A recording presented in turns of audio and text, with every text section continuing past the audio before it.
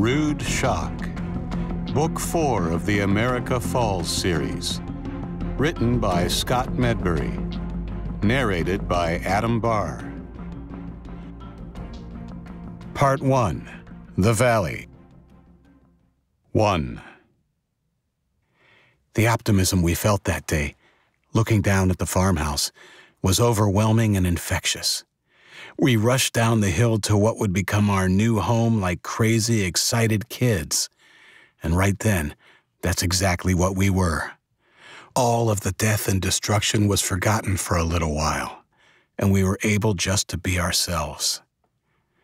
The big farmhouse dominated the fields and buildings around it.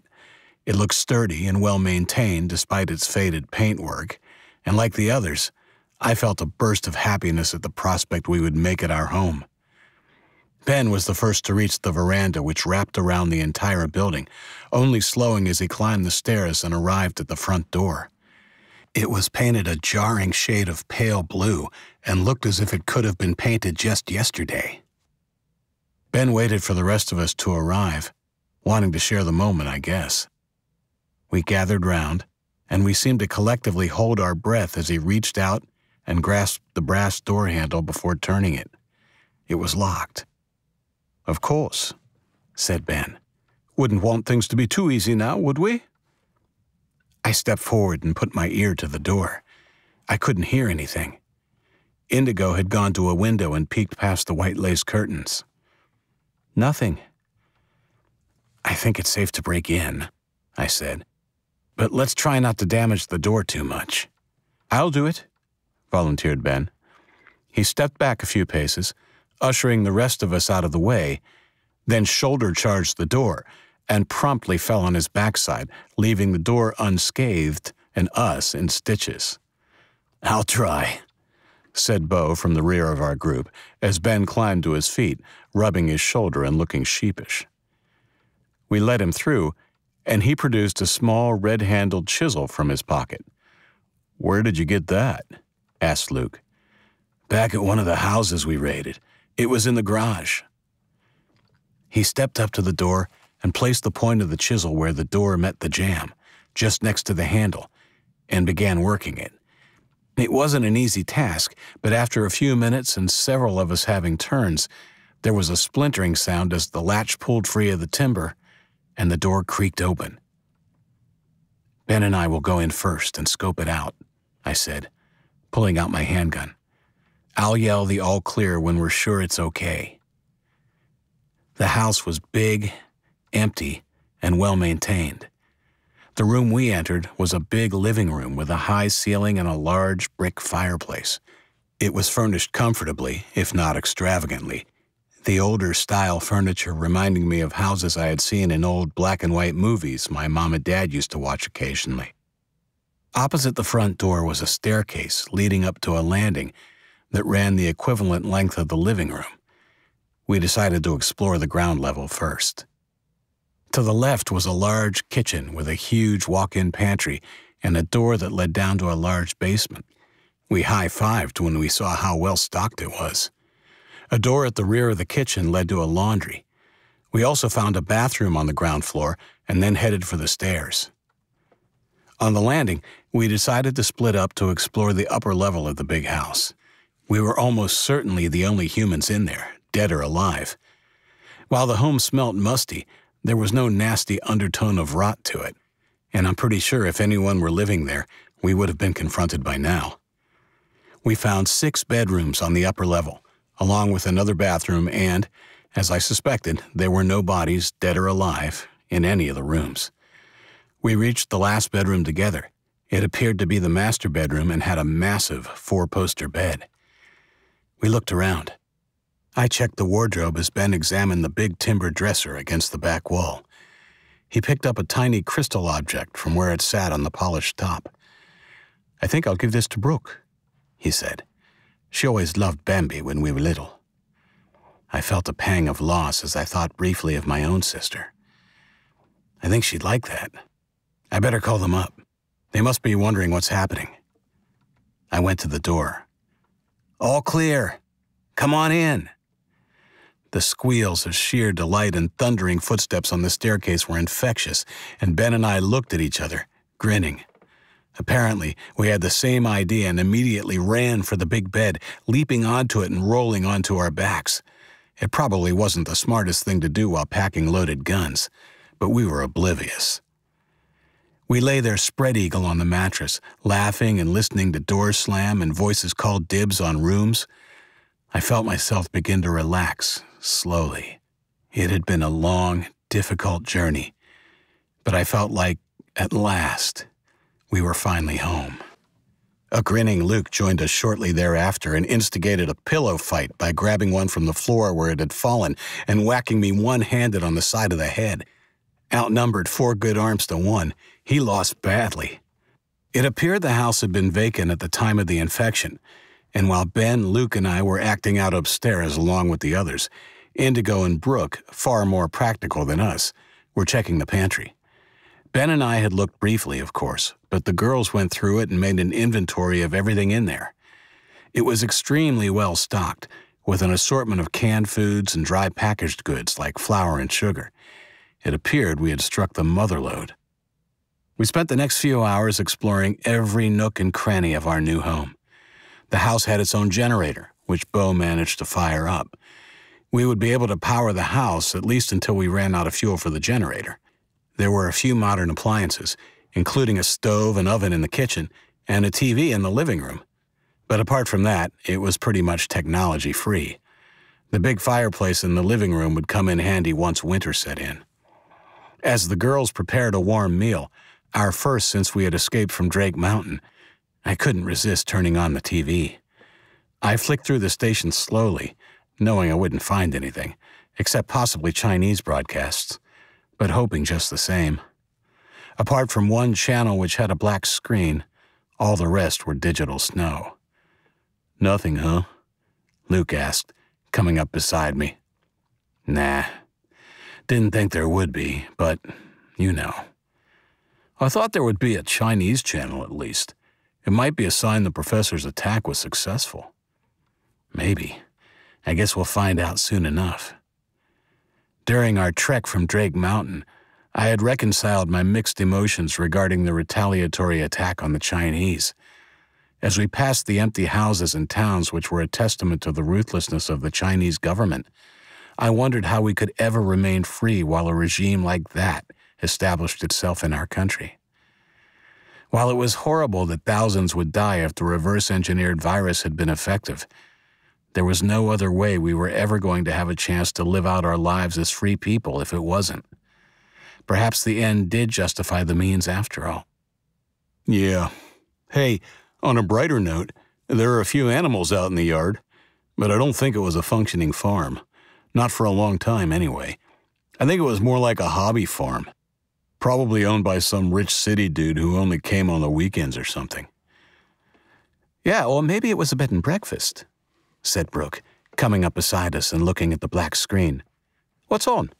Oh, I think I've seen this show. It's called Blackout, right? We laughed at her lame joke and Luke grabbed her in a bear hug. The pretty English girl squealed in delight as she struggled to escape his grip. He let her go eventually, and she told us the dinner was ready as she left the room, looking happy. What? asked Luke when he saw my knowing smile. Huh? Oh, nothing, Nothing at all.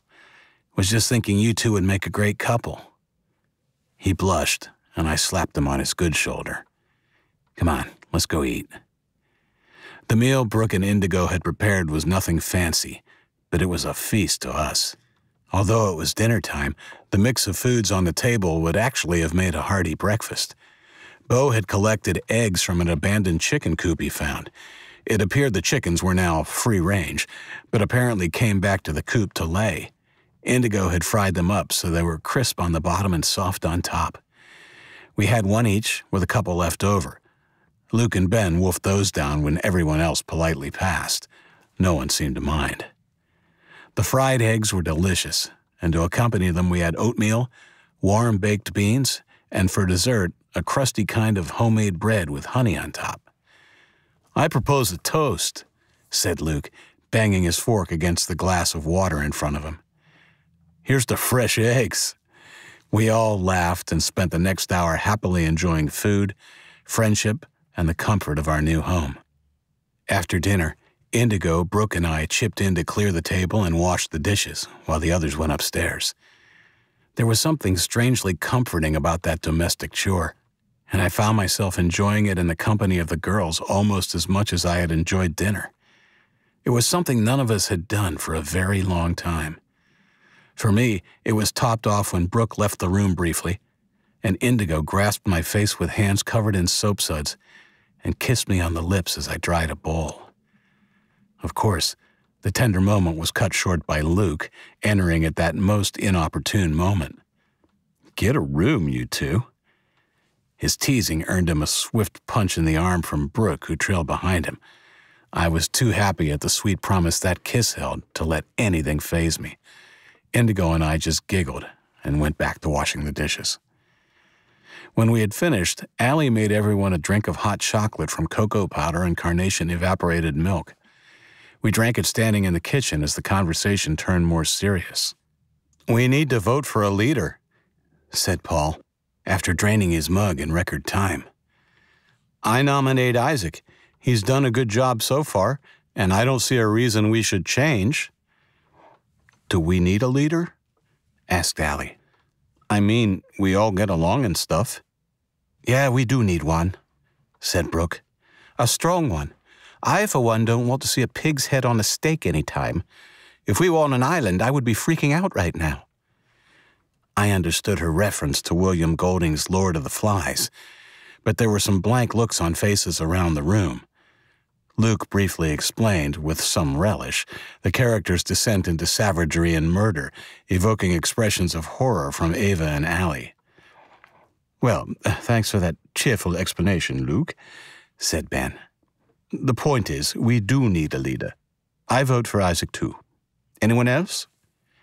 Hands went up around the room, and I found myself unanimously elected for a position I hadn't volunteered for, elected as a leader without opening my mouth. Indigo squeezed my arm supportively. I was quiet for a moment.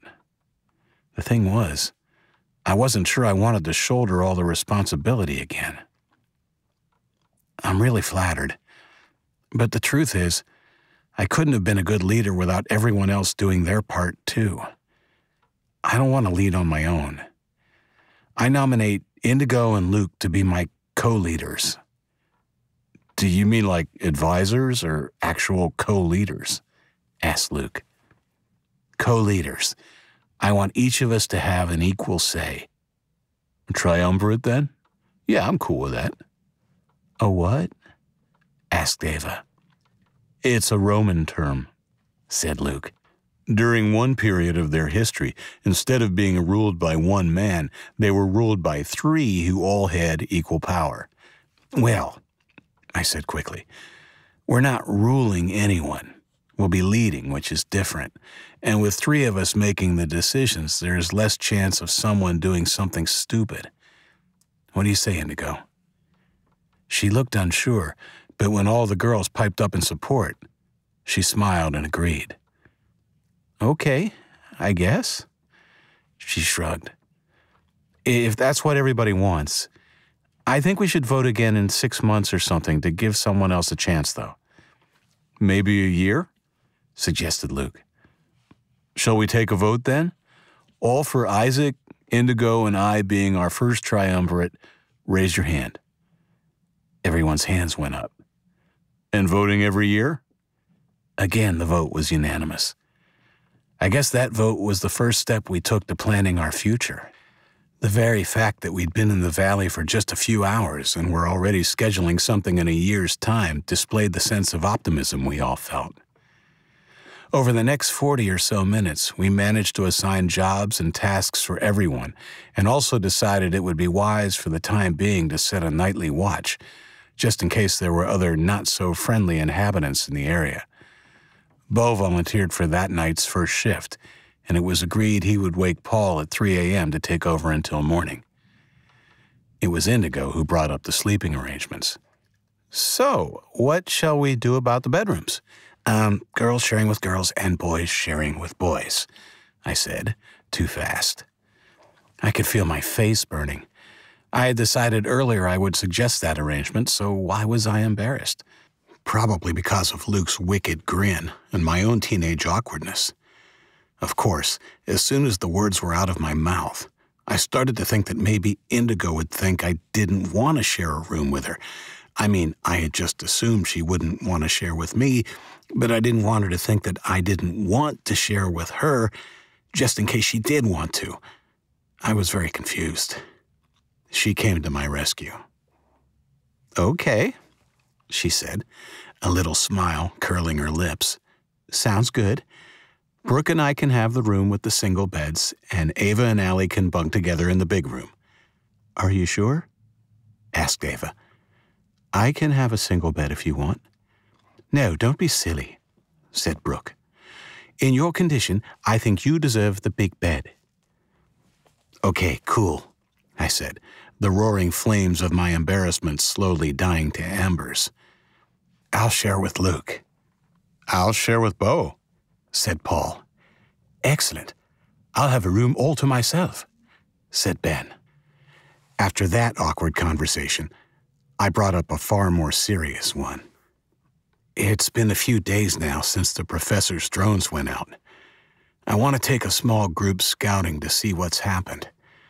I plan to head back to Plymouth on foot to survey the damage, if there is any.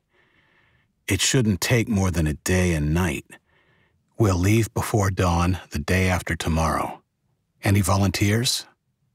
Ava was the only one who didn't put her hand up. Given her condition, that wasn't surprising. Not you, Luke.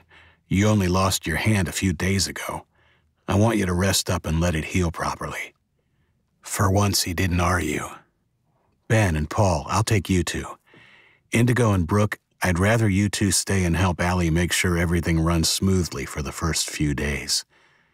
Bo, I want you to start getting the farm and the animals we have into shape. Luke can help as much as he can. Ava, you just need to rest up and look after you and the baby. I told them I would organize the mission the next day, and we began discussing our plans for the farm and writing the list of chores for everyone to do. Among us, only Bo had any kind of farm experience. During our journey to the valley, he had told us he had spent many a summer holiday on his uncle's farm in Vermont. We had an ample water supply. The pond at the rear of the property was huge, and there was also a large rainwater tank adjacent to the farmhouse. Luke informed us the tank water would be okay to drink, but we should still go through the process of boiling our drinking water. Of course, we would have to do the same with the pond water if we ever needed it. We set up a roster for someone to collect water from the tank and boil it every day. Like the chicken coop, we had found the gates to the pig pen open when we arrived, and one of the girls had since spotted the escapees roaming the farm. With a bit of luck, they would all be on the farm somewhere. Bo's first task would be to catch the pigs and the chickens with the help of a few volunteers. The cattle were in good shape, grass being in plentiful supply. There were four cows, a calf, and a bull, but only the mother was giving milk. Another was pregnant, and Bo informed us she would be ready to milk after she gave birth. The other two are kind of useless for milk, unless they become pregnant. Two should produce plenty of milk for us, though. That bull's been a busy boy, opined Ben. Maybe he's taking turns. Yeah. Well, we'll have to get him into another paddock so we can work with the cows. We'll take care of the pigs first, though. Much to Luke's amusement, Paul, who had actually put us on the path to the farm, was horrified at the thought of milking a cow when it was suggested we make a roster for that chore, too. Dude, it's easy, said Luke, demonstrating. His arms moved up and down. His good hand squeezed air while his bandaged stump moved up and down in sync. You just grip and squeeze, grip and squeeze. We all laughed. All except Brooke. I noticed a tear glinting on her cheek in the candlelight. Luke noticed too. His smile turned rueful, and he brought his stump up and looked at it. Yeah, I miss it too. It's like my hand is still there sometimes. It aches, and I swear I can even feel my fingers. But when I check, well, it's just old Stumpy here. Which reminds me, I think bionic hands are in short supply these days, so I will need a hook. That's my first order of business. No badass post apocalyptic survivor should be without one, said Ben, trying to lighten the mood. I was pretty handy at metalworking at school, so when we get back, I'll help if you need it. Thanks, that'd be cool. As we were saying our goodnights, Ben took the opportunity to give Brooke the crystal reindeer. Oh, thank you, Ben. It's beautiful. She kissed her brother on the cheek, looking happier than she had a few minutes before. It had been another long walk to reach the farm, and now the excitement had worn off, and we were all tired. Still a little awkward from the discussion about sleeping arrangements, I hung back awkwardly as everyone got up and went their separate ways. Indigo wasn't awkward, though. She made her way between bodies and grasped my hand in hers before whispering in my ear. You're so cute. I blushed again, secretly pleased at her compliment as she pulled me towards the hall doorway. We made our way up the stairs hand in hand, and at the top, she kissed me gently on the lips. Get a good night's sleep. I'll see you in the morning. Okay, I said a sense of well being washing over me. This new stage of our adventure had started off better than I could have imagined.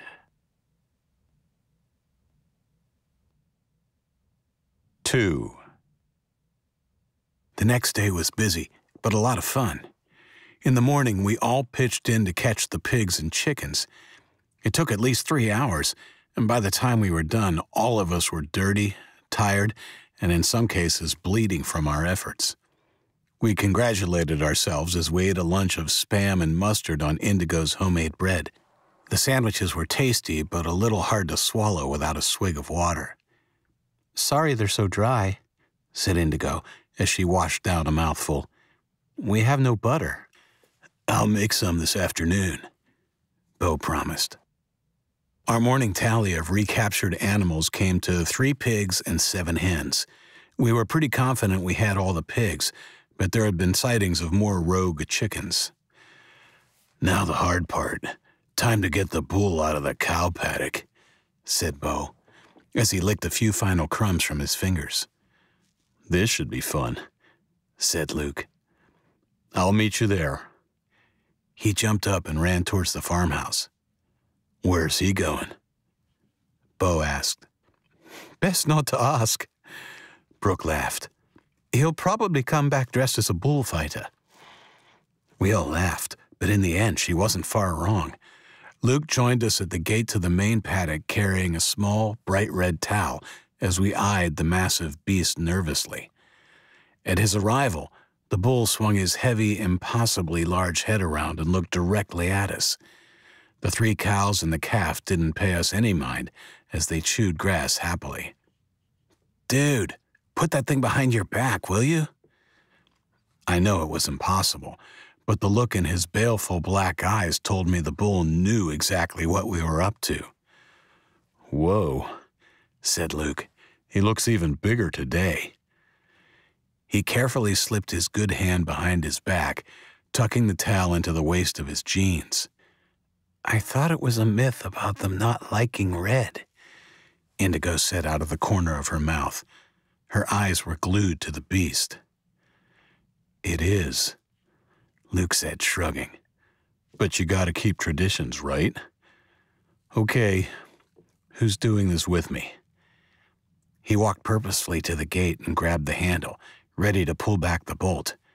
I stood up, and so did Ben. Right. What's the plan? asked the English boy.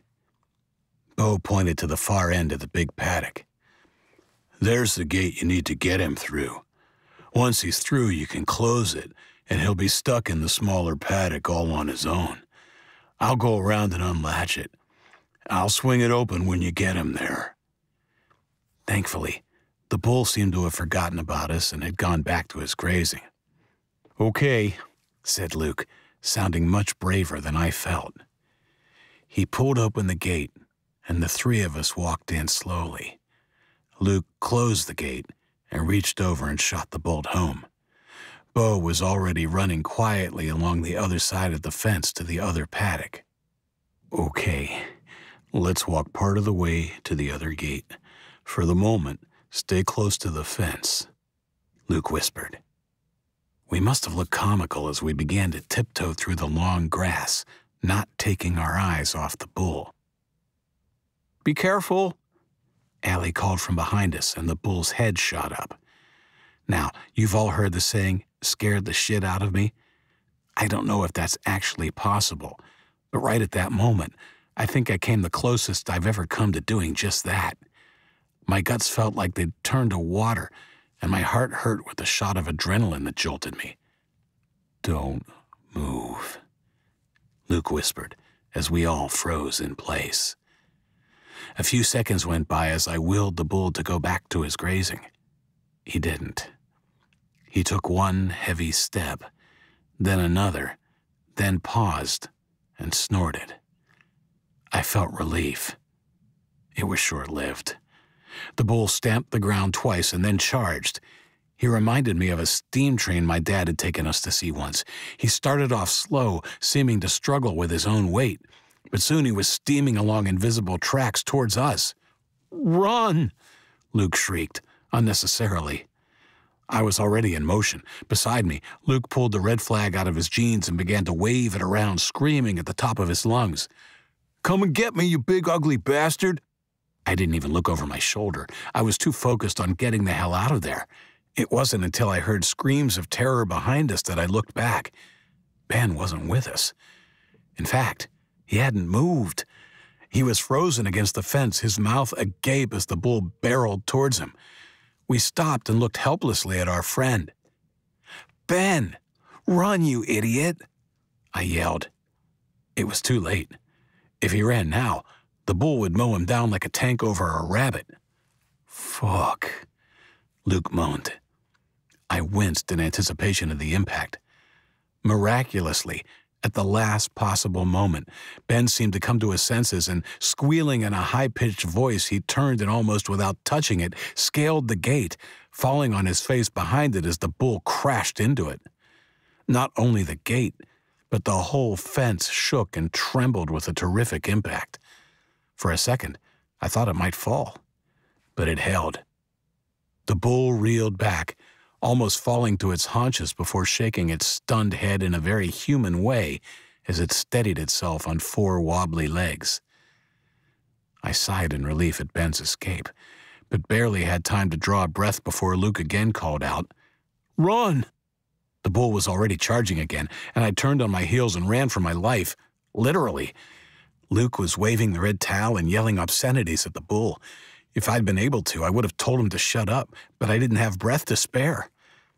I could see Bo at the gate about 30 yards ahead. He had already pulled it open and was yelling with a look of horror on his face, beckoning wildly for us to hurry. Luke had stopped yelling and waving the stupid towel and was concentrated on pumping his arms in order to get as much velocity as he could. His look of horror mirrored how I imagined my own looked. And if the situation hadn't been so potentially deadly, I probably would have laughed. It felt like we had run a mile as we closed on the opening, and I would have felt relief, but the thundering of hooves directly behind me told me I was in imminent danger. I heard faint screams from the group watching us, and in front, Bo sprinted out of the opening to the side, ready to slide the gate back home when the bull was through. The thud of the hooves drew closer, and I could now hear a rhythmic snorting like the bellows of a steam train. I envisioned two sharp horns about to jab me in the butt and push my chest out like a sprinter about to break the ribbon of a finishing line. If it had been a race, Luke and I would have tied. We crossed the threshold to the other yard in a dead heat. I veered right as he veered left, the direction Bo had gone. I heard Luke whoop, and I was about to do the same when something hard connected with my hip and sent me flying. Later, Luke told me that I flew at least 10 feet. My legs were still pumping as I landed and was carried face first into the grass by my own momentum. Behind me, I heard a mewling kind of roar and a heavy thump and skid. On hands and knees, my chest heaving, I glanced in the bull's direction. When I had veered right after passing through the gate, the bull had swung its head and struck me a glancing blow, but in the process had knocked itself off balance and skidded into the turf.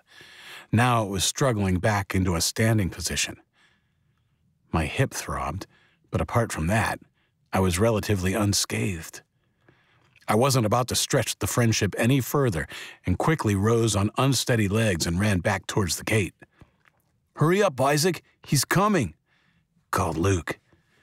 Once again, I heard the horrible thumping pursuit of hooves and found an extra burst of energy. I passed through the gate and the boys slammed it home.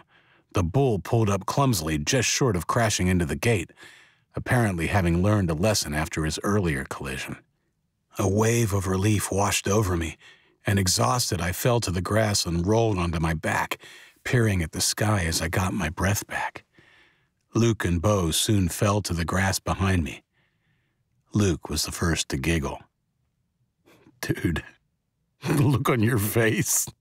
His giggle turned to a laugh, and soon Bo and I joined in, slowly at first, then more heartily. Pretty soon we were all holding our stomachs and squirming on the grass in helpless amusement. Our friends, who had been watching on helplessly, were less amused, and Luke and I both received a scolding. 3. After our close encounter of the bovine kind, we headed back to the farmhouse, where Ben, Paul, and I sat down and put together a plan for the mission into Plymouth. We would leave at dawn the following morning, each of us armed with handguns and also carrying a few spare clips of ammunition in our backpacks. If the virus had been effective and had done what it was designed to do, we expected to return with more weapons and ammo and whatever supplies we could bring with us. Our success would all depend on what had happened over the past few days. If the Chinese were unaffected, it was unlikely we would be able to bring anything back, but at least we would have the intel. The three of us had an early night that evening, going to bed just after dinner and sleeping in the same room so as not to disturb the others when we were woken by Indigo, who had volunteered to wake us just before dawn. I took this as a sign she couldn't bear for me to leave without saying goodbye, and I fell asleep thinking of her. I was tired and felt like I had barely been asleep a few minutes when Indigo's gentle shaking woke me. Time to get up, sleepyhead, she whispered and kissed my forehead. Remarkable what a little kiss can do. I suddenly didn't feel so tired anymore and jumped out of bed, regretting it instantly as my bruised hip protested loudly. I swallowed the discomfort and helped her wake the other two before grabbing my coat and boots and following her downstairs. We each ate a can of SpaghettiOs and a slice of Indigo's homemade bread for breakfast. Not as nutritious as it could have been, but I had turned down her offer to fry us some eggs. I wanted to get going as soon as we could. I cannot wait for that cooked chicken you promised when we get back, Indigo, said Paul, looking distastefully into the bottom of the SpaghettiOs can. Despite the look, he was doing a fantastic job of getting every last drop of sauce out of it. Yep, I'll get to work on it while you're gone. Tomorrow night, hopefully, she said. I wolfed my SpaghettiOs down. The two cooked meals we had enjoyed since arriving hadn't yet killed off my instinct to eat as much as I could when I could. I grabbed a small backpack and began to stock it with the cans of food Indigo had gathered for us. We also had enough water to get us through the next 24 hours. If it's safe, I'm hoping we can bring more food back with us, too. Amen, said Ben. And I want some boots. These shitty canvas shoes are just about done. Good thinking. We'll try to bring back clothing as well. Are you thinking we'll be able to steal a vehicle? asked Paul. Yeah, I said after a moment. Hopefully, we won't even have to steal one. If the professor's virus was as lethal as it was on Sunny, I have a feeling we will have Plymouth pretty much to ourselves. If it is safe and you see a drugstore, we need some girl items too, said Indigo. This time I wasn't the only one who went red. Indigo sighed in mock exasperation. Don't worry, boys, I'll write you a list. We were ready to leave a half hour later. By then, Luke had awoken too, and he and Indigo walked us out onto the creaky veranda just as the sun was starting to lighten the sky in the east. Ben and Paul stepped off the veranda and began talking quietly as I turned to Indigo. We kissed briefly and then embraced. Be careful, Isaac. I will. You too. Don't let anyone get complacent. We don't know how safe this place is yet.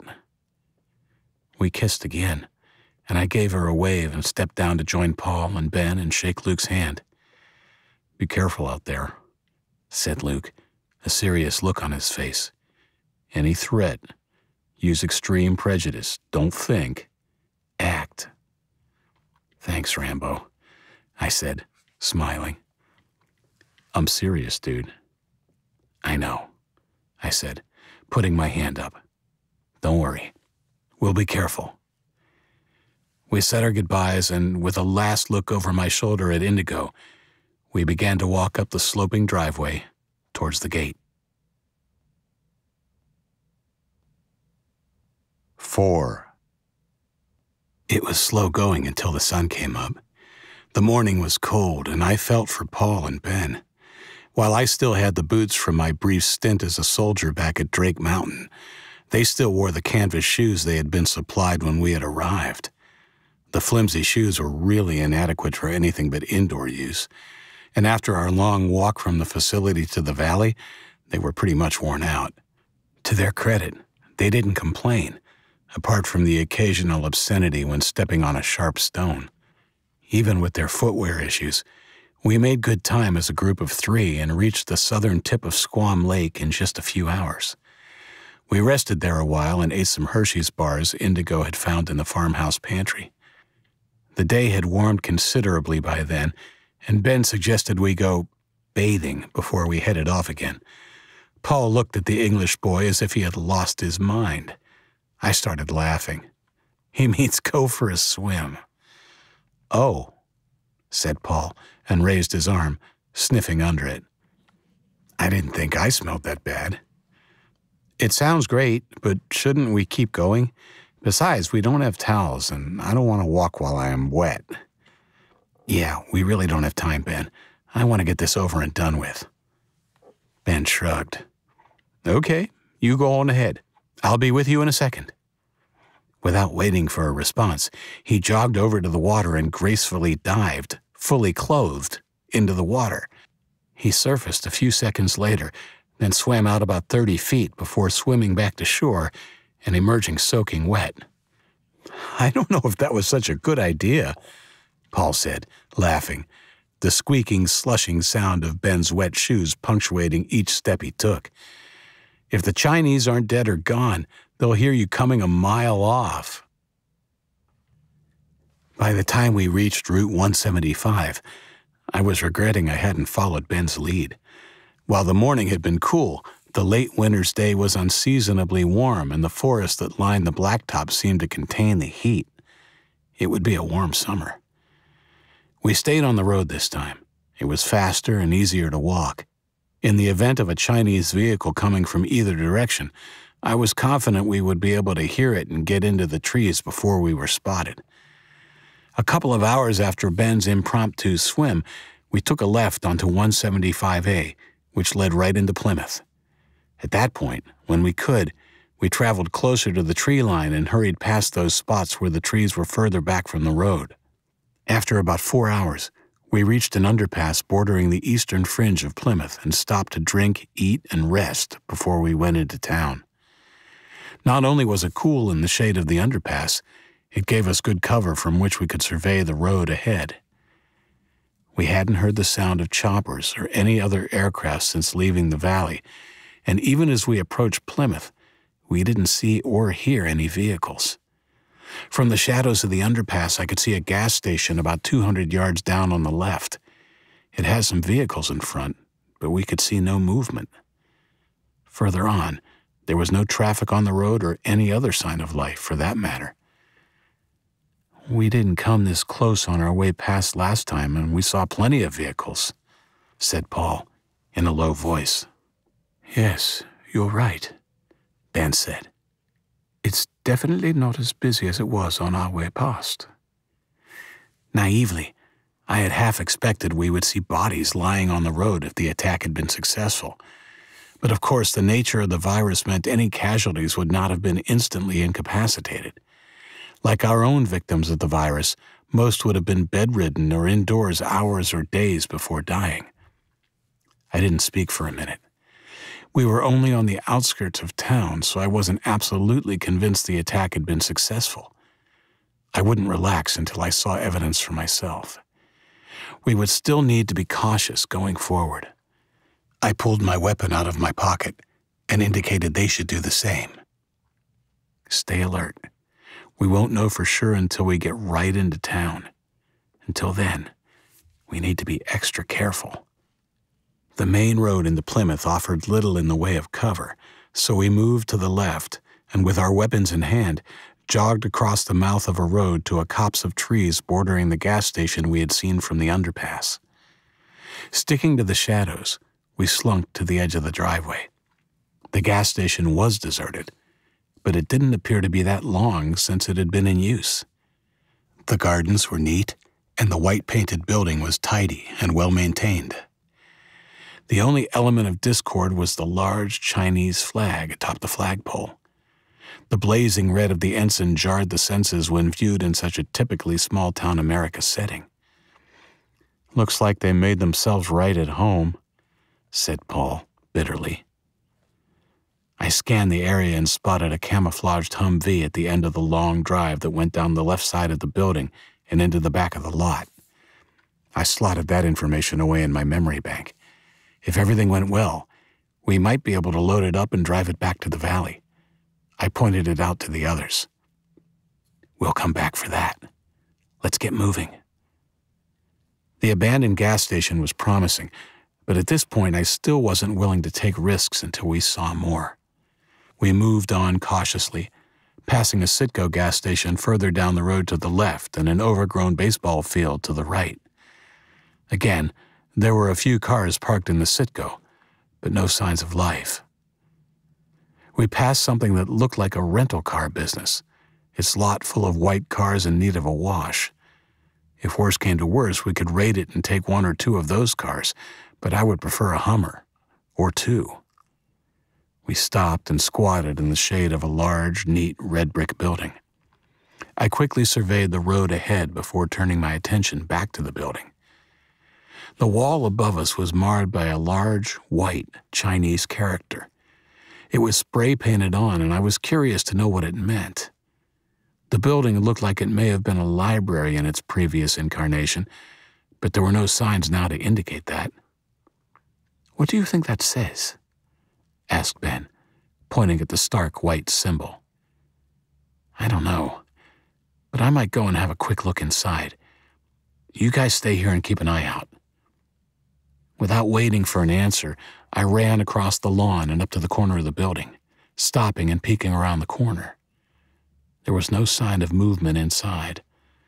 So, with my heart beating fast, I turned the corner and followed the path to the doors. It was dark inside.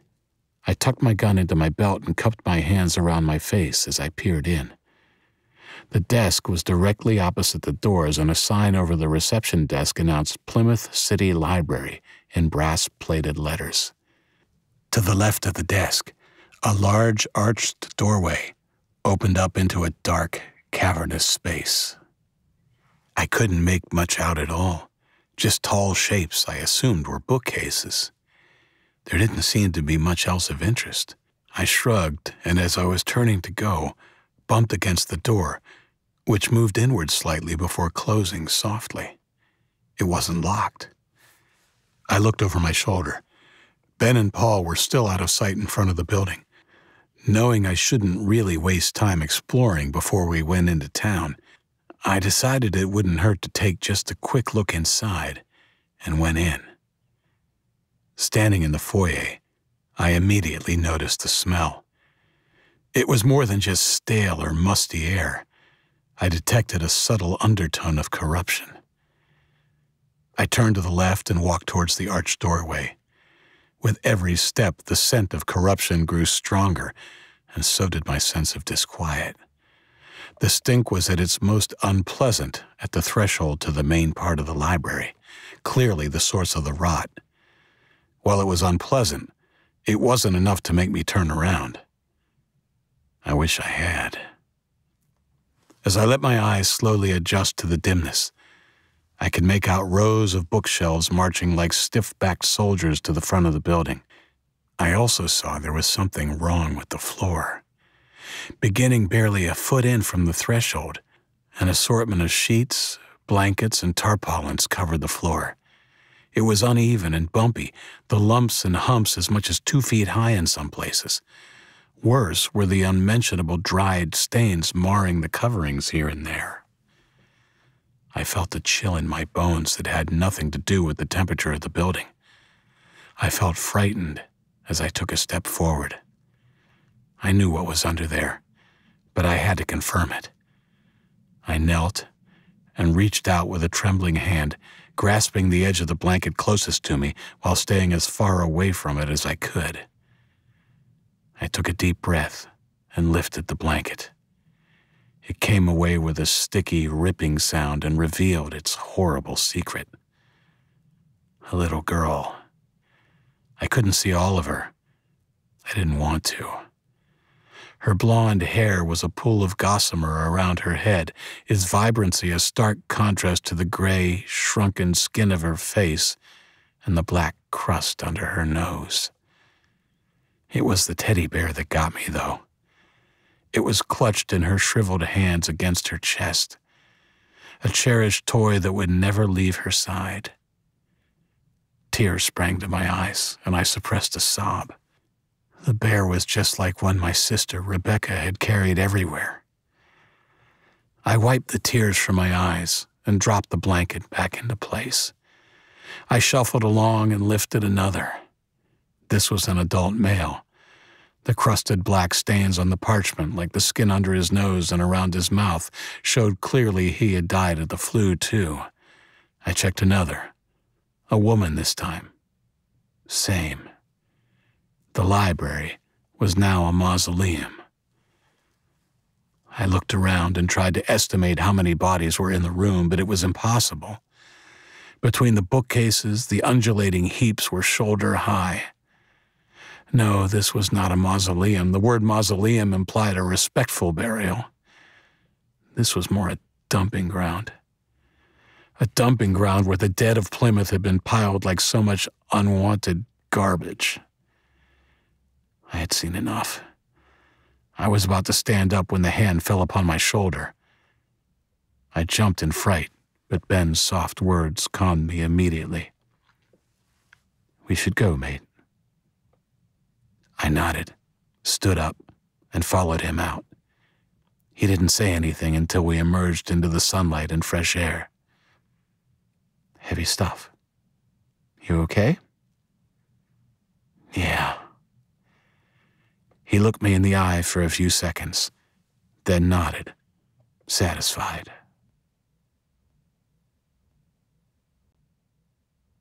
Five. The further we went without any sign of life, the more I could sense Ben and Paul relaxing. I was still tense. My discovery of the bodies had unsettled me more than I cared to admit. Plymouth was eerie. It had been an occupied town, but now it was clear that it was occupied by nothing more than ghosts. The ghosts of its former American owners, and now its more recent occupiers. Is that a tank? Asked Ben, shading his eyes and squinting into the distance. It was. The large, squat vehicle sat smack bang in the middle of the bridge which crossed the river and led into the center of town. Should we hide? asked Paul, with just a hint of worry in his voice. No. I walked on. If there was anyone in it, they would have seen us by now anyway. For cover, we still walked close to the buildings now lining the street, but as we got closer, I could see that even on the other side of the bridge, there was no movement. Come on. It looks safe, but we'll keep the tank between us and the other side until we get a closer look. I darted out into the sun drenched road and began to make my way to the bridge in a crouched run, trying to keep the tank between us and the other side. The others were right behind me. When we reached the tank, we spread out behind it, me to the right and Paul and Ben to the left, and surveyed the town more closely. Even though the tank was in the middle of the road, there was enough room on either side for a vehicle to pass, so we had no problem seeing all we needed to see. At the end of the bridge, there was a railway track bisecting the road, and further on the right, a new looking squat three story building. Parked out front were a few military vehicles, but no sign of personnel. There's a wreck, said Paul. I scooted over and joined them. It was an olive green SUV, its front end now sporting a telegraph pole. The impact didn't look like it had been too hard certainly not enough to kill the occupants. But I could clearly see the shape of the driver slumped against the steering wheel, the white shroud of an airbag draped over him. I think it's safe to break cover, I said, standing up. The car wreck had decided me. Given how things appeared to have been maintained by the occupying force, it seemed unlikely if things were business as usual, the wreck would have been left unattended. It appeared the professor's virus had, at the very least, driven the enemy from the area around the Drake Mountain facility. You sure? asked Paul, still on his haunches. Ben had already joined me. Yeah, come on. Keep your eyes open and your gun ready. Paul stood up, still looking a little unsure. I didn't think him cowardly, just cautious, and I took into account that he wasn't as battle hardened as Ben or I. I gave him an encouraging pat on the shoulder. We walked across the bridge slowly but deliberately and headed towards the wreck. I put up my hand when we were about 20 feet away. Stay here. I walked the rest of the way alone with my weapon pointed at the vehicle. I was in no danger, not from the occupants of the vehicle anyway. The driver was dead, a messy mix of mucus and blood coating his mouth and chin, his sunglasses pushed askew by the impact, leaving one puffy eye exposed. He smelled worse than the desiccated bodies in the library, and I covered my mouth with my free hand to try and filter the stench. I moved to the rear door. Through the window, I could see there was another body laying lengthwise on the floor as well. I was no CSI detective, but the passenger had obviously been lying on the back seat when the impact occurred. I was thankful he was face down. I turned and walked back to the others, shaking my head at their unasked question. I motioned for them to continue with me across the railway tracks to cross the bridge. The squat building was our next destination. I have to admit, I was feeling a little spooked. Whether it was all the death I had so recently come into contact with or the unnatural silence, I'm not sure. But my spider senses, as Luke called them, were tingling. We scanned the area as we made our way cautiously to the building. When we stopped on the road out front, keeping a Hummer between us and the entrance, I checked the windows for any sign of movement before deciding to take a closer look. The doors to the entrance were wide open, and I motioned for Paul and Ben to stay back as I crept forward. With my back to the wall, I took a quick peek through the doorway, my gun at the ready. The foyer was empty. There was an overturned chair and some papers scattered on the tiled floor. Opposite the entrance, there was a large, unmanned reception desk. It's clear. Let's go. We entered. To the left of the desk was an elevator door and to the right, an entrance to a hallway that led deeper into the building. We went to the desk first. On the desktop was a scattering of papers along with a machine gun and a couple of clips of ammo. I picked up one of the papers. The writing was Chinese. Looks like they left in a hurry, said Ben, picking up the machine gun and checking it over. Yeah, said Paul. Should we check the building? I nodded. I want to have a good look around. Do you two want to check this level? I'll go to the second floor. Are you sure we should split up? asked Ben. Based on what we've seen, I think we're safe. I'll take the fire stairs. If there does happen to be someone up there, I don't want to be a sitting duck in the elevator. The power wouldn't be on anyway, Isaac. Oh, yeah, I said, feeling a little stupid. Ben didn't take the opportunity to tease me. I'm not so sure Luke would have afforded me the same grace, no matter how edgy we were feeling. Here, take this, said Ben, offering me the machine gun after he rammed the clip home. No, you take it. I'll take your pistol if you don't want to carry it. He handed the pistol to me and I tucked it into the back of my pants. Okay, we'll meet back here in ten minutes. Don't take any chances. 6. I went to the fire door to the left of the elevator and pushed it open, stepping in to survey the bare concrete stairs leading up the first landing. The door closed behind me and I found myself shrouded in complete darkness. Not good. I opened the fire door and went back into the lobby. The other boys were already gone. I dragged a chair to wedge the door open and took the steps two at a time pausing at the landing and checking I was clear before moving up to the next floor. I listened through the heavy door before peering through the small viewing window. It was another reception area with no signs of life. I pulled the door open and eased into the room before closing it gently behind me. The click of the door bolt seemed as loud as a gunshot in the hopefully abandoned building, and I flinched. I crept to the desk. It was identical to the one on the ground floor. There was a desktop computer and a phone, but not much else. I continued to the entrance of the corridor to the right and looked cautiously around the corner. Big windows ran the length of it, allowing in plenty of light. There were four doors at regular intervals down the left of the hall. I tiptoed to the first one. Again, I put my ear to the door. Nothing. My guts were churning as I raised my gun and twisted the handle, pushing open the door. The stench in the room slapped me like an open hand. I clapped my free hand over my mouth and nose, not daring to breathe the tainted air. I spotted the source of the smell immediately. A bloated body in a khaki military uniform was lying face up on the sofa against the wall to my left. There was a gaping, blackened hole in the top of his head, and a spray of dried brains, blood, and bone chips fanning out over the arm of the sofa and the carpet beside the body. The gun lay where it had fallen from the dead man's grip. To the right, there was an expansive, polished timber desk, and above it on the wall, was a framed photograph of two men shaking hands. I recognized the Chinese premier. He was shaking the hand of a general as they stood in front of a column of soldiers. I didn't want to go any further into the room, but forced myself to take a few steps forward and have a closer look at the body. It was the general in the photograph.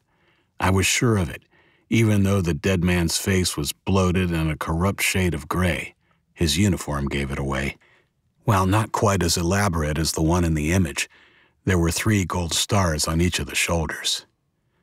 A dead general of the Chinese army. There was a crust of blood flecked green under his nose and over his mouth and chin. The reason for his suicide was clear. Across the room, on the far side of the desk, was a door.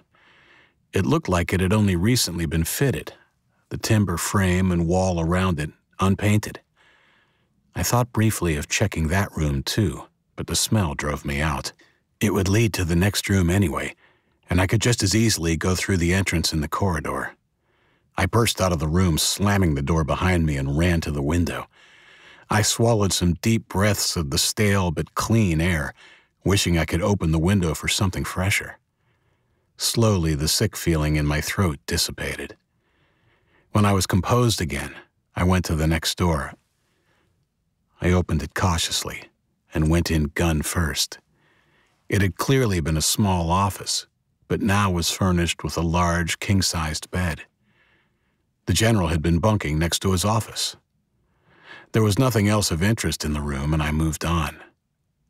The next room was more interesting. It looked like it had been converted to a makeshift dormitory. There were six bunk beds, all unmade and messy, and a scattering of clothes and weapons covered the floor on a table in the corner. I picked up a pillow, removed its case, and began to pick up the discarded weapons. It was quite a haul. Two handguns and a machine gun, the same as the one Ben had found downstairs, plus six clips of ammunition. I also found a Kevlar vest. There was no way I could fit it in the pillowcase, and I didn't want to carry it, so I put my haul on the bed and slipped it on. There was nothing else of value in the room. I left the room feeling pretty good. If nothing else, we would be going back with weapons, and there was hardly a more valuable commodity in the world at that moment. I was conscious of time and toyed with the idea of not bothering with the other room but decided I would do a quick scan just in case it contained more weapons. There was an overturned chair by the door, and the fact there was a deadlock on this one, a few inches above the handle, and clearly not a part of the original door furnishings, intrigued me. I had to check, right? There was obviously something valuable in there. I tried the handle. It was locked. I thought briefly of trying to shoot the deadlock, but had a vision of the bullet ricocheting back into my eye. I stepped back, put down the pillowcase and my gun, and gave the door a solid kick just below the door handle. The wood cracked, but both locks held. I kicked it again and again just below the handle until finally I was rewarded with the sound of splintering. I gave it two more kicks, causing more damage each time, then tried the handle. It rattled, and when I leaned against it, the door bowed inward, not obstructed by the flimsier lock, but still held firm by the other. Luckily, it wasn't a solid door. Once the veneer was dented and cracked, I could see corrugated cardboard inside it. I grasped the handle and rammed my right shoulder against the timber door. I had to do it three times before the door crashed open. In the end, it was the door that gave way, as the deadlock actually broke free and fell to the floor. I picked up my gun and scanned the room, a little disappointed. Before I had broken in, I had imagined the secured room might contain crates of guns and ammunition, maybe even a rocket launcher. What I did find when I looked in was two empty beds. I lowered my gun and was about to turn away when I heard a scuffling sound from the closet to my right. The sound was brief, but loud enough to cause my heart to race. I raised my gun and stepped into the room.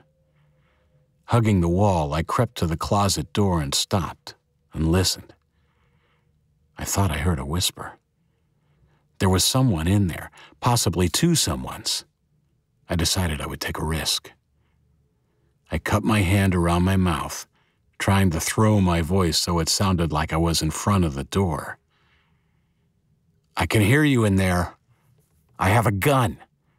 Come out with your hands up.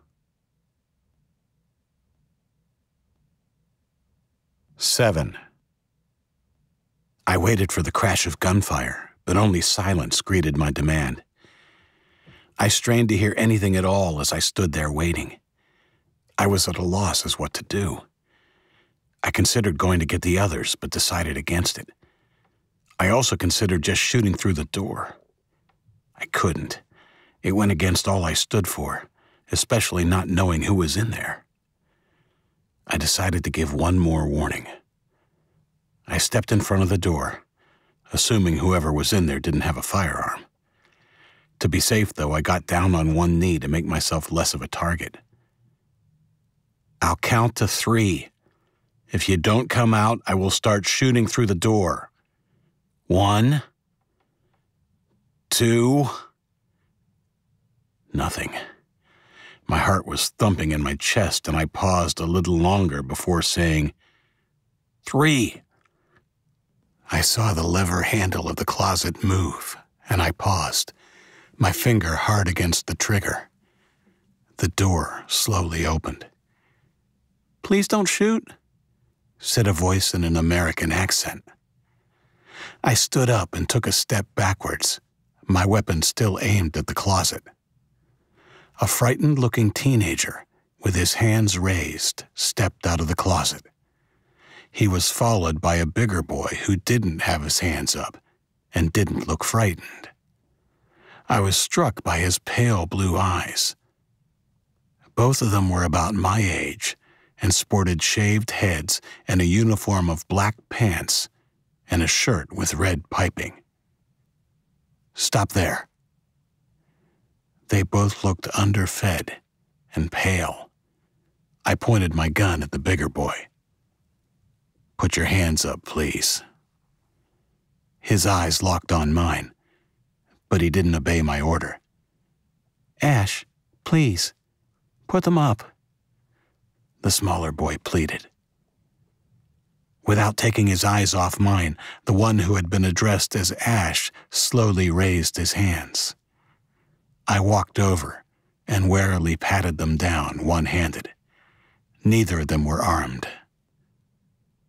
You can put your hands down, I said, stepping back in front of them. They lowered their hands.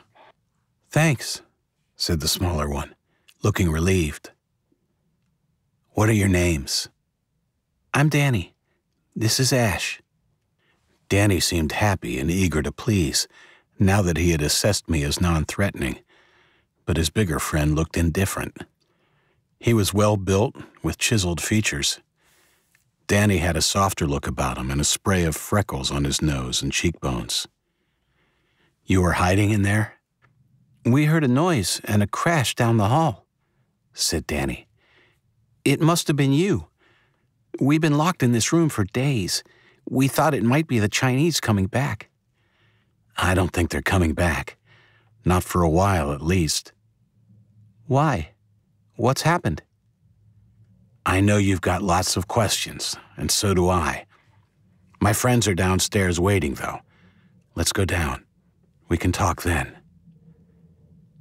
I still had my gun in hand and kept a wary eye on them as I directed them through the door.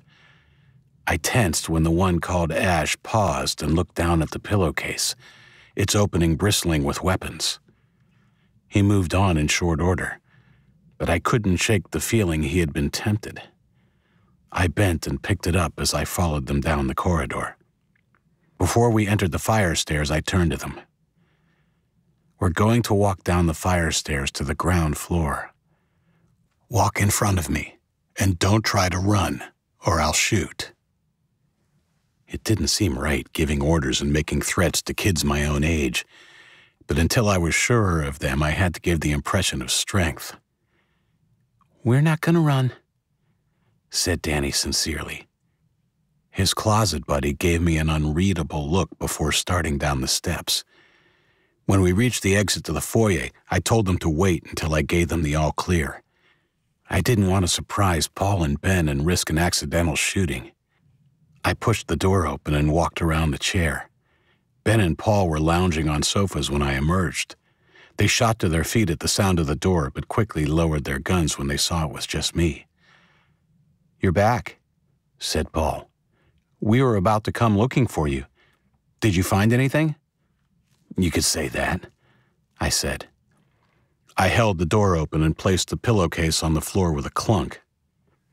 Don't freak out. I waved Danny and Ash into the lobby. Whoa, said Ben when he saw the strangers. Paul didn't comment but pushed his glasses a little further up his nose his gaze thoughtful and wary. This is Danny and Ash. I found them upstairs, locked in a room. I also found a dead general and more weapons and ammo. I didn't fail to notice the look that passed between the two shaven headed boys. General Chang is dead? asked Danny. He looked surprised more than anything. What about the rest of them? Are they all dead? We knew they were getting sick and leaving. No one has come for days. I'll answer all your questions, I said, holding up my hand and then pointing to the sofa. But I have some for you first. Sit down, please. We under arrest or something? Asked Ash. The first words I had heard him speak, dripping with sarcasm. Um, no, I said, a little taken aback at his question. Just sharing information, I guess. He looked at my handgun pointedly. That look made me feel like a kid playing cops and robbers. I reached behind me and slipped it back into my belt.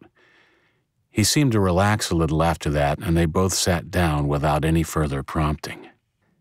Danny perched on the edge of the seat, almost eager, while Ash slouched back and folded his arms over his chest. I sat on the sofa opposite to them. Okay, so I guess the first question is what were you doing in this building? Danny answered. This was their headquarters in the region. General Chang was the regional commander. We were like his assistants, I guess.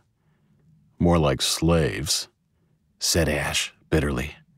I'm glad that asshole is dead, and I hope the rest of the ugly fuckers are too.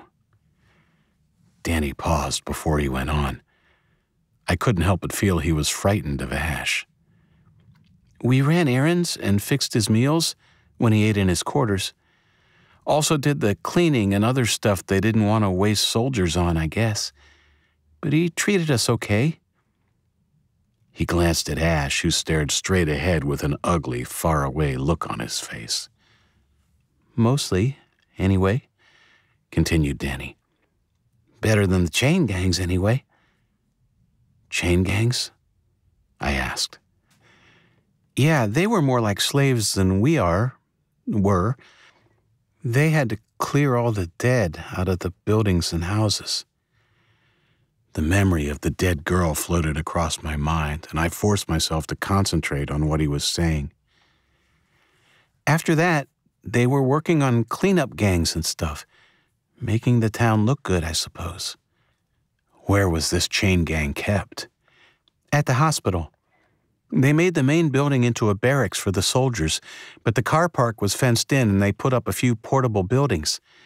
That's where the kids are locked up when they're not working. I've been there once. I can show you, said Danny. I was thankful for Danny's willingness to share. By contrast, Ash seemed disconnected. I put it down to shock and lack of food, but wondered if there was something deeper behind it. Thanks, I said. That's really good intel. Just sit here for a sec. I need to talk to my friends. Paul, Ben, and I went to the other side of the room. What are you thinking? asked Ben.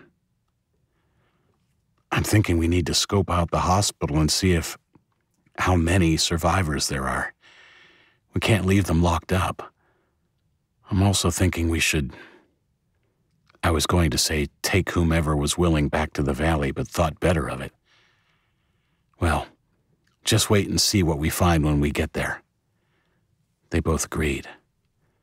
We're going to need food, said Ben, nodding at the two strangers. If they've been locked up like these blokes, they're going to be starving. I saw a market across the road. Okay, we'll make that our first stop. Come on. I walked back over to the sofa. I had decided not to give too much away about us in the valley where we had settled. I want to talk more, but I think it's important we get to the hospital to see if we can help anyone else. I want to get you two some food and water, too. Thanks, said Danny. Yeah, it's been a while since we ate.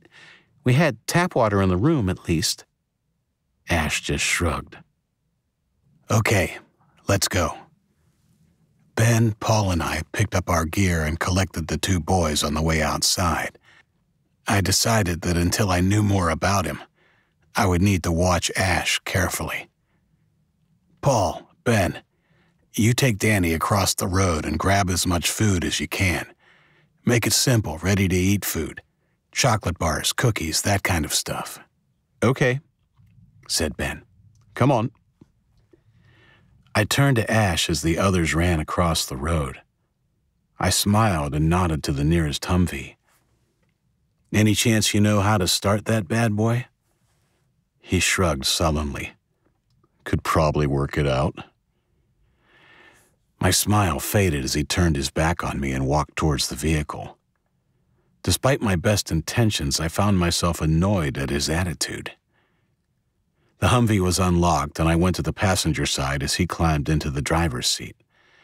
I had considered putting the weapons in the back, but decided to hold on to them for the time being. Is there a key in the ignition? I asked. No, doesn't operate by a key. I craned my neck. I could see a switch on the dash by the wheel. It was a lever on a small black square of sheet metal with three positions ENG stop, run, start. It was currently pointing to ENG stop. Ash moved his hand to the lever and clicked it through run and then to start. There was a dull click, but the engine didn't start. He let the lever go and it fell back to the run position and an orange light blinked into life above it. He tried it again, but there was still nothing. He let it fall back to run, and again the orange light came on.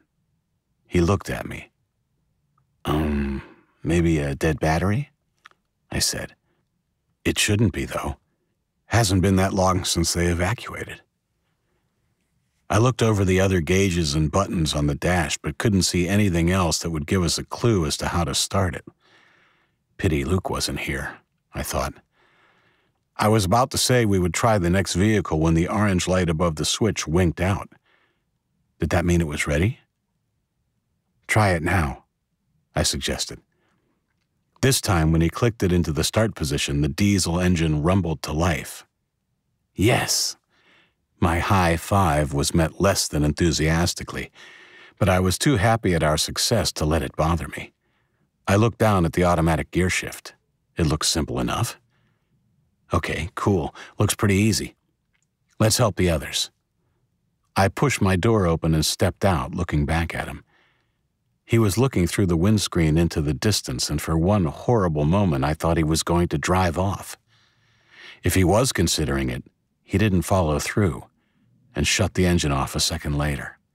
Feeling uneasy, I met him at the back of the Hummer and opened up the rear hatch. A second later, the door of the store across the road opened and the boys spilled out carrying two bulging plastic bags each. I smiled when I saw Danny. A chocolate bar protruded from his mouth, gradually getting shorter as he chewed his way through it a bite at a time. How did it go? We did great. It was pretty well stocked, said Paul. We got some canned stuff to take back too, although most of it had Chinese labels on it. I guess it'll be a mystery box kind of thing until we open them. Danny struggled and lifted his two bags into the rear of the Hummer then grasped the melting bar in his mouth and finished it quickly. I pulled one of the bags open. It was loaded with a variety of candy bars. I picked up the bag and spread it further, offering it to Ash. He didn't hold back, nor did Danny, quickly diving in for seconds. They tore into the packaging like their lives depended on it. How long since you guys ate? Ben asked Danny. We had some nuts the day before yesterday, I was beginning to get worried, though. The windows were too high up, and we had been working on getting through the door but didn't seem to be getting anywhere. Paul pulled out a bottle of water for each of them, and we waited patiently while they had their fill. Probably not the most nutritious of meals for someone who hadn't eaten in days, but we didn't really have a choice. When they were done, I closed the hatch of the Hummer. Okay, Let's get to the hospital and see if we can find these kids they put on the chain gang. Everyone started to pile in the back doors, but Ash and I found ourselves both at the driver's door, his hand claiming the handle before mine. I'll drive for now, I said, firmly. Thanks for helping me get it started, though. I braced for an argument as he stared down at me challengingly. He held the door handle for a moment longer, then, after an awkward moment or two, released the handle and shrugged. Sure. I wasn't sure if he was trying to intimidate me or not, but he did. He intimidated me in a different way than the way Rag or Chen had intimidated me. Sure, he was big and there was something not quite right about his attitude, but he was also extremely good looking.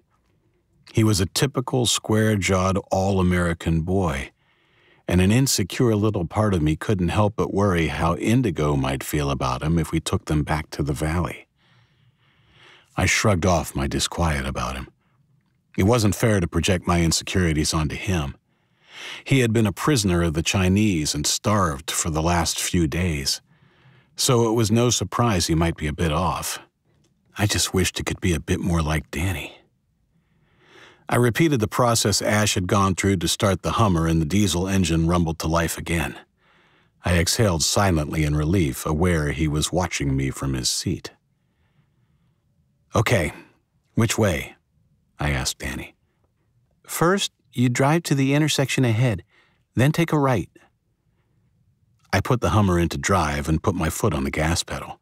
The vehicle jerked forward, and I eased off the gas before rolling into the roundabout and swinging right onto the main street of Plymouth. We followed it a few hundred yards past empty stores and windows. Turn right here, just past the post office. The red brick post office was just as you would expect. Picture perfect and quaint, apart from the Chinese flag over the door. I felt a sense of loss wash over me. I guess the others did too. Everyone was silent. Plymouth represented a perfect American town, but was strikingly different now, devoid of people and bearing the subtle signs of occupation. It's just up this hill a ways and on the left. I drove the Hummer slowly up the hill, still wary.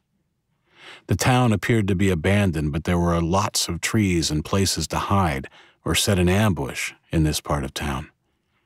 I slowed the vehicle as we were passing the fire station, its bright red trucks still in their open garage bays waiting for a call that would never come.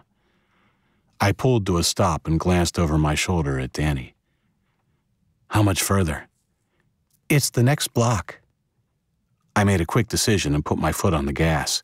We jerked forward and I swung into the drive of the fire station, screeching to a halt and throwing everyone forward in their seats.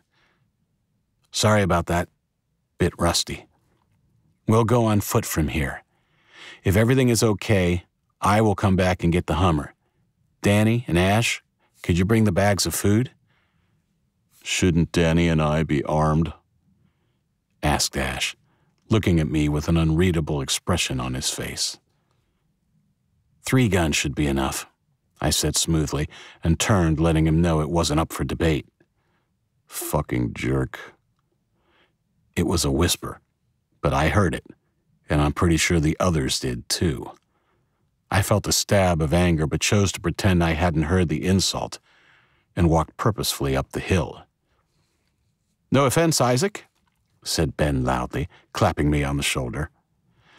But that was a bloody uncomfortable ride. Then more quietly, We'll have to watch that one. I nodded and felt relieved that I wasn't the only one who was bothered by the sullen ash. It was late evening now and the shadows were lengthening. We crossed the road and stuck to the sidewalk as we approached the hospital. The car park of the hospital wasn't as big as I had expected, but it was just as Danny had described.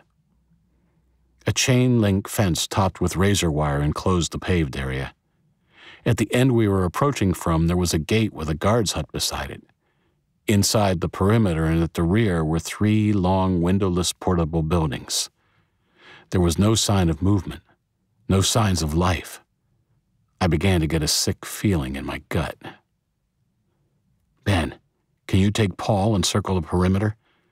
Just make sure there's nothing out of the ordinary and no breaks in the fence. They might have already escaped. Sure. I watched them run across the road with their weapons in hand then turned to watch the buildings for any sign of movement. Nothing. The boys were back in a couple of minutes, also with nothing to report. There was nothing else to do other than break through the gate and check the buildings. Come on. We crossed the road. I had seen enough so that I wasn't concerned about the Chinese army anymore.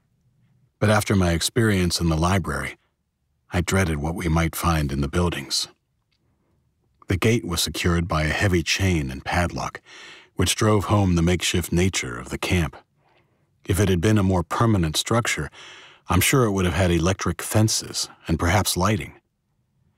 I stepped up to the gate and scanned the fence again to make sure I could see no power boxes or cables. Better to be paranoid than dead. I gingerly placed my hands onto the chain link, still wary and ready to snatch my hands away. nothing but cold metal. I pulled the gate towards me, rattling it a little before grabbing the padlock and jerking it. The clinking of the metal was loud in the silence of the ghost town, but I was more concerned about how we would break it. Should I try shooting it off? I asked as I pulled my gun from my belt. Um, I've seen it in movies. Not sure it's quite as easy as they make it look in James Bond, though, said Ben. Maybe the fire station has some bolt cutters? said Danny, sensibly. Of course. I smacked my forehead. Good thinking, Danny. He grinned and looked away shyly. I found myself beginning to like him. Wait, said Ben, and he went to the guard's booth. After a few seconds, he yelled in triumph and walked out holding a bunch of keys. Might take a while, he said sheepishly. There are a thousand keys on this thing.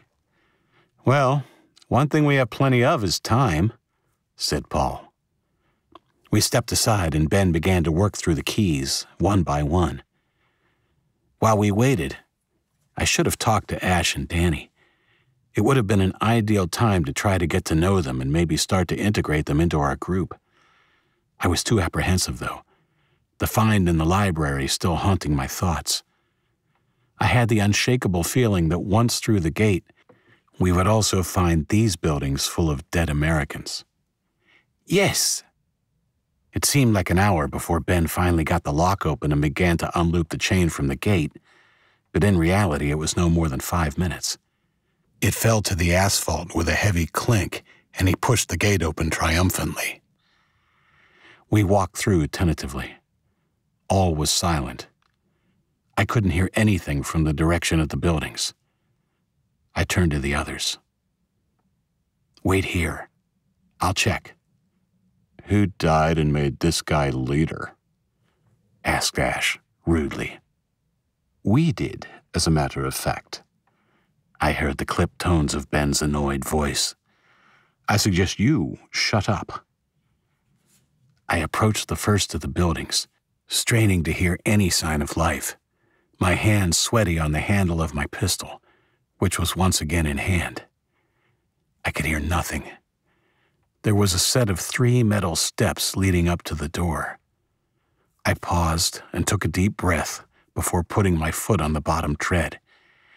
It creaked, and the building shifted slightly when I put my full weight on it. In response, there was a squeal from inside. It was cut off so quickly that I wondered if I was hearing things. What was that? Ben called from behind me. His question reassured me I wasn't hallucinating. With a sense of relief, I reached up and pulled the door open. Darkness greeted me, then a roar and a terrific collision. Suddenly, I found myself flying backwards.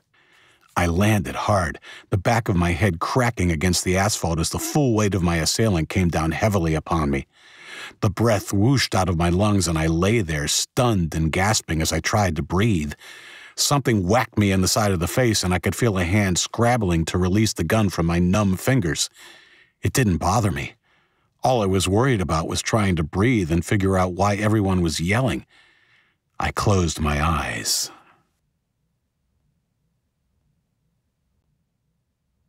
8. I tried to ignore the incessant patting on my cheeks. I felt so warm and comfortable, I just wanted to sleep a little longer. Isaac, wake up, mate. Isaac? I struggled to resist the voices a little longer, and then reluctantly allowed myself to float up into consciousness. I opened my eyes. Danny and Ben's concerned faces framed the gray sky. What? He's awake. I came to my senses and remembered where I was. I immediately tried to sit up, but Ben held me down gently. Easy, Isaac. You took a bad knock on the head. I am okay, I think. This time he helped me to sit up, and my gun fell from my fingers. I abruptly remembered how I'd come to be in the position I was in, and twisted my head to look for my attacker. I turned it a little too sharply, and the world spun. When it finally stopped spinning, I was able to focus. I saw Paul a few feet away, his gun pointed at the stranger who had charged me. The boy was big and stocky, wearing a gray jumpsuit. He looked calm but defiant as he held his hands up. Ben helped me to my feet and picked up my gun for me. You've probably got a concussion. We'll need to keep an eye on that. I'm fine, I said, touching my hand to the back of my head before raising it in front of my eyes. No blood. That was a positive. How long was I out? A few seconds, replied Danny. Has anyone else come out? No. I looked at the boy from the portable building. We're not here to hurt anyone. How many of you are there in there? Given his size, I was pretty sure it wasn't him who had let out the girly squeal I'd heard before I opened the door. He didn't answer and just stared at me with a pissed off look. I walked over to Paul. If he makes a move, shoot him in the head, I said, in a voice quiet enough not to carry to the buildings, but loud enough for our captive to hear. I was rewarded with a wide eyed look from the stranger. Will do, answered Paul, not sounding at all convincing. I took a few steps towards the first building. I know you can hear me in there. We're not here to hurt you. We're here to set you free and give you some food. I need you to step out of the building one by one with your hands up. There was no sound from any of the buildings. My head hurt, and I was a little impatient now. I stalked to the middle building and banged the metal wall three times with the flat of my hand. Someone inside screamed. I said, Come out with your hands up. No one's going to hurt you. We're American. The Chinese are gone. You can come out. We heard creaking and movement inside the buildings before a blonde girl poked her head from the door of the building I had been so rudely ejected from. She looked about 13, and her face was gaunt and pale, and she wore the same gray jumpsuit as my assailant. It's okay, I said smiling and motioning her to come out. She didn't move, but looked at the guy who had jumped me. His mouth was grim, but he nodded. The girl stepped out and was followed by more as the doors of the other two buildings also opened.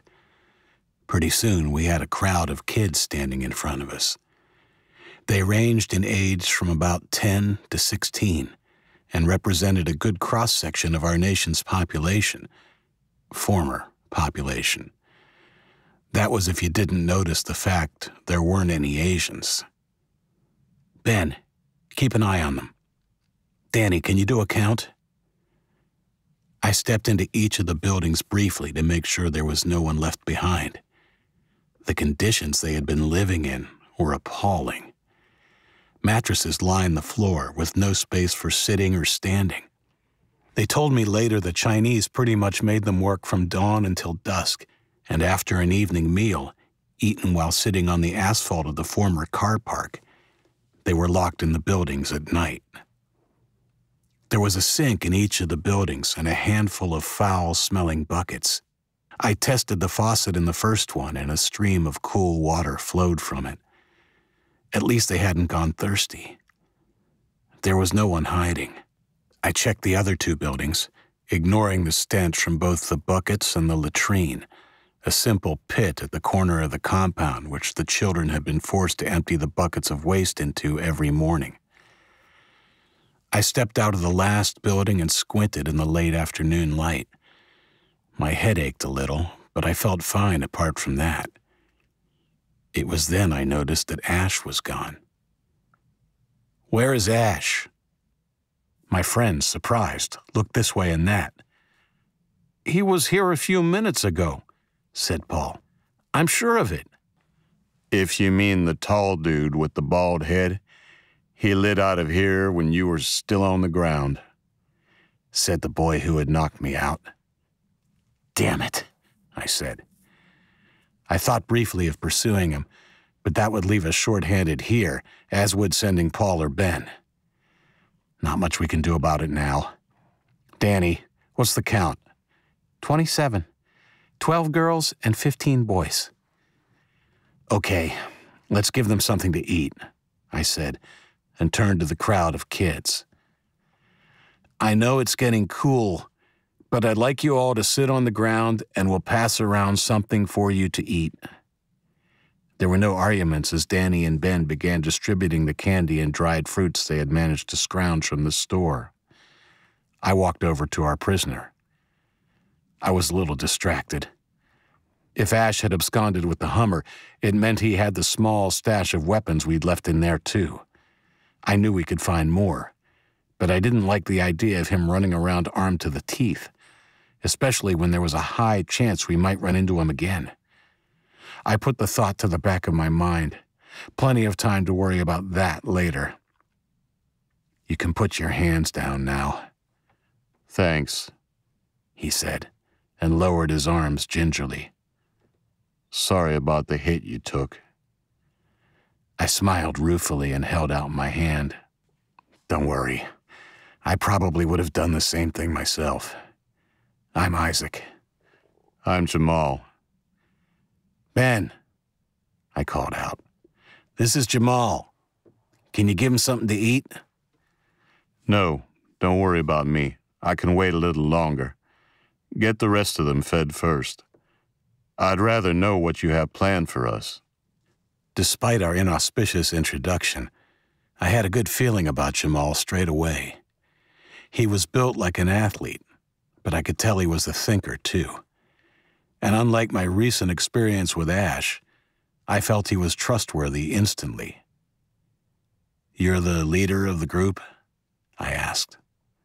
Not really. I mean, we never took a vote or anything. I guess I'm just the oldest and strongest. Okay. Well, as for plans, we don't really have any. We didn't know what we would find when we opened the doors. I was expecting the worst. I guess we have some options for you, but that will depend on a few things. Let's sit down over there and have a talk. Danny, give that bag to Paul. You can join in this conversation. We went and sat down on a bench near the front of the compound. Danny handed two Milky Ways to Jamal as we sat down, and despite his earlier protestations, the boy did a quick job of demolishing them. I just want to say I didn't know Ash was going to do that. I'm really sorry. He was always a little weird. He scared me sometimes, said Danny. It's okay. I could see he had some issues. Did you have any problems with him? Danny shrugged. Well, he kind of bullied me. Usually after. After what? I prodded. Well, sometimes one of the general's soldiers would come and get him in the middle of the night and take him to the general. He would never say what happened, but I knew it wasn't good. He'd be really mean to me for days after. I thought I knew what had happened, and it made me sick to my stomach. No wonder the poor bastard was so screwed up. Look, I said to Danny. I don't blame you for him running off. I should have kept a closer eye on him. I knew something wasn't quite right. He nodded. Where did you all come from? asked Jamal.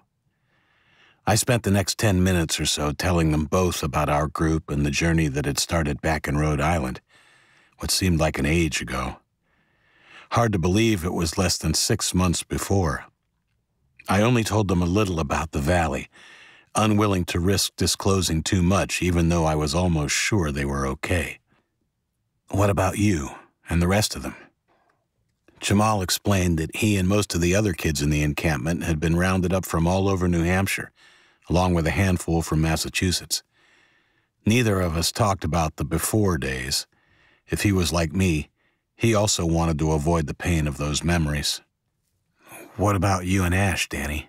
Do you know where he was from? Danny and Ash had also been in Massachusetts, in Boston itself, when the flu had struck. He also made no mention of his family or what had happened to them. We were in a camp about ten times bigger than this one. Doing the same thing, I guess, clearing out the dead bodies in the inner city. I think it was going to be one of their main centers. How did you come to be with the general? I asked. I'm not sure, really. I mean, he picked us, but I don't know why. We were working on Washington Street when his car pulled up. It's like he was inspecting our crew, then pointed at me, and then Ash a few seconds later. Next thing I know, we were put in a truck and driven here to Plymouth. We were taken to the building where you found us, and a few days later, the general turned up. That's when we were given the uniforms and had our heads shaved. We were told by an English speaking man that we were being given a great honor and would work for the general as his personal servants. I'm pretty sure he was given the job of governing New Hampshire. He had a big map in his office, although I couldn't really understand a lot of what was happening. I could see pins and stuff all over it, and they were moved occasionally, like they were tracking troop movements, maybe? Strange they would pick Plymouth, Jamal said. It's not exactly central. I shrugged. I began to think it was possible the Chinese knew something of the Drake Mountain facility before we thought they did. Anyway, it was a moot point now. The fact was they were gone, for now at least, and we had to get on with things and hope they wouldn't come back. So, what now? Asked Jamal. That depends. Everyone is free to go their own way or do as they please, but we don't know for sure how effective the professor's virus was. Pretty effective, I'd say, said Danny. Yeah, but the fact is they might only have retreated to the next state, and maybe they'll come back when the virus is dissipated. We can't really know. Anyway, I need to double check with Ben and Paul first. But I'm thinking if anyone wants to, they can come back to the valley with us. You're not worried about strangers coming in and causing trouble? asked Jamal. We have thought about it, of course, but we also know that we can't all live isolated.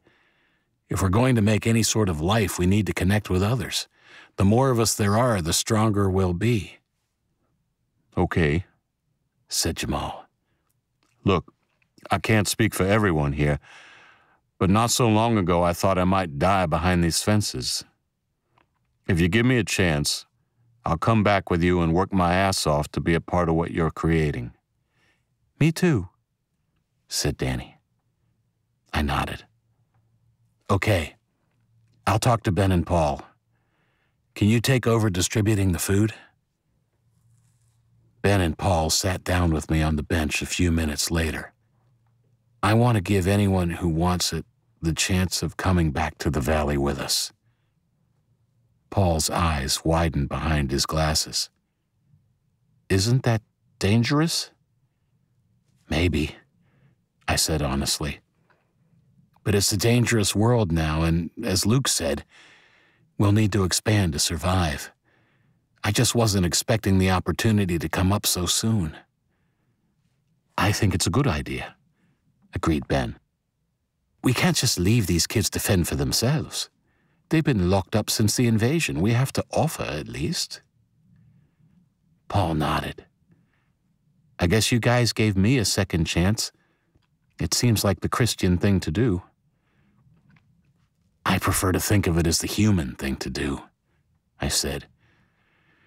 For the time being, at least, we aren't Americans, Christians, Englishmen, or anything else except survivors. And we need to start putting things back together. Hear, hear, said Ben. Come on.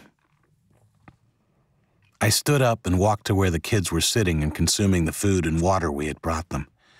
Paul and Ben stood supportively beside me. It was funny, even after all I had seen and been through. I still felt nervous as I stood in front of all those kids. Hi, everyone. My name is Isaac Race. These are my friends, Ben and Paul. We are part of a bigger group, and we've settled in a valley not far from here.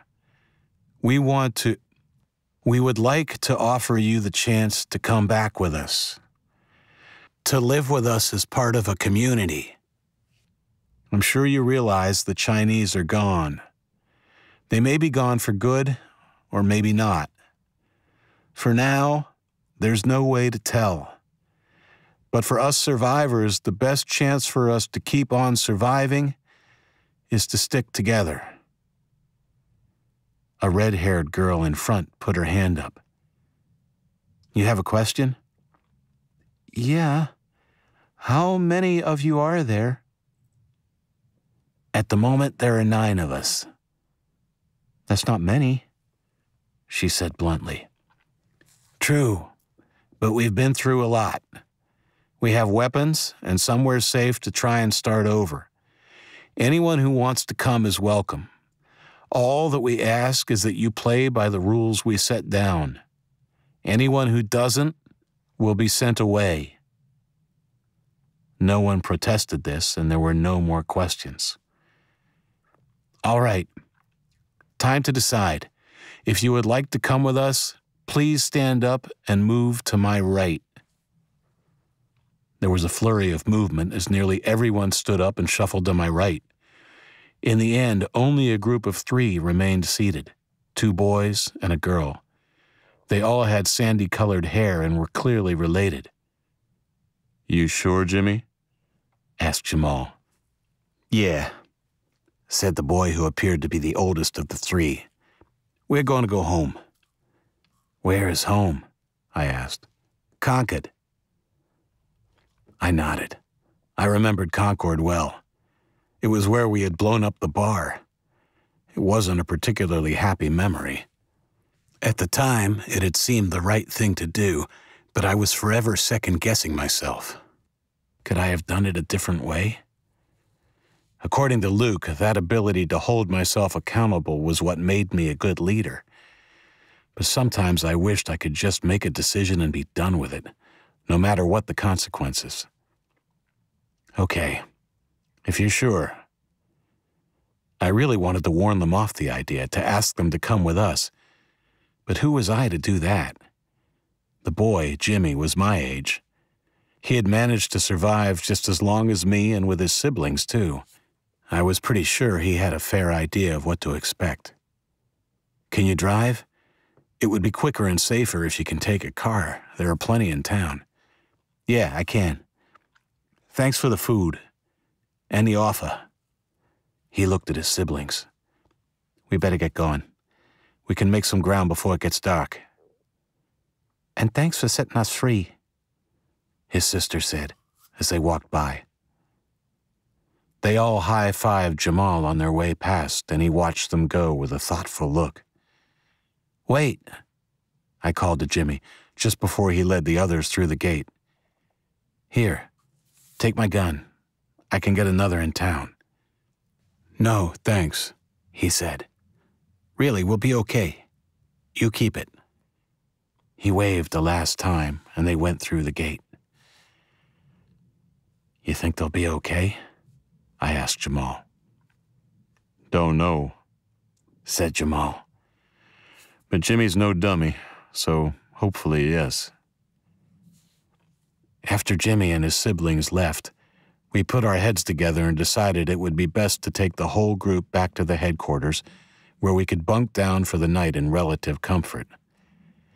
We waited for the rest to finish eating and drinking, and a few minutes later, we were walking back towards the fire station. Asshole, said Paul under his breath. I knew there was something off about that guy. As I had feared, the Hummer was gone and the stash of weapons with it. Of course, I was angry I hadn't kept a warier eye on Ash, but consoled myself as we trudged back into town. It was not the worst thing that could have happened. How wrong I was.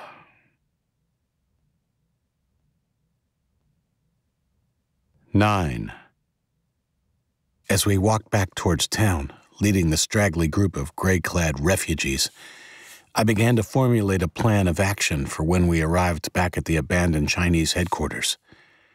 I would send Paul, Ben, and Danny to find more weapons and food, while Jamal and I got the rest of the refugees settled in for the night.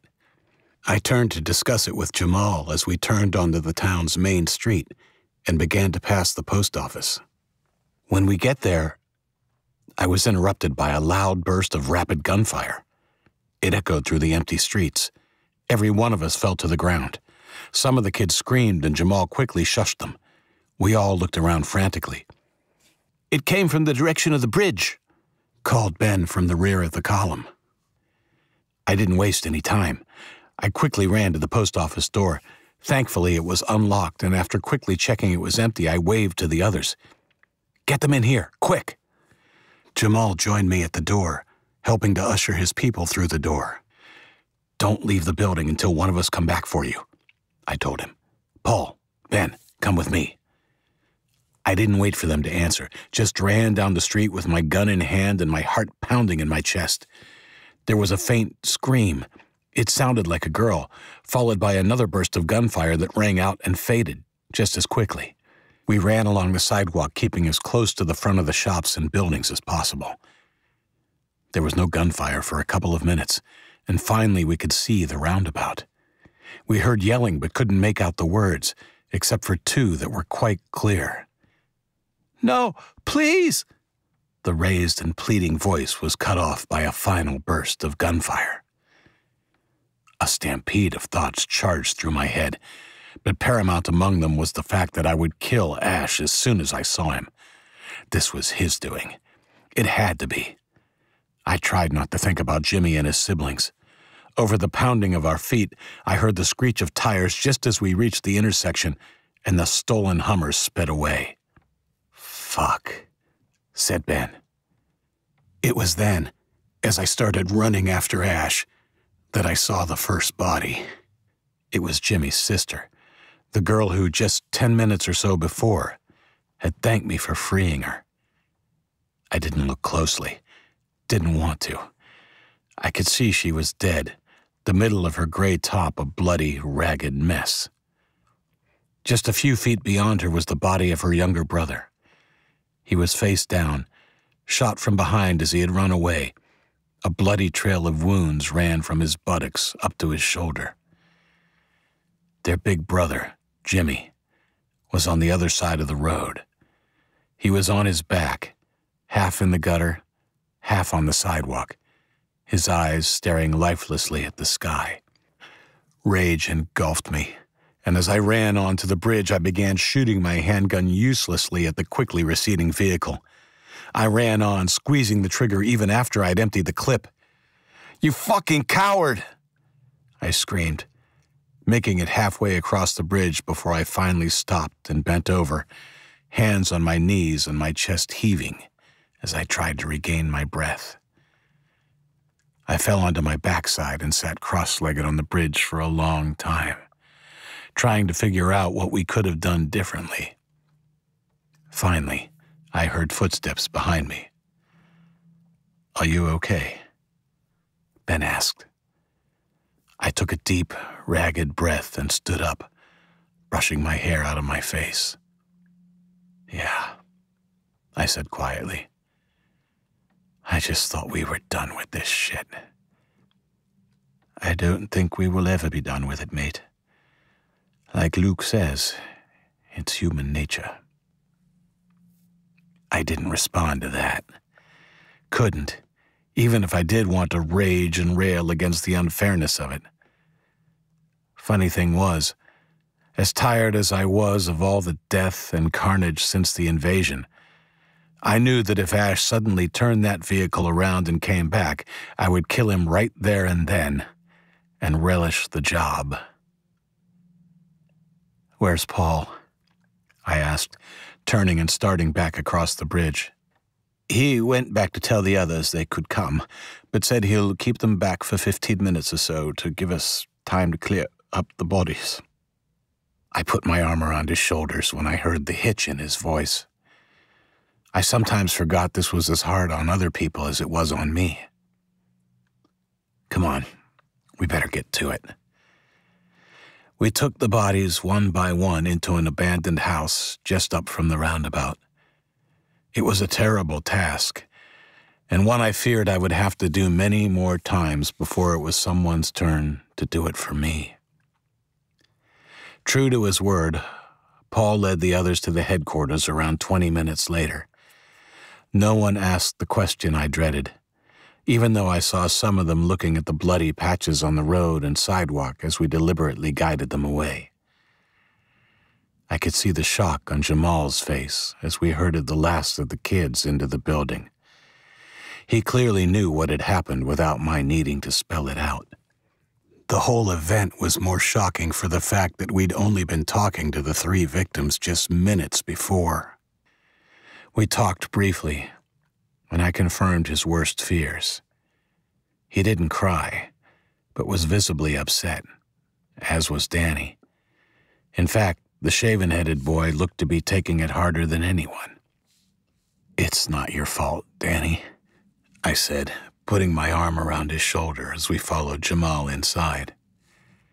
I told him the same thing a number of times that night, but he never looked like he fully believed it.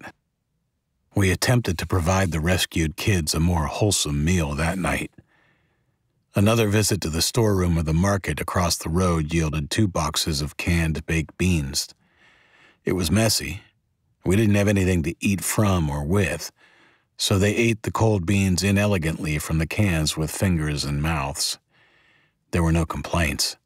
In fact, they wolfed down the food like there was no tomorrow. Once we had settled the kids into the rooms on the ground floor, Ben, Paul, Danny, Jamal, and I sat down in the foyer and relaxed. Our conversation was productive but constrained. I think we were all still in shock from the recent murders. We told the two boys more about the valley and our hopes for building it into a home where we could live for the foreseeable future. They expressed enthusiasm and promised to help all they could. We lay down to sleep after an hour or so, but it was at least another hour before I fell asleep.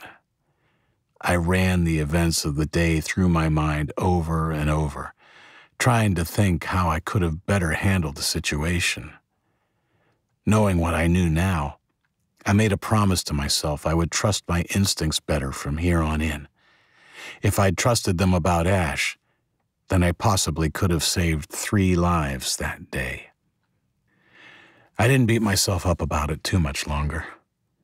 At the end, the blame lay with the perpetrator, and I hoped one day I would be able to dispense some justice for Jimmy and his brother and sister. When I eventually fell asleep, it was a deep, dream-filled sleep. The following morning, we dished up a not-so-nutritious but easy breakfast of M&Ms and Pringles. We had enough for everyone to get at least a handful of the candy and a stack of five Pringles. There were no complaints, even though the carton of Pringles cans we found were well past their expiration date and a little stale. Compared to what they had been eating after the Chinese had departed, they had gotten desperate enough to consume grass and leaves. It was a veritable feast. I gave Paul the list of girl things Indigo had given me and tasked him with finding them in the drugstore Danny had given us directions to. He took three boys from the chain gang with him. Ben, Danny, and I went to gather more food from the market we had raided the previous day. This time we stripped the shelves of canned and dried foods, things that would last for a long time after we got back. Of course, we stripped it of candy and savory snacks as well, Danny yelling in triumph as he picked up the last packet of Oreos on the shelf. Even as I smiled at him, I saw his expression of joy change to one of sadness. What's wrong, Danny? Do you realize this could be the last packet of Oreos in the whole United States? I don't think it would be the last, but it might just be the last pack we ever see. I said. I love those things, said Ben, coming around the corner. You Yanks have a few strange things you like, like peanut butter and jelly sandwiches. Vomit. But I really like Oreos. Let's have them, said Danny. There aren't enough to go around, so it's no use trying to share with everyone else. Now? Ben asked, wheeling a cart from the aisle parallel to ours. He had heard the conversation from the next aisle. Why not? Okay, but you need milk if you're going to have Oreos, the English boy said, reaching into the cart he was wheeling and pulling out a quart of long life milk. We sat in a circle on the floor, and Danny cracked the packet, handing out an equal number of cookies to each of us. We couldn't dunk our cookies, but were satisfied taking turns chugging the warm milk. I never did have another Oreo, but have a fond memory of that few minutes sharing with my friends. We headed back to the headquarters with four trolley loads of goods, and Paul and his crew joined us a few minutes later, wheeling another four laden trolleys. I noticed the shiny black boots he was wearing immediately. Nice boots. How did it go? I asked him. Great, he said, looking happy with himself. I got everything on the list and a few more things like painkillers, antibiotics, and bandages. He really had outdone himself. On the way back from the drugstore, he had broken into a small hardware store and also brought back a toolbox, flashlights, and boxes full of batteries. He'd even found two big garbage bags of clothes and boots. Great work. Okay, let's check these Hummers. I want to go back with at least two. We definitely lucked out. In the rear car park, Jamal found a Hummer whose cargo area contained a whole rack of automatic weapons, two crates of ammunition, a box of rocket launchers, and another of grenades. He called me over to show me. Wow. Thank God that wasn't the one Ash and I stumbled across first. You can say that again, said Jamal. There is another one here. We got in one each and drove the two Hummers around to the front. We loaded up the cargo area and back seat of the second vehicle with the food and supplies. Then we turned to our last task transportation of all the kids we had rescued. Due to a lack of drivers, it wasn't feasible to take more than two Hummers. To take all of the refugees from the camp, we would have needed a whole convoy of them. What we needed was a bus. We soon had our answer when one of the local kids from Jamal's group suggested his school bus would be able to carry everyone. Fantastic, I said. Great suggestion. What's your name? Andrew, the freckle faced kid said, with a satisfied expression. Great, thanks, Andrew. Jamal, why don't you take Andrew and go and see if you can get the bus started and back here? Sure thing. Come on, Andrew. They began to walk off, and I had a thought. Jamal, wait. He turned back as I was pulling my pistol out of my belt. I lamented the brief flash of fear I saw in his eyes before I turned the handle towards him. Here, just in case. You sure? He asked. Very sure, I said sincerely, holding his gaze. Thanks. While they were gone, I sent Ben in with Paul and five others to collect all the pillows and blankets they could find and to keep an eye out for any more weapons. Two hours later, we were loading the kids and bedding onto a tired looking school bus. It was funny, but the sense of excitement that gripped the recently freed kids was infectious. Even I felt it. It was like the excitement and anticipation I felt as a kid when going on a class excursion. Despite the recent tragedy, I found myself happy to be going home. Our small convoy started off with my Hummer in the lead. Danny rode shotgun, with every other available spot taken up by our supplies. The old school bus followed, driven by Jamal, the only one among us who could drive a stick shift. Ben brought up the rear with Paul in the second Hummer holding the weapons, ammunition, and more supplies. Jamal and I managed to steer our respective vehicles past the tank with no problems. I watched my rear view as Ben drove past it. He was not so successful, and the scrape and sparks I witnessed meant he would be in for a decent ribbing about the quality of English driving when we got back. The trip back to the valley was uneventful and surprisingly quick now that we were driving. Danny and I chatted happily along the way, carefully avoiding any mention of Ash. When we drove slowly over the last rise and towards the gates, I was gratified to see Luke and Brooke at the gates, with their weapons drawn and aimed at us. I waved my hand out of the window, confident he would have the sense to wait until we were closer before shooting. Danny didn't look so sure. The rest of our group was running up the hill armed and looked more than ready to fight. I looked for Indigo but didn't see her. I felt a little niggle of worry. It only took Luke a few more seconds to see that it was us, and he quickly put his hand on the barrel of the rifle Brooke was aiming at us and pushed it down toward the ground before calling out to the other defenders. Brooke took his pistol so he could pull open the gates with his good hand. His hook glinted in the sun as he waved us through with a flourish. I drove through, unable to take the smile off my face. Dude, he said, coming to my window and clapping me a high five with his good hand. Welcome back. What's with the convoy? Long story, I said. But we have some new arrivals. I'll fill you in after we get them settled. This is Danny. Danny, Luke. Hey, Danny. Luke said. Hey. Where is Indigo? Don't freak out, dude. She's inside. Oh, good. How is your hat? I mean, how is your. Stump, dude. You can say it, won't offend me. It hurts like a bitch when the painkillers wear off, but I think it's getting less and less achy each time, which is just as well because I'm running out of tablets. Well, we have more if you need them, along with a bunch of other stuff. It's okay. I want to wean myself off them. It's good you have more, though, and we can always do a supply run to a hospital or something if we run out down the track. Might have to, given this little population spurt. He stepped aside, and I drove through and started coasting down the dirt driveway. The bus and the other Hummer followed us through, and I heard Ben tooting his horn. I pulled to a stop and felt a rush of adrenaline when Indigo opened the door of the farmhouse and ran down the stairs. I jumped out quickly and we embraced like a couple from one of those old black and white movies. She looked at Danny when we finished kissing.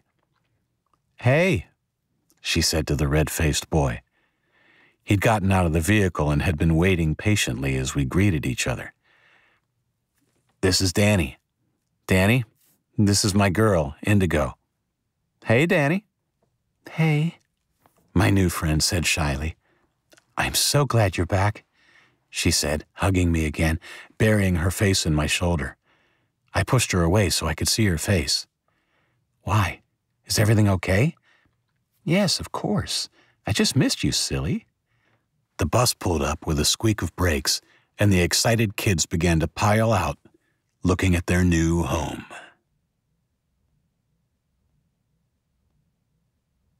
Ten. After we had unloaded the two Hummers, I called a quick private meeting with Luke and Indigo.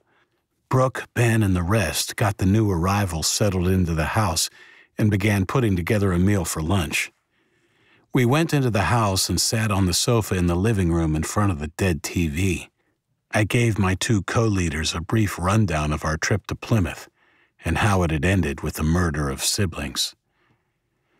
The last we saw of him, he was driving across the bridge with the Hummer and the first set of weapons we found. Sounds like an evil motherfucker, said Luke. Sorry for the language, Indigo, but that goes way beyond crazy. He gunned them down in cold blood. No need to apologize. You're right, though. Even though the professor and Rag were psychopaths, I don't think they were evil to the core. They were sort of molded by circumstance. What this Ash guy did, well, that's just beyond anything. It's so, so personal. Yeah, I said. I should have kept a closer eye on him. I knew something wasn't right. Don't beat yourself up about it. If you'd stepped in before that, it might have been you or Ben or Paul who got killed. I didn't exactly blame myself for what had happened. Just felt guilty that I hadn't been more vigilant. Don't worry. I won't beat myself up. So what's been happening here? I asked. The rest of the group had managed to get a lot of work done while Ben, Paul, and I were gone. The vegetable garden had been weeded and a system put in place for milking the one cow who was giving milk. They had also managed to find and capture four more of the fugitive hens and a rooster who were all now safely back in the coop. Indigo informed me they had enjoyed scrambled eggs for breakfast that morning. Wow, looking forward to some of that.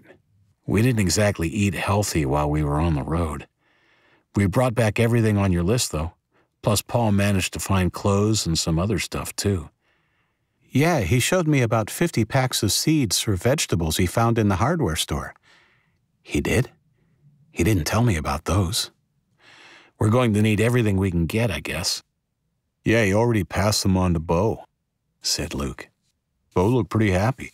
I think we've got a real live farmer there. Lucky for us. Looks like it.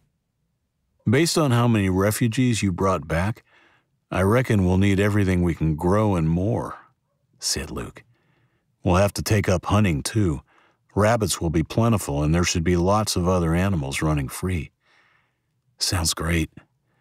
By the way, now that we have all these weapons, I want you to set up and be in charge of an armory. You're the most experienced and knowledgeable with weapons, so it makes sense. Sure thing, he said. It was a great haul. There's even a sniper rifle.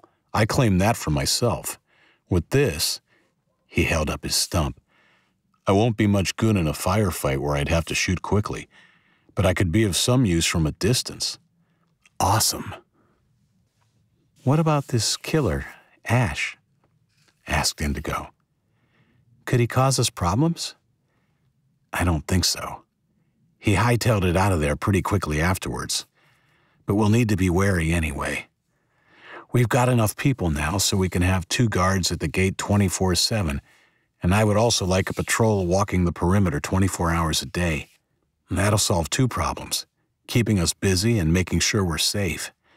Not that I'm worried just about him, he's probably long gone. But we don't know who else may be out there. Now that the Chinese are gone, so is any type of law and order. Agreed, said Luke. We'll have to keep a close eye when we send out foraging parties. If this guy is spotted, he should be shot on sight for what he did. Indigo and I both agreed. I also think we should fortify the gate and start reinforcing that fence. It would be next to useless as it is now if we were attacked. We can use metal and timber from the old shed and get more from the neighboring properties. Great idea, Luke, I said. Maybe not the next door neighbor, though. If we end up growing big enough, that's another house and barn we can use to house people. Okay, agreed Luke. I don't think it's too early to start thinking about having a police force or something either, said Indigo.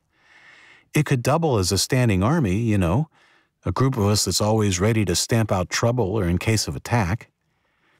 I looked at them, my girl and my best friend. Even though a tiny part of me felt like we were kids playing at make believe, I was thankful I had lucked out and found myself partnered with such intelligent and resourceful kids. I think we all felt that way. We talked for an hour or so, making more plans and ruling in and out suggestions about the way things would work.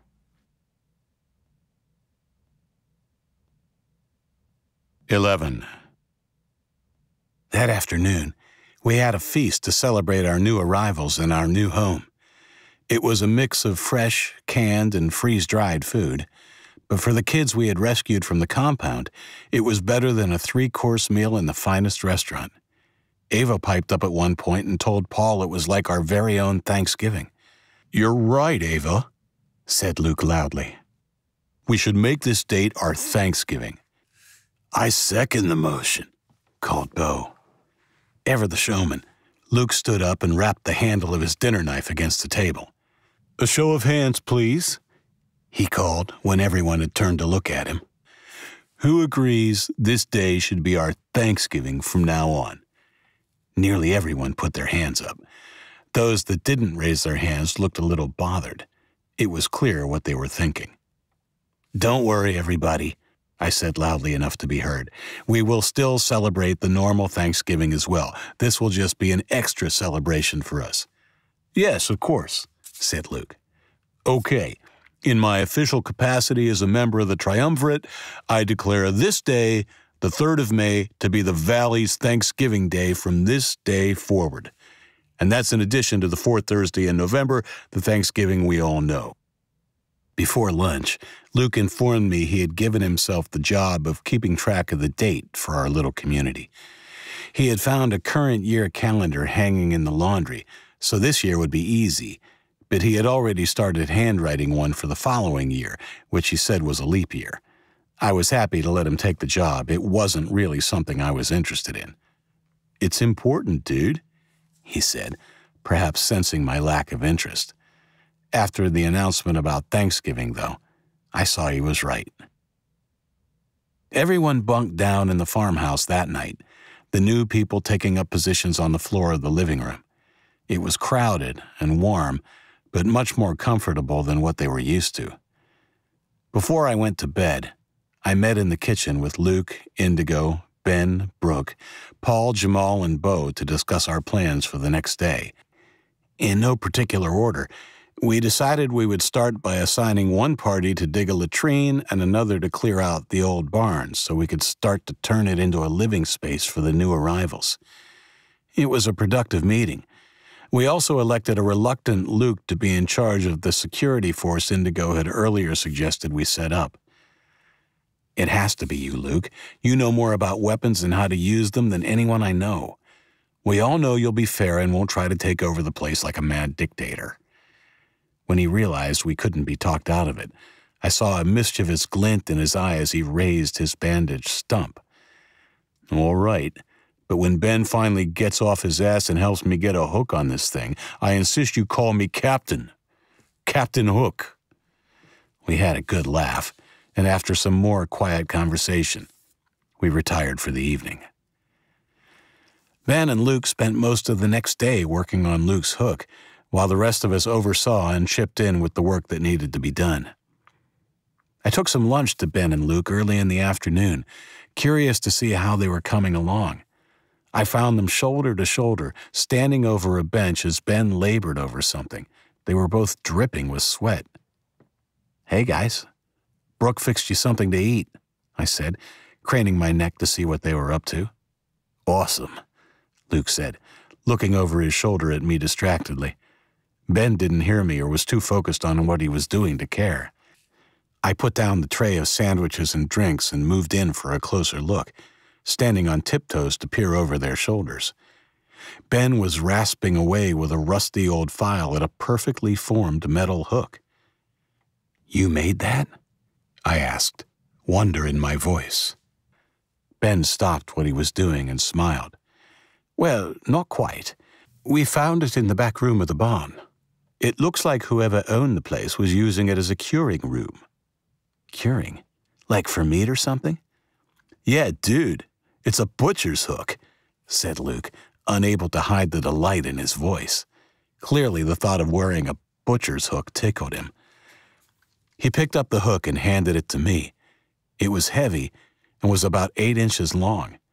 The straight end had been cut crudely but the rest of the hook had now been filed to a coarse silver finish.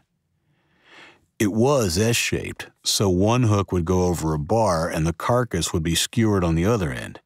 Anyway, Ben cut about a third of it off.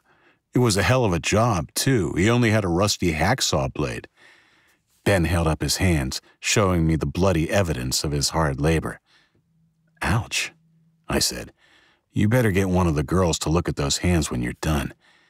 Anyway, you should have a break and eat the sandwiches. Both famished from their hard work in the hot barn, they washed their hands in a trough of water beside the workbench and began wolfing down the egg sandwiches Brooke had made them. She and Indigo had baked the bread fresh in the oven only an hour before, and it was delicious. Having power from the generator was a real luxury. Wow, these are amazing, said Luke, a crumb or two escaping his overfull mouth. Ben just nodded his agreement. How are you going to put it on? The hook, I mean. How will it stay on? I asked. I'm working on a harness while Ben finishes filing it, said Luke. He wiped his hands on his pants and went back to the long workbench, picking up some leather straps which looked like they had come from a saddle or something. The straps will be attached to the guard that will go over old Stumpy here and then run up my arm and over my shoulders. Yeah, I'm going to start working on the metal guard when I finish the hook, explained Ben. Where will you get the metal for that? Ben pointed at an old drum behind me. There was a jagged rectangular hole towards the top rim.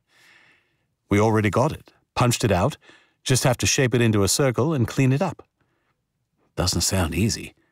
Good luck with it. Can't wait to see it. I left them to it, pretty sure that between the two of them they would come up with something extremely practical. I headed back to help finish clearing the barn of the last of the old machinery which had filled it. While the house itself had been quite clutter free, whoever had owned the place had made no attempt to clean out the barn. It was a big task, but as the saying goes, many hands make light work. Now that we had made some headway, the doubts I had about converting it to living quarters dissipated. The barn was huge, with a large open floor space and a couple of rooms to the side. There was also a loft about half the size of the whole ground floor. We had the two Hummers out scavenging the neighboring homes for as many mattresses, pillows, and blankets they could carry or pile on their roofs, and with a bit of luck, we would have bedding for the entire Plymouth group. By late afternoon, our job was done. We had furnished the loft with an assortment of single and double mattresses. The new kids were excited and happy, several taking the opportunity to engage in a mattress hopping pillow fight. I didn't stop them, knowing full well it was probably the first time these kids had had any real fun since they had been enslaved by the Chinese. I didn't need to create rules about boys and girls sleeping separately. Jamal had beaten me to it. He had their respect and friendship from their dark days as members of the chain gang. As we watched them romp, he told me the Chinese had made him a trustee. It was to help them keep the kids in line, of course. But in that role, he had become not only a leader, he had also been able to coax privileges and medical treatment from their masters when needed. I did the best I could for them. I know it was wrong to cooperate with the Chinese, but we had to make the best of a bad situation, he said, sounding slightly defensive. I know you did. You don't need to justify it to me, Jamal. I think you did the right thing. I'm sure if you hadn't, some of them wouldn't be here right now. He nodded. Jamal seemed happy to maintain the role of authority over the kids who had been in his charge, and I was more than happy for him to continue in it for the time being. Earlier that day, when we had first begun clearing the barn, I offered him a bed in the farmhouse. He had refused, saying he wouldn't feel right leaving the kids in the barn while he slept in relative luxury. I was coming to respect him more and more each day, and I definitely felt better knowing he would be there to supervise. 12. The boys did indeed do a good job on Luke's prosthetic. He unveiled it that night. It was just our original group in the kitchen, along with Danny, who had said yes to my offer of a place in the house, and Jamal, who was about to head down to the barn for the night. Everyone had eaten by that time, and the rest of the new arrivals had already retired to the barn. An exhausted looking Ben came through the door first. With the poor selection of tools and equipment they'd had, it had literally taken the entire day to craft it to Luke's specifications. The English lad's face and hands were filthy, but his smile shone like that of a proud father. Ladies and gentlemen, I present to you Captain Luke Hook, he announced flamboyantly, directing our gazes to the doorway with his blackened hands. Luke entered, and I was shocked by his appearance. Under the dirt, his face was deathly pale, and a sheen of sweat covered his brow. He sheepishly raised his arm in the air, displaying the wicked looking hook, turning it this way and that for us to admire. There were suitable noises of appreciation from all of us, and it brought a brief smile to his face. How does it feel? asked Paul. It hurts like a bitch. I think it's going to take a while to get used to. He looked like he was going to say something more about it, but instead a look of pain crossed his face and he turned abruptly and left the room. Excuse me, I have to take it off, he called over his shoulder. I began to follow him, but Brooke beat me to it, concern etched on her face. His stump isn't quite healed yet, explained Ben. It will take a bit of time for the scar tissue to toughen. He'll be good then. Ben was right. Luke had a really tough few days, and I was thankful Paul had brought back the fresh supply of painkillers from Plymouth. After a week, Luke was wearing the hook intermittently.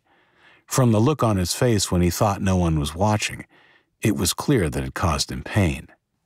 He won't take the painkillers anymore, said Brooke when I asked her about it. Can you talk to him? He might listen to you. He didn't.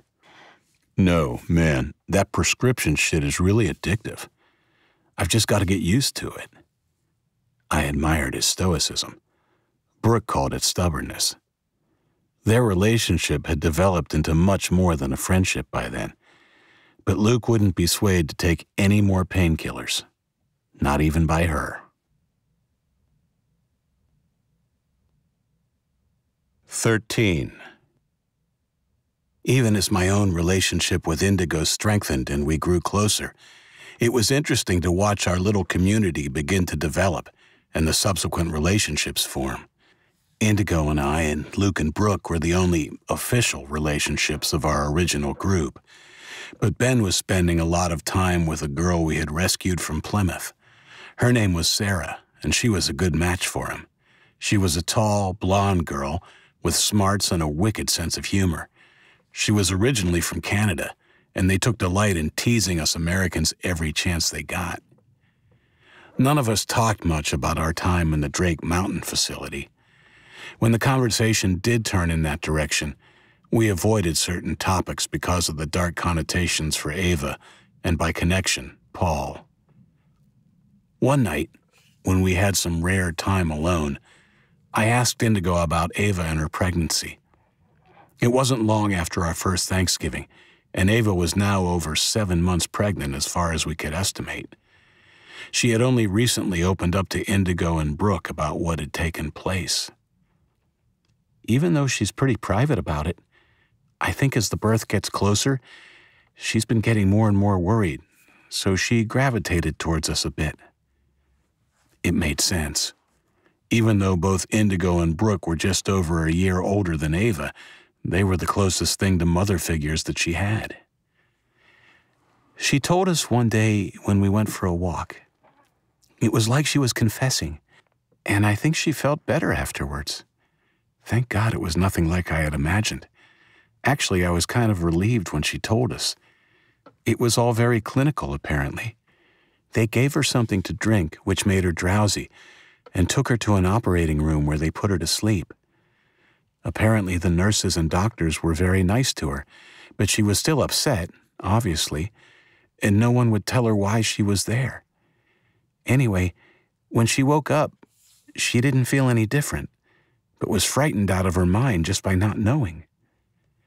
She went back to the female population after a few days and had begun to put it out of her mind when another girl told her what they had done to her. Naturally, she was upset, really upset, and they had to sedate her several times. In the end, I think the issue with her not talking to Paul was about the shame of it more than anything else. She felt like it was her fault, like she should have fought them. I shook my head. The bastards. Anyway, all she could do was hope the experiment had failed. The checkups began almost immediately, every week, like clockwork. When she missed her period, she wanted to know for sure and hounded them into telling her. After six weeks, they finally admitted she was pregnant. Apparently, she flew into a rage and threatened to kill herself and the baby and had to be sedated again. After that, they threatened her that if she ever did anything to harm herself or the baby, they would shoot Paul in the head. The threat worked, and she behaved, but her shame and depression kicked in even harder. I told her what happened wasn't her fault, Indigo said, wiping a tear from her eye. And I think, by the end of our talk, she began to believe it. I'm so angry, Isaac. I hope the Chinese obliterated Drake Mountain and the professor. They might have talked themselves into believing it was scientific and for the greater good. But what they did was violate and nearly destroy an innocent girl. We held each other for a long time. Perhaps it was a sign, perhaps just coincidence. But two months later, on the 4th of July, Ava gave birth to a healthy little girl. She named her Peace. The circumstances surrounding her conception were forgotten in the joy of that moment, and we welcomed our first baby into the valley. The birth of Peace seemed to herald a new kind of beginning for all of us, and we celebrated accordingly with a subdued but enthusiastic party. The baby's arrival was cathartic for Ava. She'd had grave misgivings as she came to the end of her pregnancy, worried primarily that she would not love the baby. In fact, we had all been worried, so much so that Indigo had insisted if Ava couldn't cope, she would take care of the baby. Paul was even more concerned, confessing to me one night he thought he would also have difficulty loving the baby.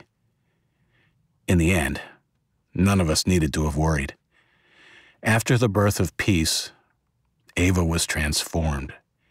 She was a devoted mother from the moment her crying baby girl was put in her arms. Paul was the same. He burst into tears when he went in to see Ava just a few minutes after the birth and loved his niece without reservation from the moment he laid eyes on her. As we watched the tender scene in front of us, I felt Indigo's warm hand find mine, and she looked up into my eyes, as happy as I'd ever seen her. Of course, I was too thick to realize what that look meant. 14. By the time Peace was born, Luke wore his hook full time and would disappear every morning to a big oak tree at the other end of the farm for what he called his workout at the end of the world. One September morning, just as the mornings began to feel a little cooler, I was at loose ends and decided to go and see exactly what he was up to. In the distance, I could see him shirtless, darting back and forth at the tree, swinging his hook in quick movements. He had grown his hair long, and with each violent blow, his dark red locks were tossed around his shoulders. He was an impressive sight. He had bulked up since we had arrived in the valley, which was not an easy feat given the rations we lived on, and the roped muscle of his shoulders and back rippled under his skin as he attacked the tree with his hook, again and again. I knew he was supplementing his diet with the protein powder he had requested on one of the supply runs to Plymouth and had also been doing lots of heavy lifting, jogging, as well as his daily tree torture routine. The results were evident, and coupled with the fact he'd also outgrown me height wise by at least an inch, when I stood next to him nowadays, I felt a little inadequate. The solid oak's trunk was scarred with shallow gashes, the fresher wounds displaying the deep honey color of the wood beneath. I think he surrenders, I said, after Luke performed another flurry of blows, sending chips of bark and timber flying around him. He turned, his chest heaving and sweat pouring from his brow. Don't worry, he can take it. My friend smiled and patted the scarred trunk of the big tree. Isaac, meet Whipping Boy. Holy moly, dude. You've done some damage. Nah, they're just battle scars. Won't kill him. Want to see my routine? Sure. Luke crouched in front of the tree before unleashing an attack. The movement of his hook was economical as he attacked it with short, sharp movements which allowed him to rip into the bark an inch or two without actually getting the hook caught. I could hear him grunting with exertion as his attack became more frenzied. Killing blow! He yelled over his shoulder, and his next swing was much heavier than the previous. The blow obviously didn't work out the way he intended. The hook bit into the timber with a thud, but his arm continued through its arc while the hook stayed where it was, embedded in the wood. There was a snapping sound as a strap broke and Luke's arm came free of the harness. He nearly toppled over before regaining his balance and looking at his stump, a dumbfounded expression on his face. I was horrified initially, but the fact that he wasn't hurt, combined with the look on his face, soon had me trying to suppress a giggle. It wasn't to be, and try as I might to contain my mirth, it was too much, and slowly but surely my laughter bubbled forth. Luke, far from being offended, joined in. Before long, we were both rolling on the sweet, long grass, gales of laughter racking us. When our amusement finally abated, we stayed on our backs, looking at the blue sky through the gnarled branches of the oak.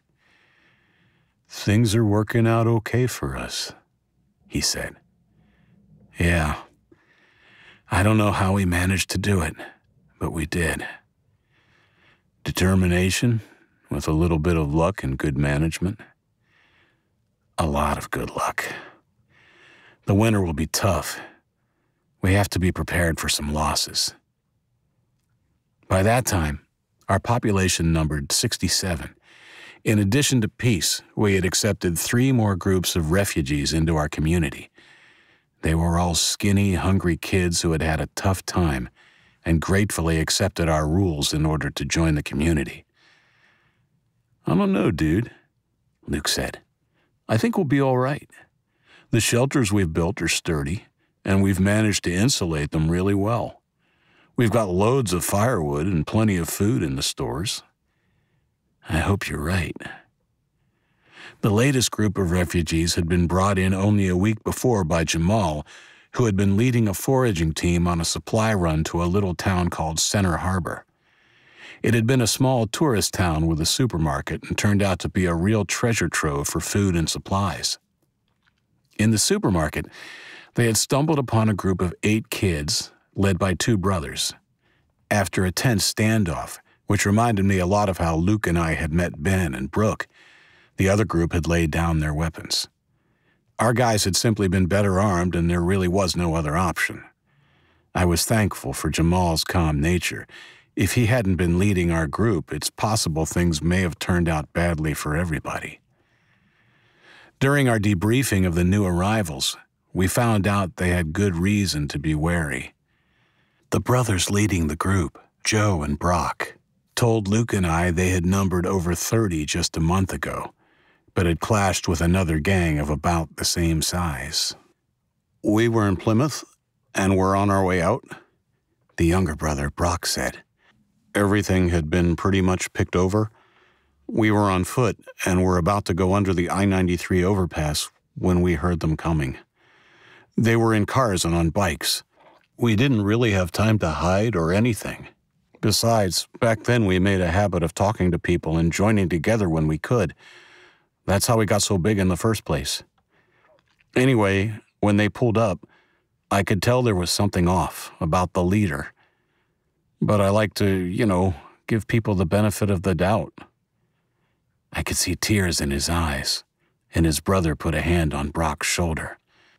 Anyway, this guy got out of his Hummer, and our friend, Brett, he was like our unofficial leader, waved to him and went over to introduce himself.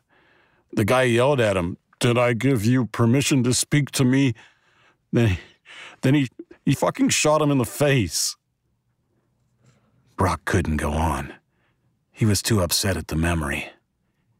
We gave the two boys a few minutes to gather themselves and then I asked the question I think I already knew the answer to. What did he look like? I asked Joe, a sick feeling in my guts. He was. he was tall, good looking, and he had these crazy blue eyes. Luke and I looked at each other. After Brett was shot, their group had scattered.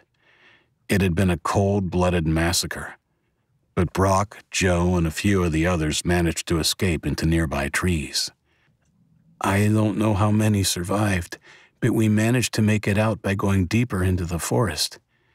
If we hadn't, we'd be dead too. Why didn't you fight? Luke asked bluntly. I wanted to cuff him over the ear, but the brothers didn't seem offended. We were unarmed, Joe said, in a matter of fact tone. Brett made a rule we would never carry guns. He said that's what had gotten the world into the mess it was in in the first place. Once we escaped, well, we changed that rule. We saw that group again a few days later. We were resting on a hill. We were traveling cross country then and avoiding roads altogether at that point. Anyway, the hill overlooked a small town. We could see that group had set up a camp in the football field of a school. It wasn't a huge group, but there were definitely more kids than just the ones we saw the first time. They had tents and stuff, with a big bonfire in the middle of the field. Are you sure it was them? Do you remember the name of the town? Ashland. And yeah, it was them. I went down for a closer look. I wish I hadn't. Why? Near the bonfire, in the middle of the field. They were hanging people. I saw Freddie, one of the kids from our group.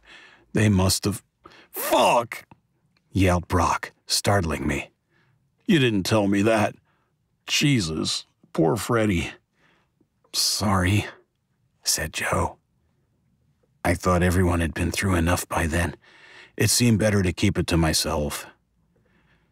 Did you see the leader? The guy with the blue eyes? I asked. Joe nodded. He was like the master of ceremonies. He reveled in it. If I'd had a gun then, I would have walked right up and shot him. I believed him. His eyes had a murderous glint. Ash, Luke said. Yeah. It could mean big trouble, especially as the first time they ran into him it was in Plymouth. Where is this Ashland? I asked. I've seen it on a map. It's a few miles south of Plymouth. The name would have appealed to that asshole, like it was fucking named for him. Our teams will need to be extra careful when they're doing supply runs from now on. Make sure they have a description of Ash, and if they run into him, they have to know they can't negotiate. He's a killer, and they should kill him if they get the chance or get the hell away as quick as they can. Yeah, extreme prejudice, said Luke, running his finger over the sharpened point of his hook.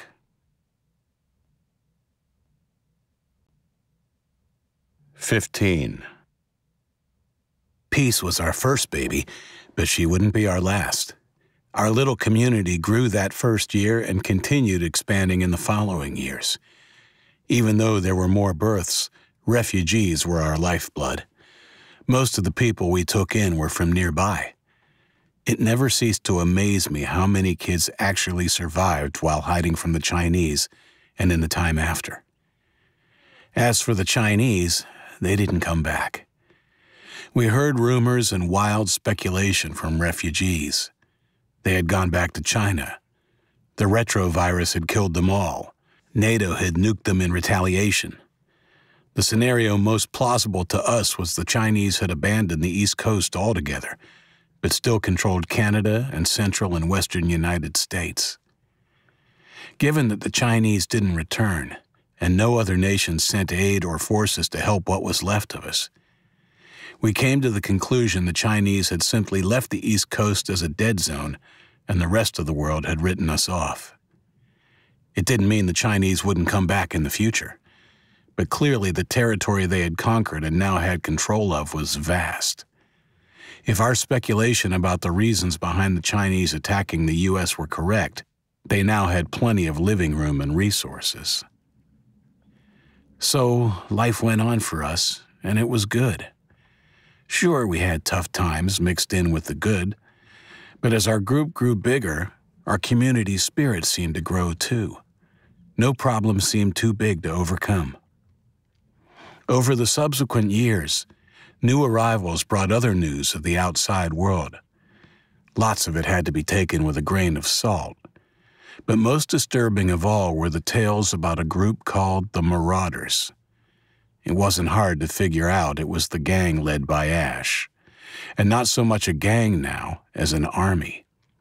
One of our scouting teams confirmed the Marauders had indeed based themselves in Ashland not long after the arrival of Joe and Brock's group, and we made a deliberate effort to avoid any contact with them.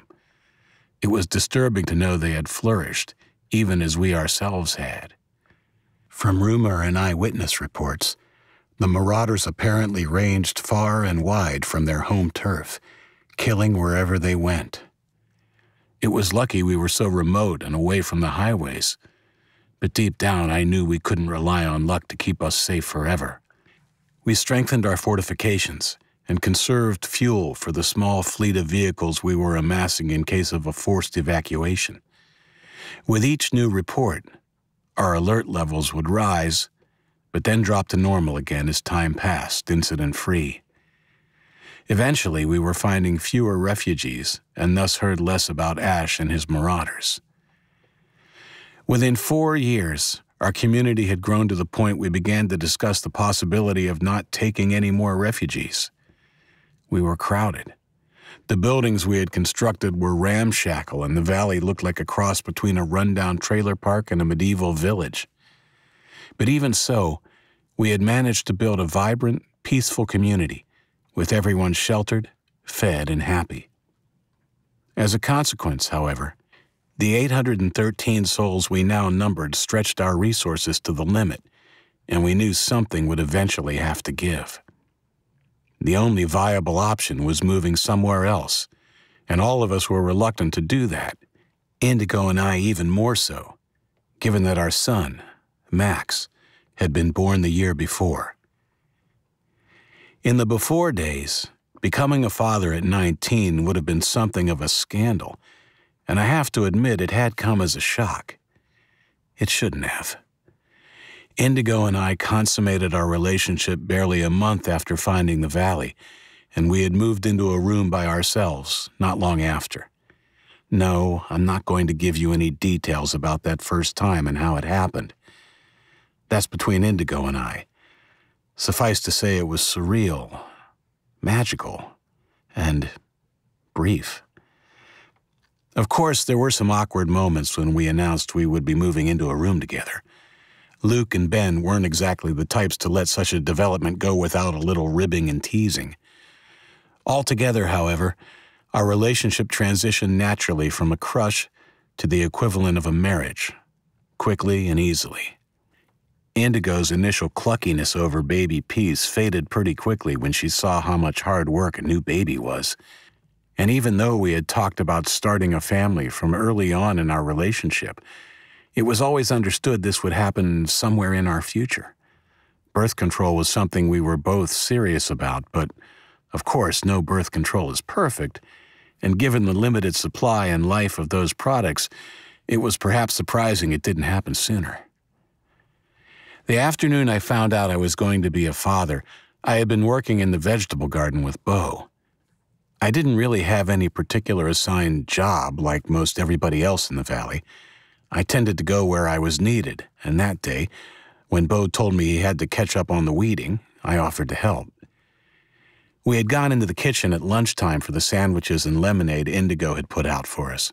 Perhaps I should have seen there was something on her mind as she stood against the kitchen bench, her arms folded across her chest and her face thoughtful, but I was totally clueless, even after being told she needed to speak to me in private after lunch. I followed her to the living room where Brooke and Ava were sitting playing with Peace. I've got a good idea, said Brooke, a look passing between her and Indigo which even I didn't fail to notice. Why don't we go outside and see the rabbits? What a good idea, said Ava, bending over and scooping up Peace into her arms. Brooke must have seen the wary look on my face. Don't look so worried, Isaac, she said, cheekily, What's going on? I asked after they left. Indigo sat down and patted the sofa beside her. I sat down. Indigo had a strange smile on her face. She opened her mouth to say something, but suddenly her face crumpled and tears welled in her eyes. I reached out and grabbed her hand, alarmed. What is it? I watched her struggle to regain control wiping a tear from her eye. You're going to be a dad, she said, before bursting into tears and burying her head in my shoulder. It's hard to describe what I felt in those first few wonderful, scary moments. The most amazing wave of joy washed over me. It was the most physical emotion I have ever felt, starting with a jolt deep in my chest, which emanated like a tide of well being through the rest of me. I began to cry too. They were tears of joy, just like the cliche. And I hugged Indigo to me, both of us rocking back and forth, crying and laughing. Why are we crying? I asked Indigo when we had finally calmed down. This is really great news. We should be dancing. I know. I don't know why. I'm scared, I guess. Scared and really, really happy. And I didn't know how you would feel. I feel amazing, Indigo, I said, looking into her eyes. Better than I've ever felt in my entire life. She hugged me again. Me too.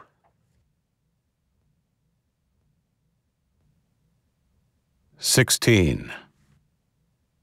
Our healthy pink baby boy Max was born nine months later. Did it feel strange to be a dad? Hell yes. But it was a wonderful kind of strange. After he came along, I couldn't imagine life without Max. Indigo was a fantastic mother, and the two of us became even closer as we went through the trials of parenthood. After what seemed a long, long time, I suddenly had a family to call my own again. Even with the overcrowding, the thought of moving my young family and everyone else, when we had order, fresh food, water, and safety, was just something none of us wanted to think about. Don't get me wrong, life in the valley wasn't what you would call easy. In fact, it was hard. Really hard. We had lost people through accidents and illness, and especially traumatic for Indigo, we even lost a mother during childbirth. We had to make tough decisions, such as banishing people who turned out to be troublemakers. It sounds harsh, I know, but we didn't have anywhere to jail people, and it wasn't worth the trouble to try and rehabilitate them. In the first year, we had come up with a rudimentary code of conduct, which is, I guess, the closest thing to law and order a bunch of kids could have. That code of conduct was pretty much don't steal and don't fight. If you did one of those things, you got a strike against your name. If you did it a second time, you were out. Anything worse than stealing or fighting resulted in instant banishment. We even had a vote on if, God forbid, anyone committed murder, whether we would carry out the death penalty. It was a close vote, but it was defeated, banishment being the preferred option for the majority. I hoped we never had to test that decision. As decreed that very first night in the valley, we had an election every year before our Thanksgiving Day. The first two years, Luke, Indigo, and I were reinstalled, unopposed, as the triumvirate. After Max was born, Indigo decided not to run as a candidate, and Jamal was elected unanimously to our leadership group of three. As we entered our fifth year in the Valley, there occurred several notable events. On a personal note, Luke and I both turned 20. Our birthdays were only a month apart, and speaking for myself, it seemed a bit of a milestone. There were no big celebrations or anything, just a feeling we had passed officially into adulthood. It was silly, really. We had been adults for a long time through what we'd experienced. One morning, not long after my birthday, there came an urgent knocking at our door. Dawn was only just touching the sky. With my heart beating hard in my chest, I ran to the door to find a sleep tousled Luke jumping from foot to foot. Brooke stood behind him, looking sheepish. What is it? I asked. Guess, Luke said excitedly as Indigo joined us at the door. Sorry, guys, said Brooke, biting her lip. I told him to wait until breakfast. We're having a baby. Luke leapt into my arms and I staggered back under the weight of his heavy body. I managed to keep my feet until he jumped off and engulfed a delighted Indigo in a gentler bear hug. Oh my God, that's so great! Indigo exclaimed, embracing Brooke after Luke released her. It turns out they had been trying for six months without telling anybody. I watched Luke standing over Max's cot and felt a warmth for him. I thought it would be great if they had a boy, a playmate for Max, but I knew, boy or girl, Luke and Brooke would be fantastic parents. On a bigger note, with overcrowding as our top issue, we put a referendum to the people. It was decided by an overwhelming yes vote we would not accept any refugees for the following 12 months into the community. It was a win for common sense and came as a huge relief. So we moved into our fifth year in the valley happy and optimistic about the future.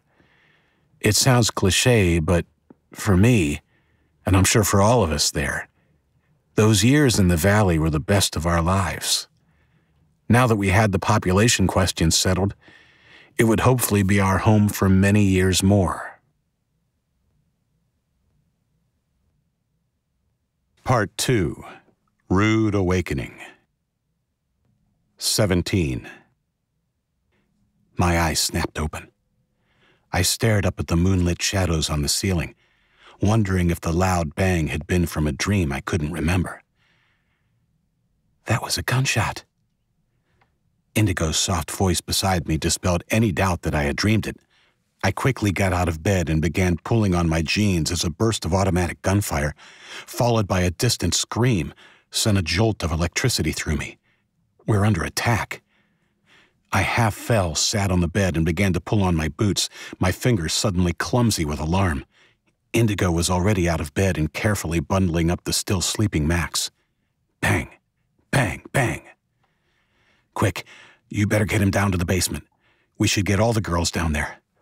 Yep, Indigo said. All business now. I went to the closet and pulled my pistol and a rifle out and ran to the door. Indigo waited for me there and we kissed as Ben and Luke ran down the hallway past us. Come on, lovebird, said Luke, his voice sounding excited and not at all scared. Those shots came from the gate. Be careful, said Indigo. I will. Make sure you take some guns down to the basement, and don't come out until you hear one of us give the all clear. I kissed Max on the top of the head, and Brooke arrived carrying a pistol just as I turned to run after my two friends. Make sure Luke doesn't do anything crazy, she called after me. We flew down the stairs two at a time and ran through the living room, bursting out of the blue door onto the veranda. It was a dark night, and my eyes took a few seconds to adjust as we sped up the hill towards the screaming, shouting, and shooting.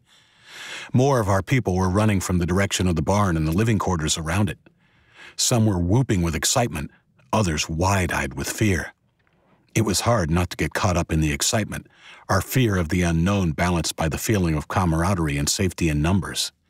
Luke was a lanky shadow loping ahead of us, and he slowed as we approached Boot Hill, a large mound the drive curled around before it straightened and went on to the gates. He turned and motioned all of us to slow and made a chopping motion against his throat with his hook. The whooping of the others slowly subsided as we caught up to him. The crack of gunfire continued behind the small hill. Luke did a quick head count as we gathered round. You eight, he pointed. Continue along the driveway, single file, and stick as close to the hill as you can. Isaac, Ben, and I will go around. He was interrupted by an almighty crash from the direction of the gate, followed by the shriek of metal on metal and roar of an engine. Come on, they're through, yelled Luke. We ran after him. I can't speak for anyone else, but I felt a righteous anger that someone had dared break through our gate and come at my people. We rounded the hill and began towards the gate. I could make out about 12 shapes on foot, climbing over the debris of the gate and the part of the wall that had caved in with it. In front of them, speeding towards us, was the vehicle which had broken through our defenses. It was an olive green truck with a heavy metal grate fastened to its front end and steel plates over its windshield. There were two narrow horizontal slits for the driver to see through, and the plating was clearly not part of the original design. I could see shapes scattered around the wreckage of the gate. Bodies. The bodies of our people. A snarl escaped my lips as I began to shoot at the interlopers. Most of the others with us were not armed with guns, but thankfully all of the attackers didn't appear to be armed either. Perhaps surprised by our numbers, the invaders began to slow and fall in behind the vehicle, which had now slowed to provide cover. I saw at least two invaders return my fire. One of our guys fell, winged, a quiet kid with blonde hair who had only arrived a year before. My next shot found its mark and the shooter fell, holding his belly. I saw Luke from the corner of my eye. He stopped, half turned, and raised his small crossbow, bracing it on his hook. The remaining enemy gunman saw Luke and took aim at him, even as he became a target himself. I began to bring my gun around too when an enraged shriek to my right distracted me. A kid from our side was running at the gunman, a tomahawk raised above his head. The enemy didn't hesitate. He turned his automatic weapon on the kid and let off a burst of gunfire that ceased a split second later when the arrow from Luke's crossbow found him. Both the invader and the kid with the tomahawk crashed to the ground a few feet apart, the enemy clutching at the bolt in his chest, and the kid from our side silent and bloody. Luke threw his crossbow to the ground. It was only good for one shot because he was unable to reload quickly with his one hand. He pulled a pistol from his belt and began shooting at the slots in the truck's armored windshield. I fired off a shot too, then decided to concentrate on the fighters sheltering behind the vehicle. I managed to hit one just as the others from our side reached the now almost stationary vehicle, swarming around it and engaging the enemy in vicious close quarters combat. From my position to the left of the vehicle, I got a good look at the driver, the glow of the dashboard just enough to display his features. It wasn't Ash.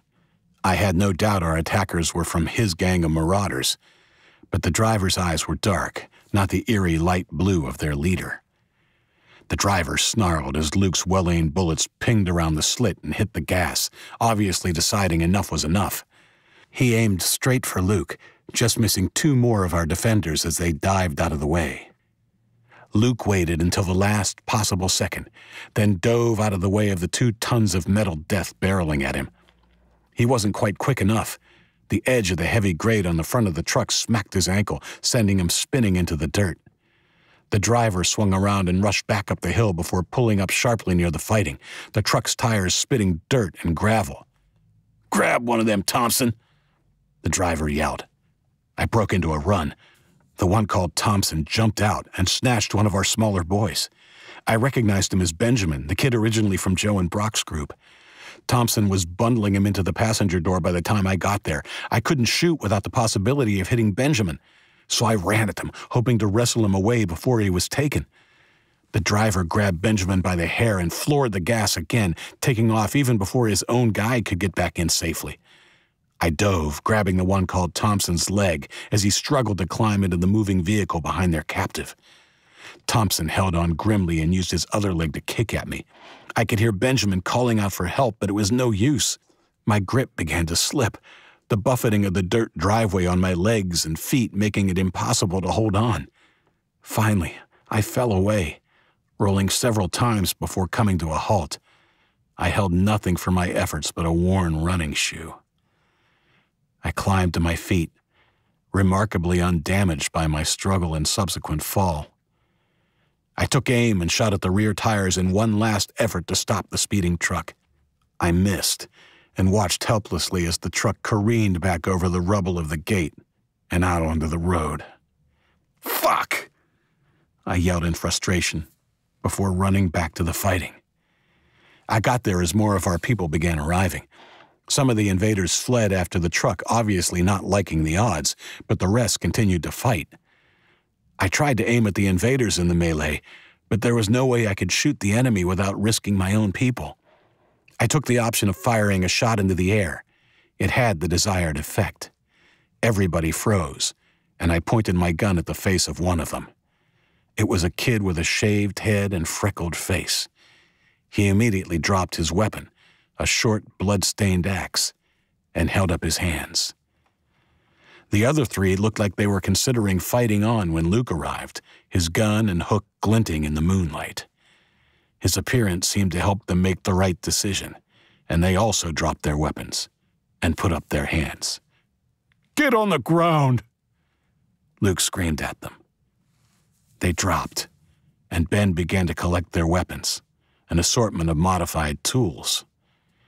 Luke holstered his gun and picked up the axe the freckle faced kid had dropped.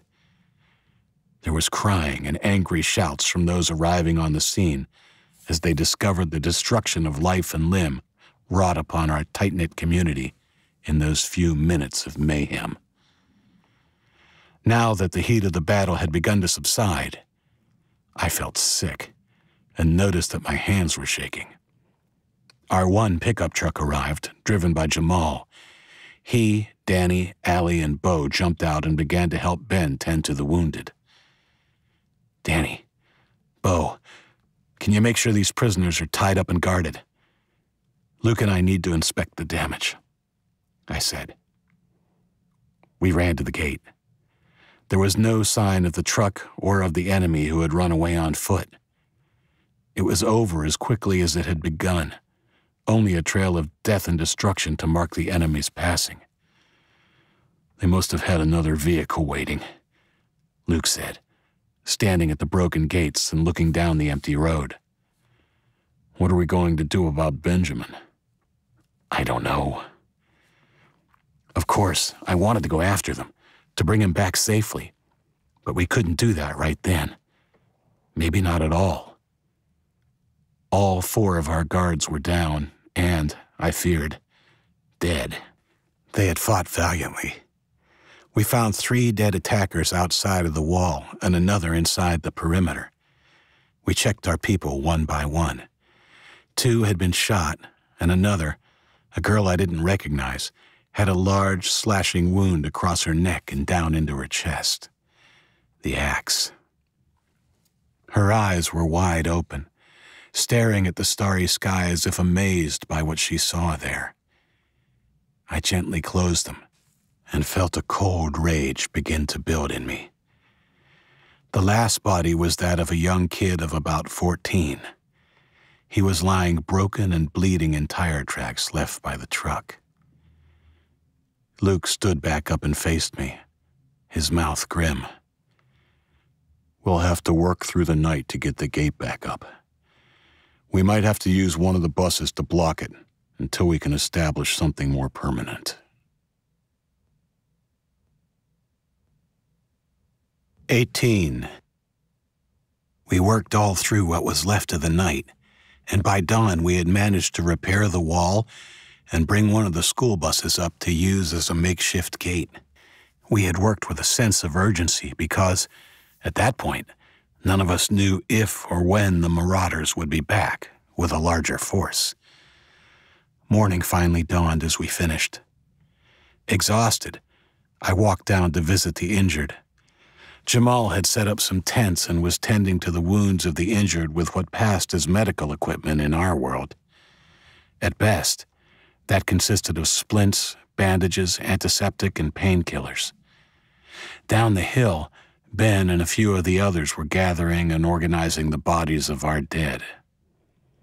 Besides the kidnapped boy, Benjamin, we had lost four people at the gate and another two when fighting off the invaders. The boy carrying the tomahawk was alive, but in a very bad way. The bullets had shattered the bones in his upper arm. Jamal shook his head when I looked at him. There were three more injured. One had a broken leg, and the other two had more superficial wounds from the fighting. They should all be okay if we can keep their wounds clean. All told, we had killed five of the enemy and had taken four prisoners. As I walked out of the tent, I heard a heart wrenching wailing. I froze and looked towards the group gathered solemnly around our dead.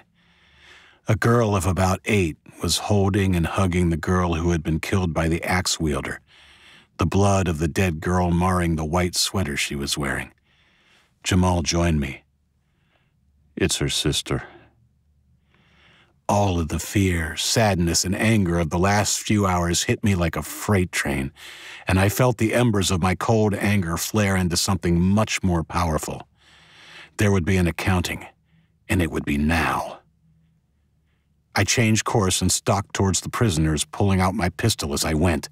Danny stood guard over them, a pistol in his hand. His uncertain look in my direction alerted them, and all four looked frightened as I approached.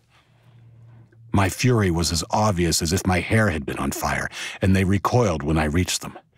I leaned over and grabbed the freckled axeman by the collar of his shirt and dragged him over to our dead, his feet kicking in the dust as he tried to escape. The little girl shrieked when she saw us approaching and fell over her sister as if to protect her. I didn't notice. I swung the killer around, bunching his collar in my hand, squeezing tight as I shook him, his face just inches from the pale face of his victim. You see what you've done? You fuck. You murdering fuck. I spat. I jammed my gun against his temple. What do you have to say? I'm sorry. Please don't kill me. Please. Too late for sorry, asshole. I forced the barrel harder against his temple and began to squeeze the trigger.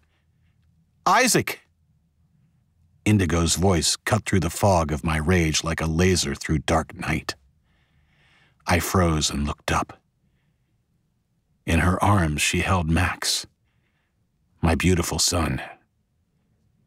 Tears filled my eyes. He has to die for what he did, I said simply. Not like this, Isaac. Not here. Not now.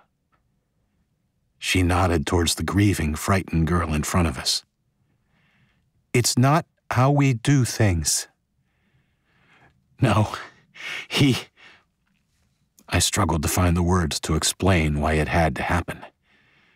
She walked up to me and gently placed her hand over mine.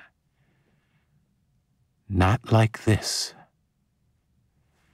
From the comfort of his mother's arms, my little boy looked up at me, his eyes deep pools of blue, and smiled a gummy smile.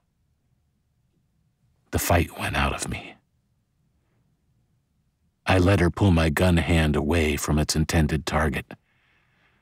I released the killer's collar, and he fell to his hands and knees, coughing and choking for air. Luke came over, his face unreadable, and helped the jittery killer back to his comrades. Come and rest, Indigo said, tugging gently at my gun hand. I nodded, tucked my gun into my jeans, and allowed her to lead me back to the house. 19. Indigo persuaded me to have a nap upon our return to the house. It took me a long time to fall asleep, but I eventually did and woke two hours later, fuzzy headed and hungry. I had a late breakfast and called a council meeting to decide what we would do in light of the attack. Our first decision was quick and easy. Both Brock and Joe had a passion for motorcycles and had kept the four bikes we had obtained over the years well maintained. We sent a team of three on motorcycles, led by Joe, to monitor the road from Ashland. They were given enough supplies for two days. The bikes were our fastest and least obtrusive form of transport, and if the marauders did decide to return, I wanted plenty of warning. They were under strict orders not to engage the enemy and to return at speed if they spotted them heading our way. Next came the question of the four prisoners. It was decided unanimously the four would be tried for murder the following day. The only issue to debate was what punishment would be imposed when, if, we found them guilty. The worst crimes we'd had to deal with prior to the invasion had been stealing and assault. We hadn't been afraid to make hard decisions and had actually exiled several people from the valley. That particular punishment seemed to be enough of a deterrent to most of our citizens. We had only debated execution in what if terms. As I expected, most of the girls were dead set against the idea, all except Brooke. We can't just banish them, argued Luke. What kind of punishment is that? They'll just go straight back to their people and try to kill more of us as soon as they get the chance. Luke's right. They've all got blood on their hands. Execution is the only thing that makes sense, said Paul. I don't have the answers, said Indigo. But how can you even think of doing that? Who is going to shoot them? Are you going to pull the trigger, Paul? Luke? Paul reddened. If I have to, yes, said Luke resolutely. Why are we having a trial at all? asked Allie. It seems we've already decided they're guilty.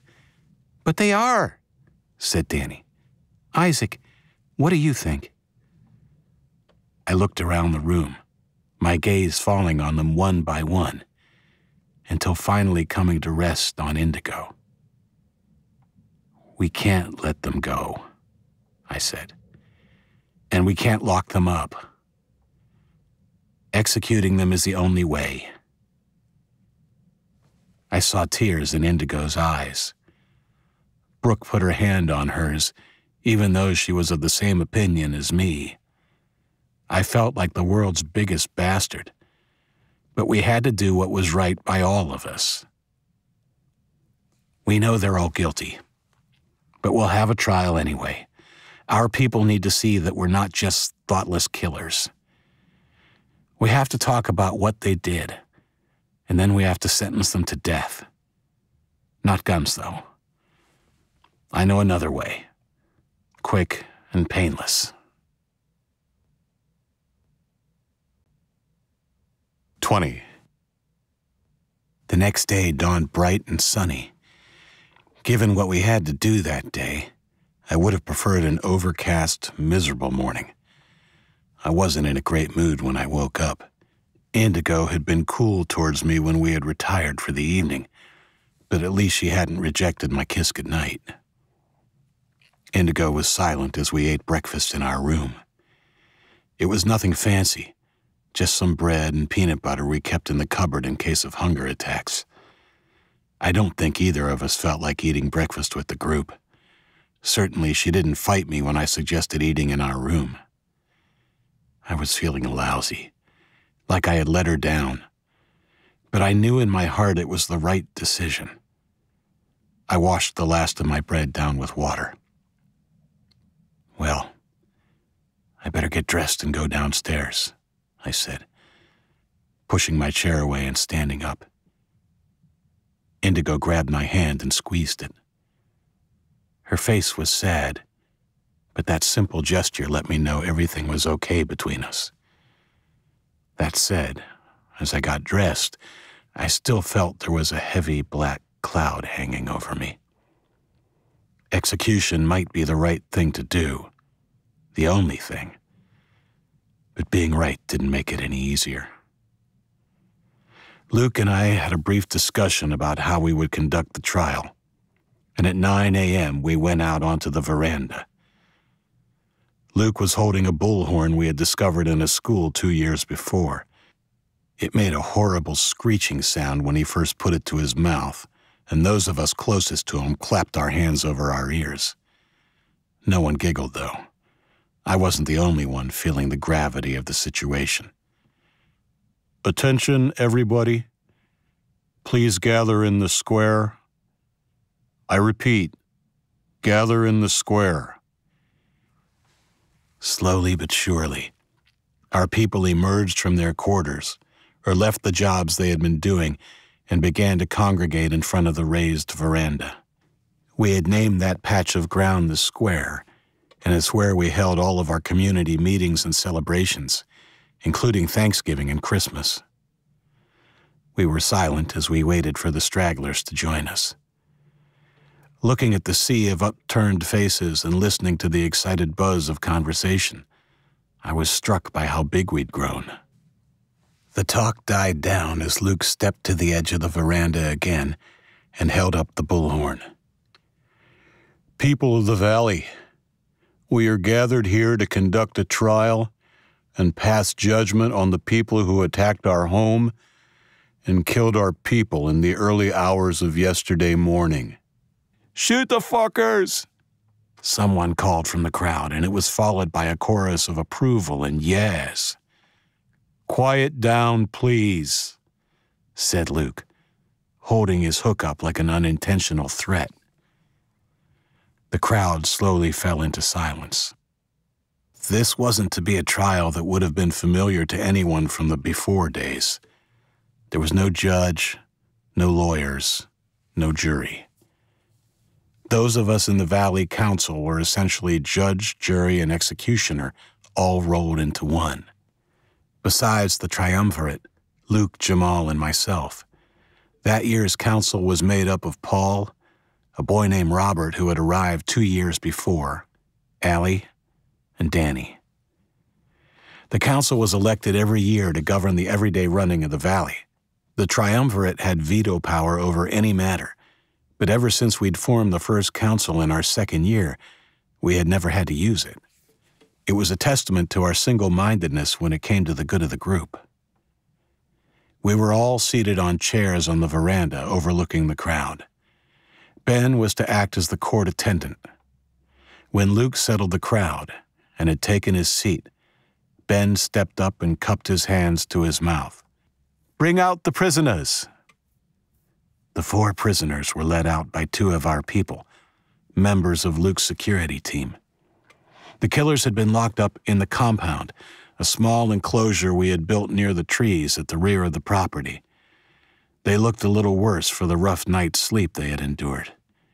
Their hands were tied in front of them, and I made a mental note to talk to Luke about teaching his men to tie them behind in the future. They were brought to a stop in front of the veranda and told to turn and face us. Three of them had their heads bowed. Whether in contrition or in the hope we would take pity upon them, I'm not sure. The axe killer looked up at us with defiance. I nodded to Ben. You four are charged with murder and injury of the innocent. How do you plead? Fuck off, spat the defiant one. I felt fury at his attitude and struggled to find something to say. Ben beat me to it. I'll take that as a guilty plea, he said smoothly. Thank you. What about you three? The others were more circumspect. Two of them pled guilty quietly. The third started to cry. I didn't kill anyone, he blubbered. Did you shoot anyone? Ben asked, no sympathy coloring his voice. Yes, but I only winged him. I hit his arm. Right, so you tried to murder him, but your aim was shit. Yeah, but I didn't. He's alive. Ben jumped down from the veranda and stalked up to the youth, leaning over him threateningly. The boy cringed from Ben's obvious anger. He'll be dead by the morning, he said in a low, dangerous voice. The boy's face collapsed, and he began to sob. I don't wanna die. Shut the fuck up, Sing. Goddamn crybaby. They'll get what's coming when Ash comes back. Ben turned his attention to the freckle faced axe killer. You're a lot braver today than you were yesterday. Whatever. The boy snarled. Ben turned on his heels and stepped back onto the veranda and faced them again. You stand before our council, he said more formally. They will decide your fate. How do you vote, council? Luke was the first to stand. Guilty. I stood. Guilty. Indigo stood, and I held my breath as she paused, looking down at the four. Guilty, she said quietly and sat down. The rest of the council stood, one by one, and delivered the same verdict. What is the punishment you've decided? asked Ben, once we were all seated again. This time I stood. The penalty is death.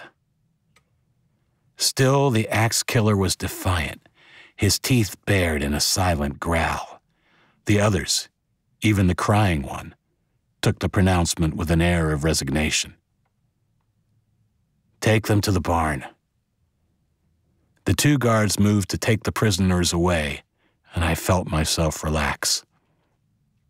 I turned to Indigo and was about to comfort her when, to my right, Allie screamed. I looked her way reflexively before the sound of scuffling alerted me to the danger behind us. I quickly fell on Indigo, pushing her to the floor as the loud clap of a gunshot sent the crowd scattering. The shot shattered the window we had been standing in front of just a millisecond before, glass spraying over us as we fell to the floorboards. Later, I was told the axe killer had grabbed a pistol from one of the guards and had immediately aimed for me. Only Allie's scream and my quick reaction had saved us. Call it fate, or luck, or karma, or whatever the hell you want. But that morning, for the first time in two years, I had put my gun holster on. Luke was on his haunches beside me, cursing as he struggled to free his own gun with his good hand. There was another shot, and I saw the second guard go down as the killer, his arm around the first guard's neck, backed up, his gun waving this way and that as the crowd scattered behind him. I didn't hesitate. I got to my feet and aimed at his hateful face. He shot again, and I flinched. Thankfully, his arm was less sure this time, and I heard a groan behind me. I couldn't waste any more time. I pulled the trigger.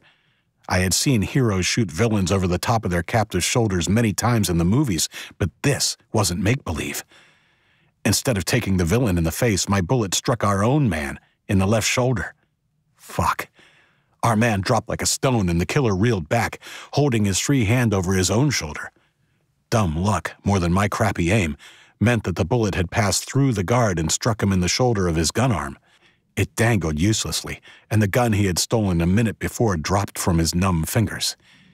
He looked at me, fear now swamping any defiance he still had. He wasn't done yet, though. His head began to turn frantically this way and that. I couldn't risk him taking another hostage. I took a deep breath, calming myself as Luke had shown me what seemed like a lifetime before. I whistled, and he looked at me. My second shot took him through the left eye. He fell backwards, the last look on his face dumb surprise. There was a lot of confusion over the next few minutes. I'm glad Luke and Ben took charge because I think I was in a state of shock. I sat down on the steps and Indigo sat beside me. The gun dangled from my fingers, as heavy as a brick, until Indigo took it away. Her warm hand found mine. You did what you had to do. I could have told her about the fact that I had spotted the prisoner's hands tied in front earlier. That if only I'd made them tie them properly when I spotted it, none of this would have happened. Then again, if Indigo had let me shoot the bastard the day before, he wouldn't have had the chance to kill again. No, it wasn't my fault. I would put this lapse in judgment behind me just like I had put others behind me since the Chinese had fucked us over. I had to, not only for me, but also for Indigo and little Max. Bo and Jamal put the guard I had accidentally wounded onto a homemade stretcher and took him to the infirmary. Thankfully, he was conscious and didn't appear too distressed. I hoped that was a good sign. Luke had already covered our latest fatality with a sheet another dead kid. It was difficult to think of anyone in the valley as anything other than kids. Apart from Jamal, who had a few months on us, Luke and I were the oldest of any of the people in the valley. But no matter what we'd been through or what we were doing, I still felt like a child, albeit one with responsibilities. The dead boy, Ramsey, was just 18. Another marker in our little graveyard. A graveyard which was growing way too quickly. He'd only just been recruited to Luke's security force, and I hadn't even known his name before he was killed. I said as much to Indigo, feeling shittier than ever. You can't know everyone's name, Isaac. There are too many of us now. Come on. Let's go see Max. It'll cheer you up. I felt like I should stay and help clean things up, but she was right. I needed to see my boy. He was playing happily with peace when we went into the house. Has he been a good boy? I asked the little girl. Yep, he sure has, Uncle Isaac. What happened outside? asked Ava. While Indigo talked quietly to Ava, I picked up Max and gave him a squeeze, smiling at the gurgle he produced. Oh, that's terrible, said Ava. We sat down there for a while before taking Max up for a nap. We lay for a few hours, Indigo and I, in each other's arms while our little man slept. Just before lunch, there was a knock at the door. It was Luke. You okay? He asked. Yeah, what's up? David, the kid who was shot in the arm by the marauders. Died a few minutes ago. Oh. He didn't suffer. He was zonked out on morphine. What about the kid I shot? Jamal thinks he'll be okay as long as the wound doesn't get infected.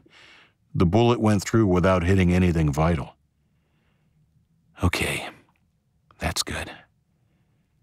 Yeah, um, listen. We have the three prisoners at the barn. We've been waiting for you. Not really fair to keep them waiting much longer, you know? Death row and all that. Oh, okay. Shit. Of course. Sorry, I didn't even think of it in all the excitement. I'll come now. 21. The walk to the barn seemed terribly long on that horrible day. So, what is your idea? Gassing them? I should have known Luke would guess my painless and quick execution method. I nodded. Good idea. That's me. I'm a real go getter when it comes to killing people. Hey, he said, grabbing me on the shoulder. Remember what they did, what they were a part of. You said it yourself. This is the only way. I held his fierce eyes for a moment, then nodded and looked at the ground. I know, man. I'm just a little down on myself for what happened today. I spotted their hands tied in front, but I thought I could wait. I was going to bring it up with you afterwards. Dude, I saw it too. I made a mental note to say something to the boys. That makes me just as guilty as you, right? At least you were able to draw your gun.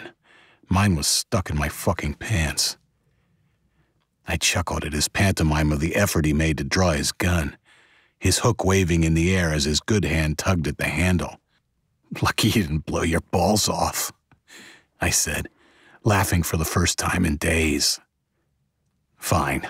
You're just as much to blame as me. Stop waving that hook around. You'll take someone's eye out. Probably mine. I won't describe the execution in detail, but essentially, Luke and I banished everyone else from the barn. We took on the responsibility ourselves, unwilling to put anyone else in a position where they had to witness what was to follow. To say I didn't feel sorry for the boys we loaded into the old Chrysler would be a lie. Two of them broke down when they saw the hose leading from the exhaust to the rear window of the car. It broke my heart. The one who had pleaded his innocence to the murder charge cried and begged for his life as Luke closed the door on him. I saw tears in my friend's eyes, and it hit me how unfair this new world was when kids had no choice but to kill other kids. I think I can speak for Luke when I say it was the most hideous experience of our lives to that point. Taking a life in the heat of battle or in self defense is one thing, but to have to stand there and watch those boys die behind the windows of that car, no matter how painless, was monstrous. Luke held his breath and switched off the car when we were sure they were dead. I opened the big double doors of the garage, while Luke opened the car doors to let the noxious gas dissipate and then ran out to join me in the fresh air. A few of Luke's men were waiting for us outside. No one said anything when Luke suddenly darted to the side of the garage and threw up his breakfast.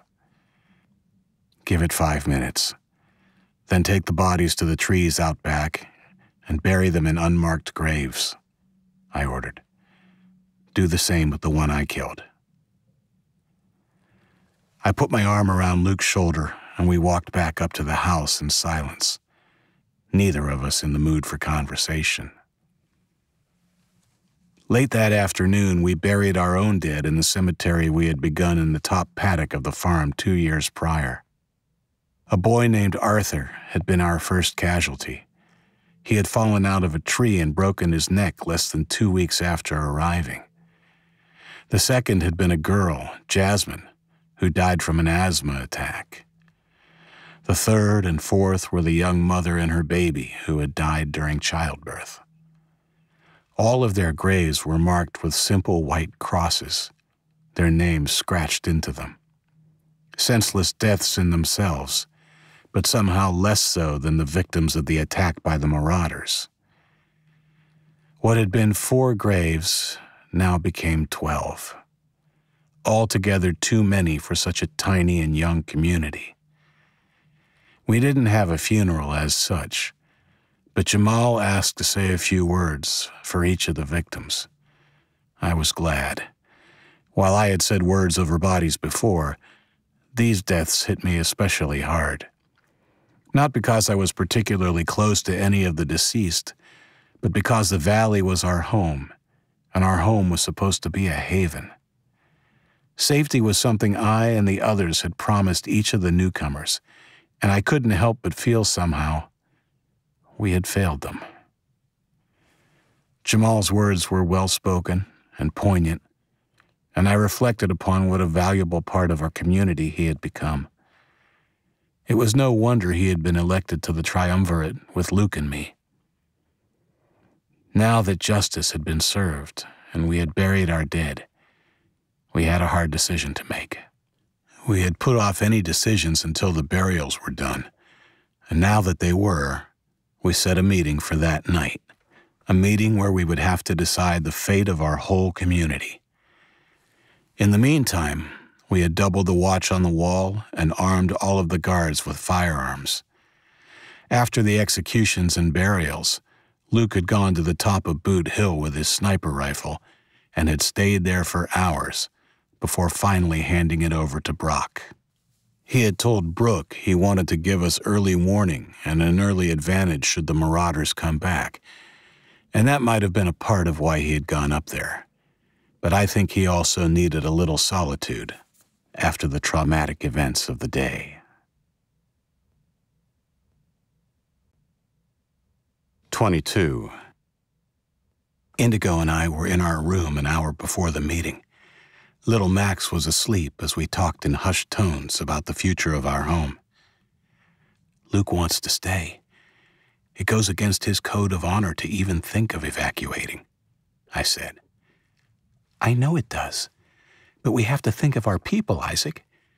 If these marauders come back with a bigger force, they could slaughter us all. You've heard the reports. There could be more than a thousand of them, and all killers. I know. I've thought about every option. If we stayed and fought, we would probably take out a few of them, but eventually they would overrun us. We can't let that happen, Isaac. I think we have to do something none of us want to do. We have to leave the valley.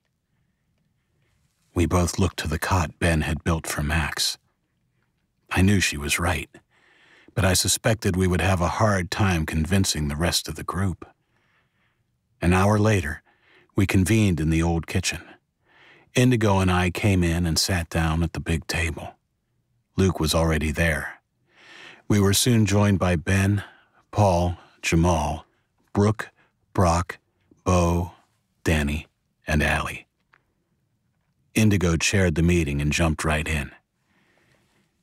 We can't allow what happened two days ago to ever happen again. This special meeting has been called to discuss measures to keep our community safe. I, for one, can't see how we can stay in the valley.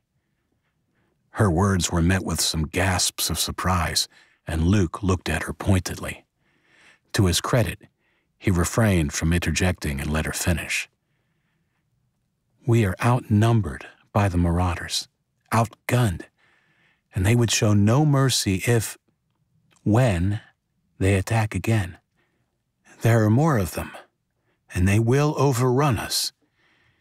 We need to evacuate and find somewhere more defensible and as far away from Ashland as possible.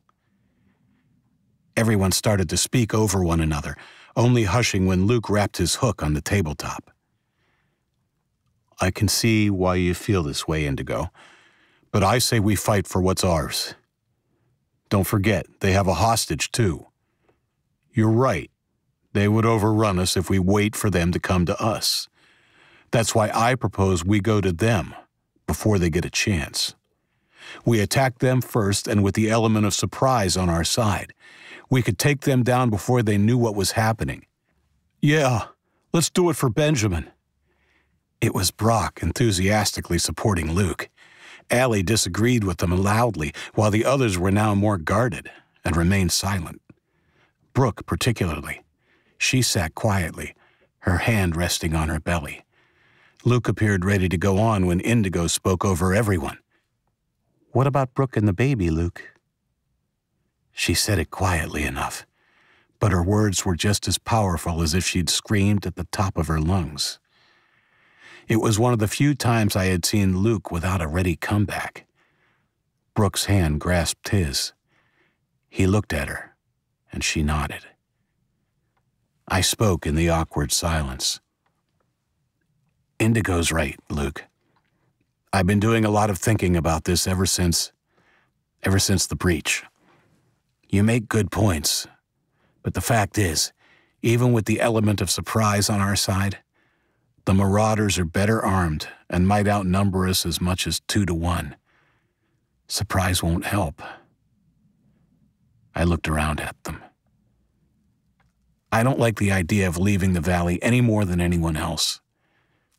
But I also think we can find somewhere not too far away that will be easier to defend and perhaps give us the space we need to keep growing.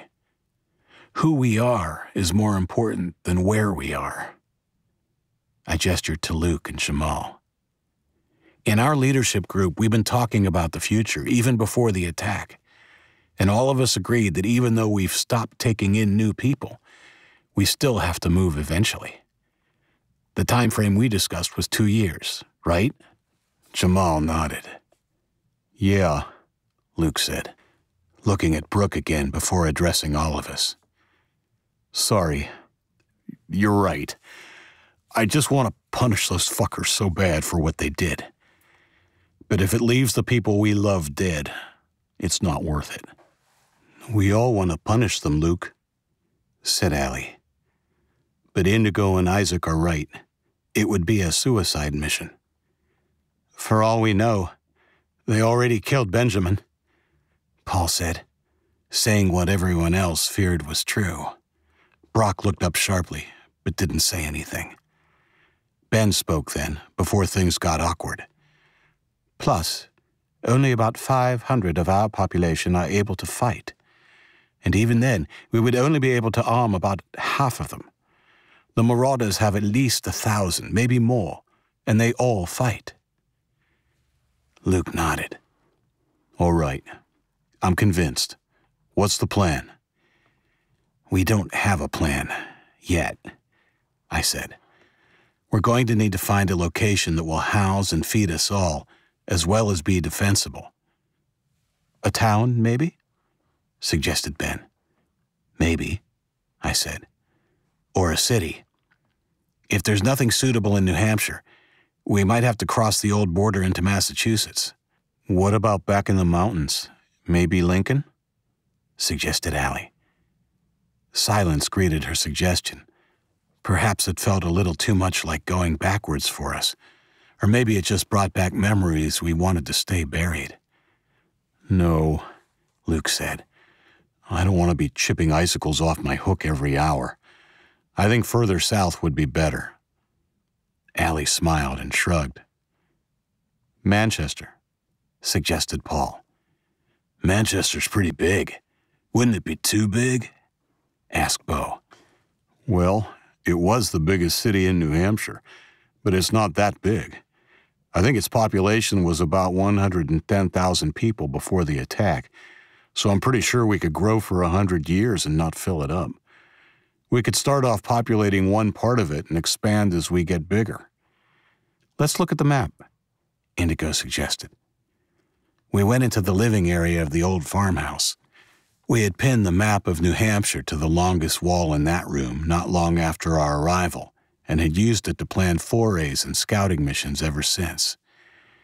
In and around Moultonborough and around Plymouth, it was covered in red lines and X's. Paul traced his finger down the map until it hovered over Manchester. Look, said Luke, a tinge of excitement in his voice. That river, Merrimack, runs through it, but most of the city is on the eastern side. If we could block or blow up the bridge crossing the river there and blockade the other smaller bridges from the western side, we'd only have to worry about one main road in from the south, the three. Of course, the eastern side would be pretty unprotected, but the only threat we know of for the moment is from the marauders. Yeah, Paul chimed in. And we could even block the three back there where it crosses that smaller river. We discussed the move well into the night, and the more we talked, the more achievable the goal of moving our settlement to Manchester seemed to be. In the end, we didn't even have to vote. It simply became a fait accompli. Of course, that was our core group. We all knew we may have some problems when our decision was relayed to the rest of the valley's population. We should give them the option of staying, said Brooke. Yes, Brooke is right, said Ben. We can't force anyone to come with us. We can only tell them the dangers of staying and hope they make the right decision. Agreed, said Luke. Indigo and Brooke went to bed, content to let us work out the logistics of moving such a big group of people with our limited resources. How are we going to do this? I asked, the enormity of the task suddenly hitting me. Easy, said Luke. We go in a convoy, our armored Hummer at the head, the three buses and the two SUVs following, then the strongest on foot protected by the other two Hummers bringing up the rear. Do we have enough fuel? asked Jamal. Not for all the vehicles, but we'll have to ration it out to make sure the buses have the most and probably the armored Hummer. We should be able to put a good distance between us and the Marauders before any of the others run empty, though. I'm thinking it might even be worth taking a longer route and avoiding the 93 to keep as much distance between us and them as possible. He pointed out a route which would take us east around Lake Winnipesaukee, through Wolfeboro, and back southwest to Manchester. We will use more fuel, and it will take longer, but in the end, it may even be easier to pass there shouldn't be as many abandoned cars as on the freeways. We agreed with his suggestion and assigned people to look after the logistics. Luke, Ben, and Brock would be in charge of the armory and weapons and deciding who would be armed with the precious few guns we had. Jamal would take care of fueling the vehicles. Paul would be in charge of supplies, while Indigo, Brooke, and Allie would be supervising the younger of the children. I would oversee the whole operation with the help of Bo. The rest of us went to bed at 2 a.m. after deciding we would leave at dawn the following day. That would give us around 30 hours to prepare. As I lay in bed, unable to sleep, a new sense of purpose replaced the last vestiges of anger and sadness at the recent attack and the deaths earlier that day. We just had to hope the marauders didn't attack before we left even if they did. We had our early warning team on motorcycles in place, and in a pinch, we could evacuate in a short time. It would just be much better to leave on our own terms. 23. It's hard to say how I was feeling when we woke up a few hours later. While I was glad to put the last day behind me, Beginning what would be our final day in our home had its own kind of melancholy, even if it was tempered somewhat by the anticipation of adventure. As I ate breakfast with my friends and family, I became more and more enthused by their excitement and optimism. Not only were they excited at the prospect of finding somewhere bigger and more permanent for all of us to live, I think they were almost as enthusiastic about simply doing something different, about having an adventure. We should make the announcement, said Luke, as we helped clear away the dishes. Yep. That part I wasn't looking forward to. We bit the bullet a few minutes later. Luke, Jamal, and I went to the veranda. Luke made his call on the bullhorn. The crowd gathered a little quicker than usual, perhaps in anticipation of something dramatic like the trial the day before. I waited until the flow of people into the square had slowed to a trickle before I began. Welcome, everybody. There were a few claps and whistles, But the overwhelming impression I got was that the audience was still a little shell shocked from the events of the last few days and were wondering what was coming now. I want to start by saying how proud I and the rest of the council are of the way everyone pulled together after the attack and yesterday's trouble. These have been the hardest few days we've had since we settled into the valley, and everybody played their part in fighting off the invaders. I guess that brings me to why we called this special meeting. The attack, as bad as it was, really only served as a warning a warning that things could get much worse. The small force that attacked us belongs to a larger group which calls itself the Marauders. We are of the opinion, the Council and I, that they will attack us again and it could happen at any time. I left that thought with them for a few seconds before I went on. The next time, we may not be able to stop them. And so we have made the decision to evacuate the valley tomorrow at dawn. There was a shocked silence for a few moments, and then came the uproar I had expected. No, we can fight them. We can't let them chase us out of our home. Please, I began. We're not leaving. No way. Even with the bullhorn, my voice was drowned out. The calls got louder, led by one or two in the crowd who were whipping the rest up, even as others tried to calm things down. Everybody, please, I would like to explain. It was no use. They weren't listening, and I felt things rapidly spiraling out of control. I took a deep breath to yell again. Boom! I flinched. The gunshot from my right took me by surprise. I wasn't the only one. The people at the front of the crowd took a step back, stunned into silence. With the smell of cordite in my nostrils, I turned. Luke was still pointing his pistol at the sky, a tendril of smoke curling into the clear morning air. You hear that? He yelled. If we stay, get ready to hear a lot more of that. Get ready to see your best friend, your girlfriend, or your kid get a bullet through the face. If they're lucky, they'll die in the attack. It will be worse for the ones dragged off by those marauder assholes, while you. He jabbed his hook at one of the ringleaders a heavy-set teen who suddenly didn't have a lot to say, lie bleeding in the dirt. He tucked his gun into the waistband of his jeans and stepped up beside me. I could see he wasn't finished, and I was happy for him to take over. He certainly had their attention. Now, you all know me. You know I don't run from a fight. At first, I wanted to fight too. But we have to think of the future now. He glanced at the heavily pregnant Brooke. Truth be told, we are running out of space in the valley, and more than likely would have had to leave within a year or two anyway. We have to go now, a little earlier than expected, that's all. We can't fight the marauders. There are just too many of them, and they are too well armed. We have to move on and make a new home. Now, please, let Isaac finish. Luke's intervention did the trick.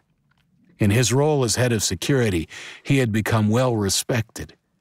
He was tough but fair and had the added benefit of being big and kind of scary. He was very different to the tall, gangly nerd I remembered from school. There were no more interruptions as I laid out the plan we had come up with the night before. I was careful not to disclose our destination, just in case there were any who decided to stay. In the worst case scenario, We thought it best to keep that secret until we were on the road. No amount of torture could reveal a secret no one knew. Now, we realize this is a shock for all of you, and I know you're not all happy about it. I want you to know if you choose to, you are free to stay. We will leave enough supplies for a few weeks and also some weapons for anyone who decides they don't wish to leave the valley. But please, I want you to think carefully before you make that decision, especially given what happened a few days ago. Does anyone have any questions? So, we leave at dawn?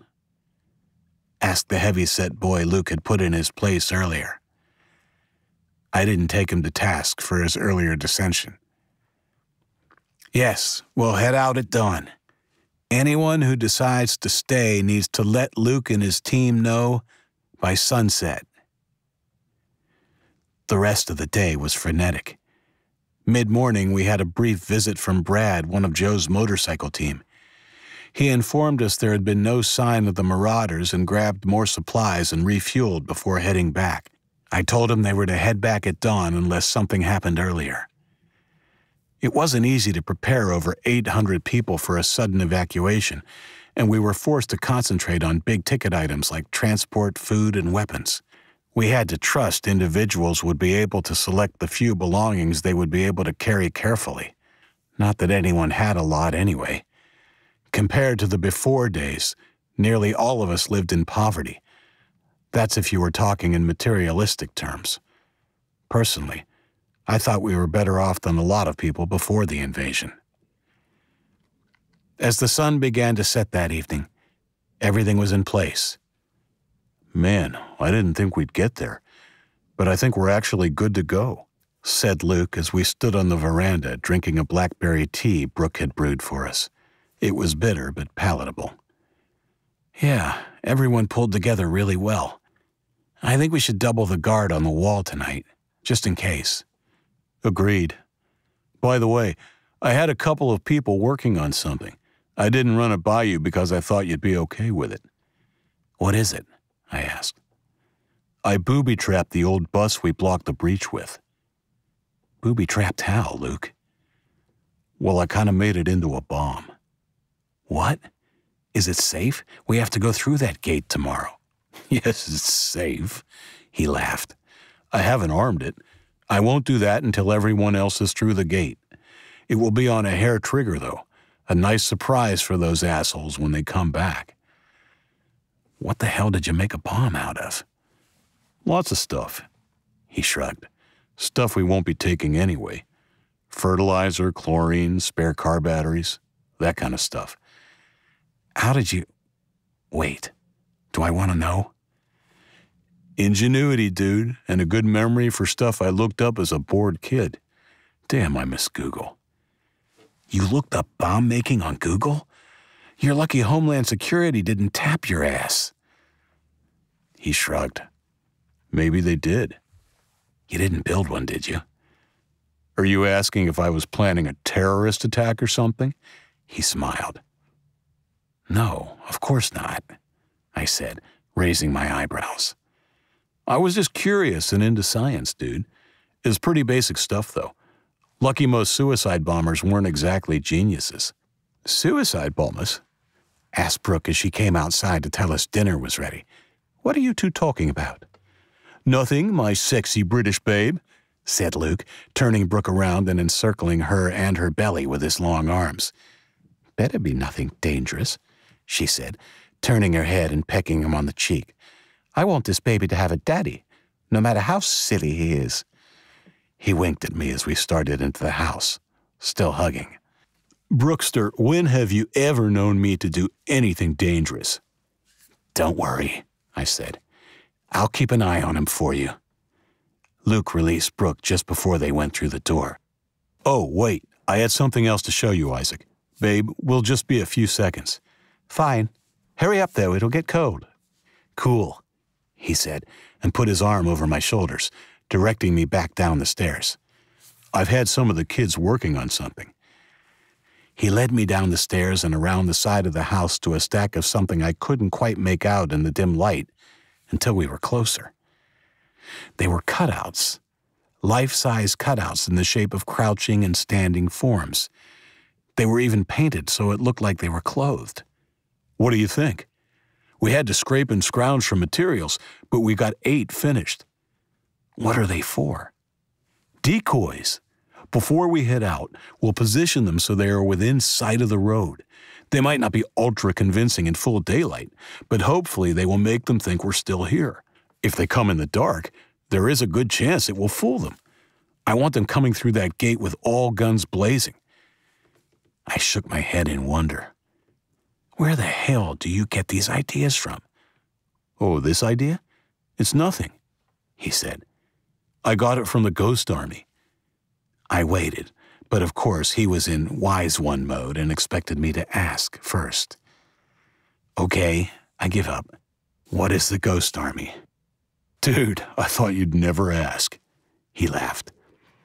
It was a tactical deception unit the U.S. Army had during World War II. They would do things to trick the enemy, like use inflatable tanks and planes to fool the Germans into believing there was a large force in a particular area when it was really just a few guys with air compressors and dummies. I looked at him and nodded, a small smile on my face. What? he asked. You know how I've been writing the story of how all this has happened to us? Well, I think you should start writing a history book of all the weird shit you remember that wasn't even in the history books. He laughed. Dude, it was in the history books. You just weren't reading the right ones. What do you think, though?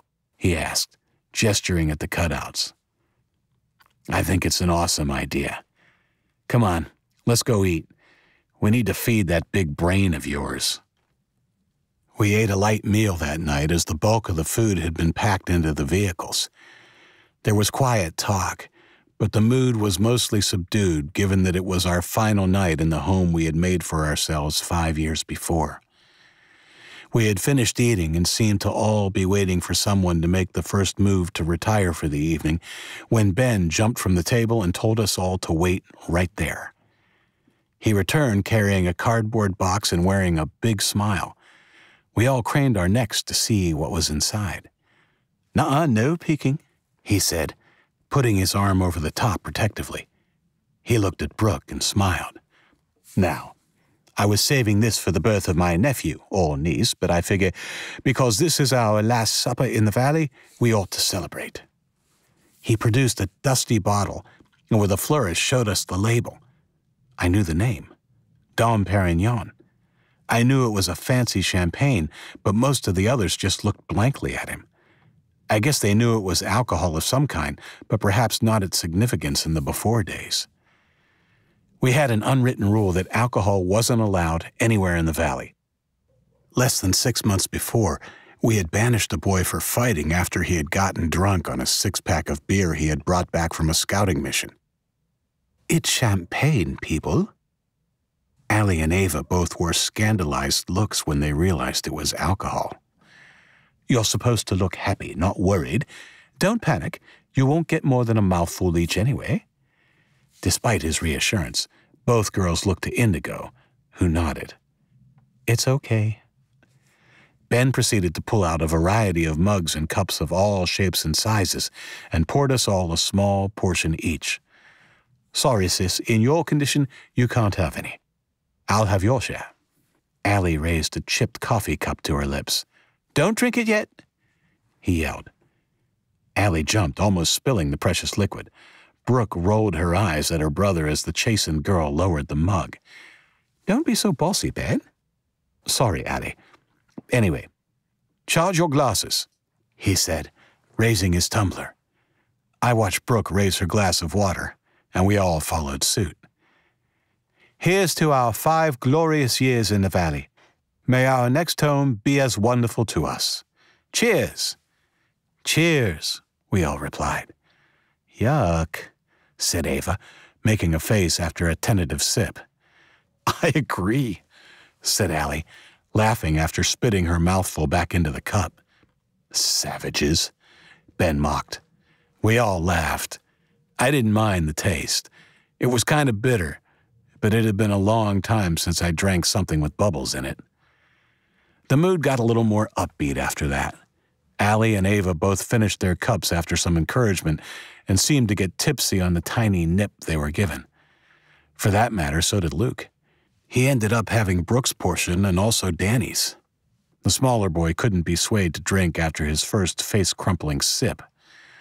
My turn to unveil a surprise, said Luke, disappearing upstairs before anyone could ask. When he came back down, he almost tripped on the last step, and both Allie and Ava fell into hysterics as he caught himself. What have you got there? asked Brooke, smiling. You'll see, he said mysteriously. I could see it was a red plastic box about the size of a briefcase. He went to the small coffee table in the corner and sat it down, opening the lid. It was an old portable turntable, a record player. What is it? asked Ava, walking over to him. This is what they used to play music on. Think of it as an old fashioned iPod. Really? No, he laughed. It's better than any iPod ever invented. He flicked a switch on the side. I heard the built in speakers crackle to life as he lifted the arm and moved the needle over and onto the black disc spitting on the platen. There were a few crackles and pops, and then a repetitive electronic beat began pumping through the tinny sounding speakers. Luke stepped backwards in time with the music, nodding his head in small, jerky movements as the beat grew louder. Ava squealed, laughing when he grabbed her by the hand and swung her to face him, and then he was off, dancing in a hilarious dad fashion as a voice began to sing, She was born to be alive, she was born to be alive. We laughed at Luke and screamed encouragement to Ava as she began to try and emulate his moves. Come on! Luke called to us over the music, and suddenly Indigo was dragging me into the center of the room, holding little Maxie in the crook of her arm. Pretty soon we were all up there, the very pregnant Brooke included, laughing, screaming, and dancing by candlelight to that dorky but infectious disco beat, forgetting for a time where we were and where we were heading. Luke must have played that damn song five times in a row. It was the only record he had managed to find. Before, thankfully, the batteries began to die and the artist's voice slowed to an unbearable horror movie like drawl. After the old record player died, we sat around and reminisced for about an hour. We recalled the happy moments rather than the more recent problems, and when Indigo and I went back to our bedroom with Max, I was feeling excited and optimistic about our immediate future. There was also worry, of course, but it had been pushed into the background by the fun that evening. Indigo had already packed, so after she put Max to bed, there was little to do except go to sleep. Good night. I love you, Isaac Race, Indigo whispered, kissing me good night. I love you too, I said. We held each other as we went to sleep. It was our last night in the farmhouse. Who knew when we would next sleep in a bed? 24. I woke to the insistent honking of a horn. I sat up, my head sleep addled. It was coming from the direction of the gate.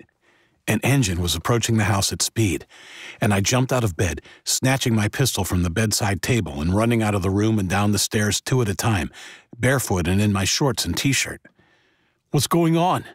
Luke yelled, thundering down the stairs behind me. I don't know, I said over my shoulder as headlights lit up the front windows. With my heart beating furiously, I pulled the door open and ran down the steps as the Jeep from the gate pulled to a stop in a spray of gravel. An excited Brock jumped out and ran over to me. We got trouble. Headlights coming from the direction of Plymouth. Three of them. I think it's Joe and the others. But you know what that means. He didn't need to spell it out. If they were returning at this early hour, the marauders were on the move. Luke arrived at my side. He was naked from the waist up, the harness and his hook missing for his night's sleep. Fuck, he said under his breath. We only needed a few more hours. We might still have time, but we need to move now. Brock, drive that Jeep around the valley and make as much noise as you can. I want everyone up and in the staging area, ready to leave within 20 minutes. Yes, sir.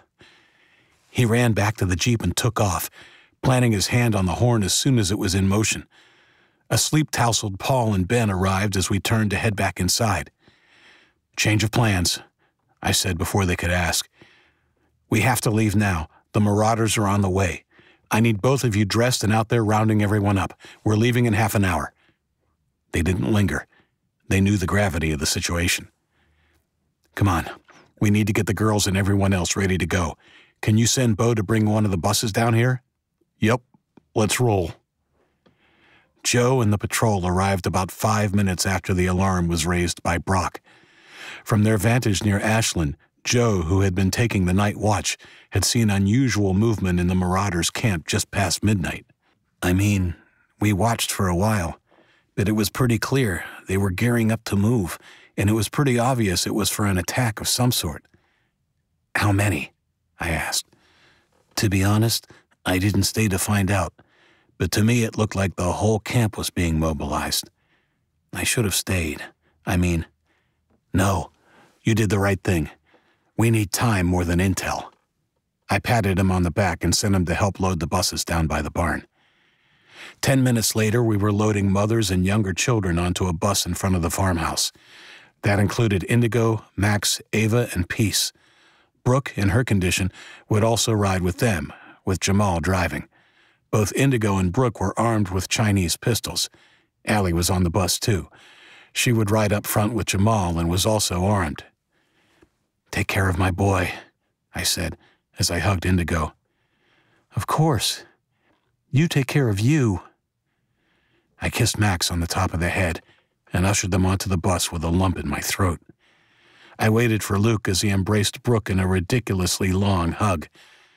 He finally let her go and patted her on the butt with his hook as she walked carefully up the steps. She turned, one hand on her belly, and wagged her finger at him. Keep your hook to yourself. She blew him a kiss before turning and heading into the bus. We both stood there a moment as the bus engine rumbled to life and headed up to the clearing we had designated as the staging area. The whole valley was a hive of activity, roughly illuminated by the occasional torch and the lights of our vehicles. The two buses by the barn were filling rapidly, and up in the staging area, I could see the contingent that would be on foot, milling about and ready to move out. For just a second, I nearly freaked out. There were just over 700 that would be walking. It didn't take a genius to figure out that if we did strike trouble, we would lose a lot of them. Come on, I said to Luke, gathering myself. I want to get moving now. We walked up the hill and Luke took the bullhorn from Allie. Open the gates, he called ahead.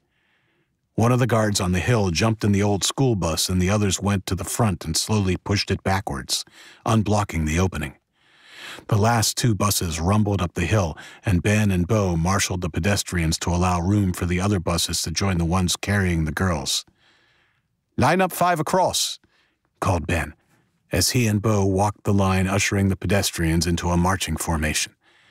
When they were done, the line curled back down the hill about 150 feet.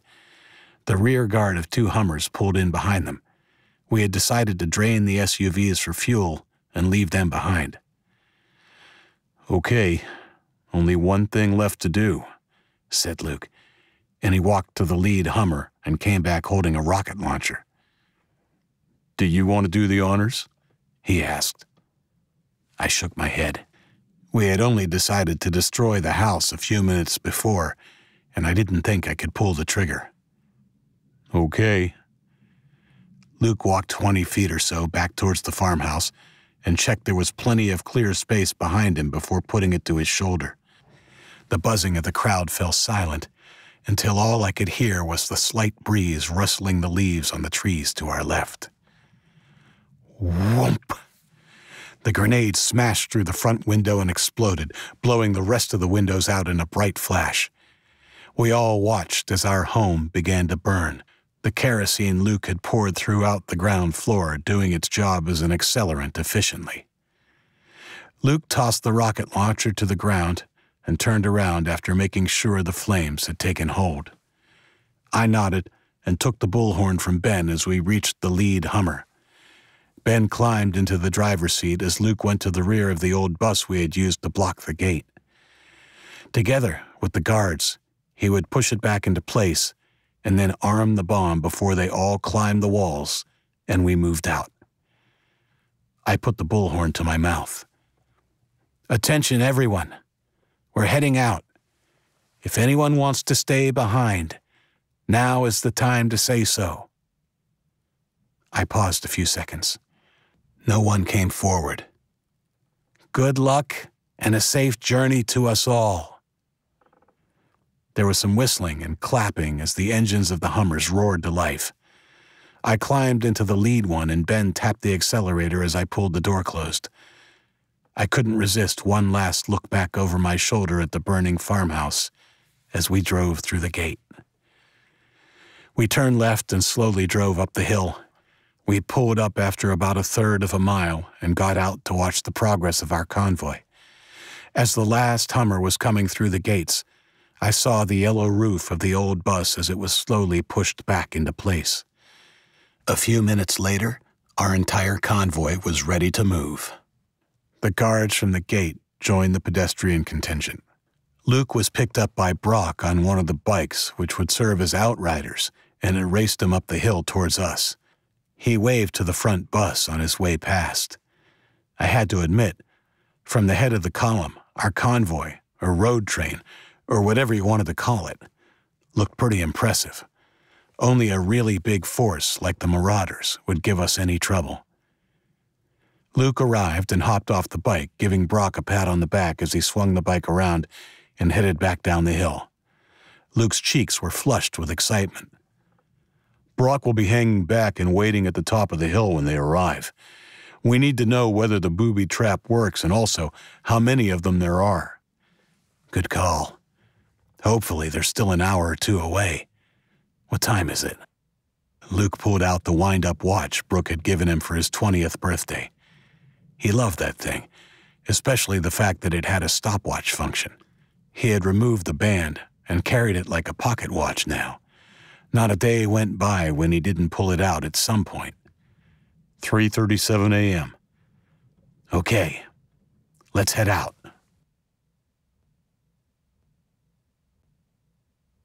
Part 3 Convoy 25 No matter how impressive our convoy looked, it moved slowly, especially up the hills.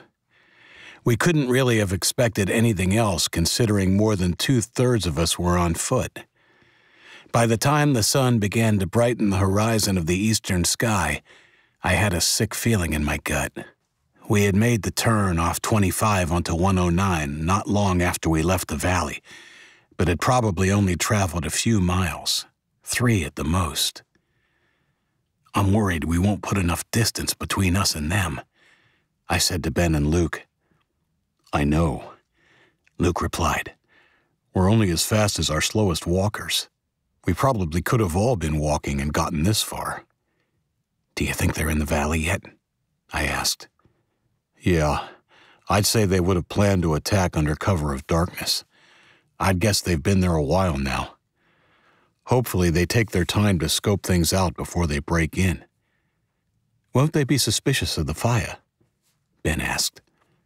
No, I don't think so, said Luke distractedly. It should have burned low by the time they arrive. Hopefully, it just serves to light up my cutouts from behind. About a quarter of a mile down the road, we can hang a right to stay on 109, or we can go left and follow 171. What's the difference? I asked Luke, looking down at the map he was holding. Well, 171 is a bigger and better road, but 109 hugs the lake and is probably more direct. I'm sure 171 would have been quicker back in the old days, but it's not like we have traffic to worry about. Let's take 109. We reached the turning point a few minutes later. Pull up, Ben. I'm going to give everyone a pep talk. After I'm out, you speed up a bit. We'll drag them along if we have to. I jumped out with the bullhorn and walked back along our convoy.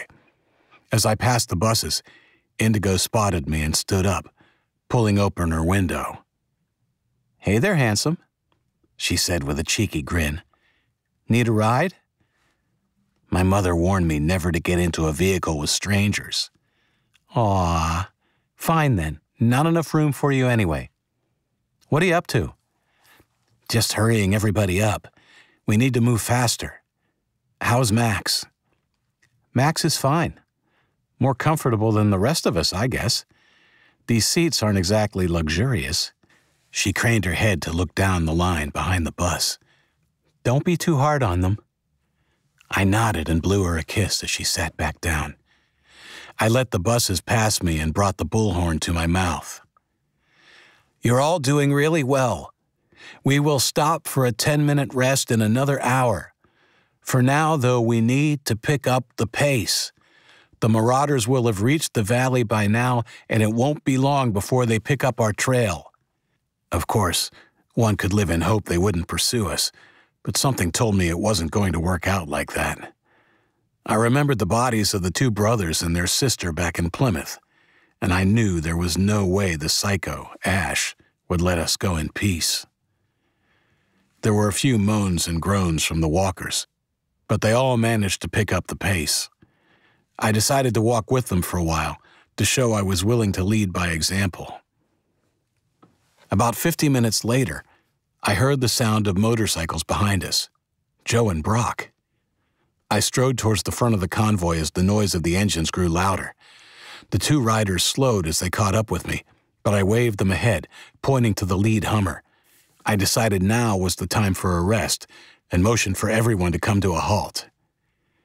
Okay, everybody, time for a break. Let's stop here for 10. I watched our road train pull up and the walkers slowly begin to sit on the road in the grassy verge as the gate guards handed out bottles of water. I went forward and reached the lead Hummer as Ben and Luke got out and accosted Brock. Did it work? asked Luke before the riders had even managed to pull off their helmets. Brock's face was white and his hair wet with perspiration. A fresh red welt stood out starkly on his cheekbone. It worked, he replied. Tell me, tell me everything. I want a blow by blow account. And what happened there? asked Luke, pointing to Brock's cheek. Wait, said Joe, moving in front of his brother protectively. Let's go over there. Ben, Luke, and I walked over to the flat, grassy area Joe pointed out. Okay, spill, said Luke impatiently. Okay. They got there just under three hours after you left. Brock turned to me. You definitely made the right call. Their army is huge, bigger than I expected. They were pretty cautious. The majority stopped about a half mile out, and they sent a bunch of guys in on foot. They were in black and armed with bow and arrows. They were really cautious, said Joe. It was an age before they made a move. Yeah, said Brock. It would have been funny, you know, them sneaking up on cardboard cutouts and all, but I couldn't help thinking what would have happened if they'd arrived the day before.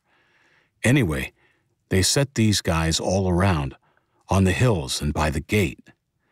Once they were set, a smaller group arrived but stayed at a distance. I'm pretty sure it would have been the commanders, and they had.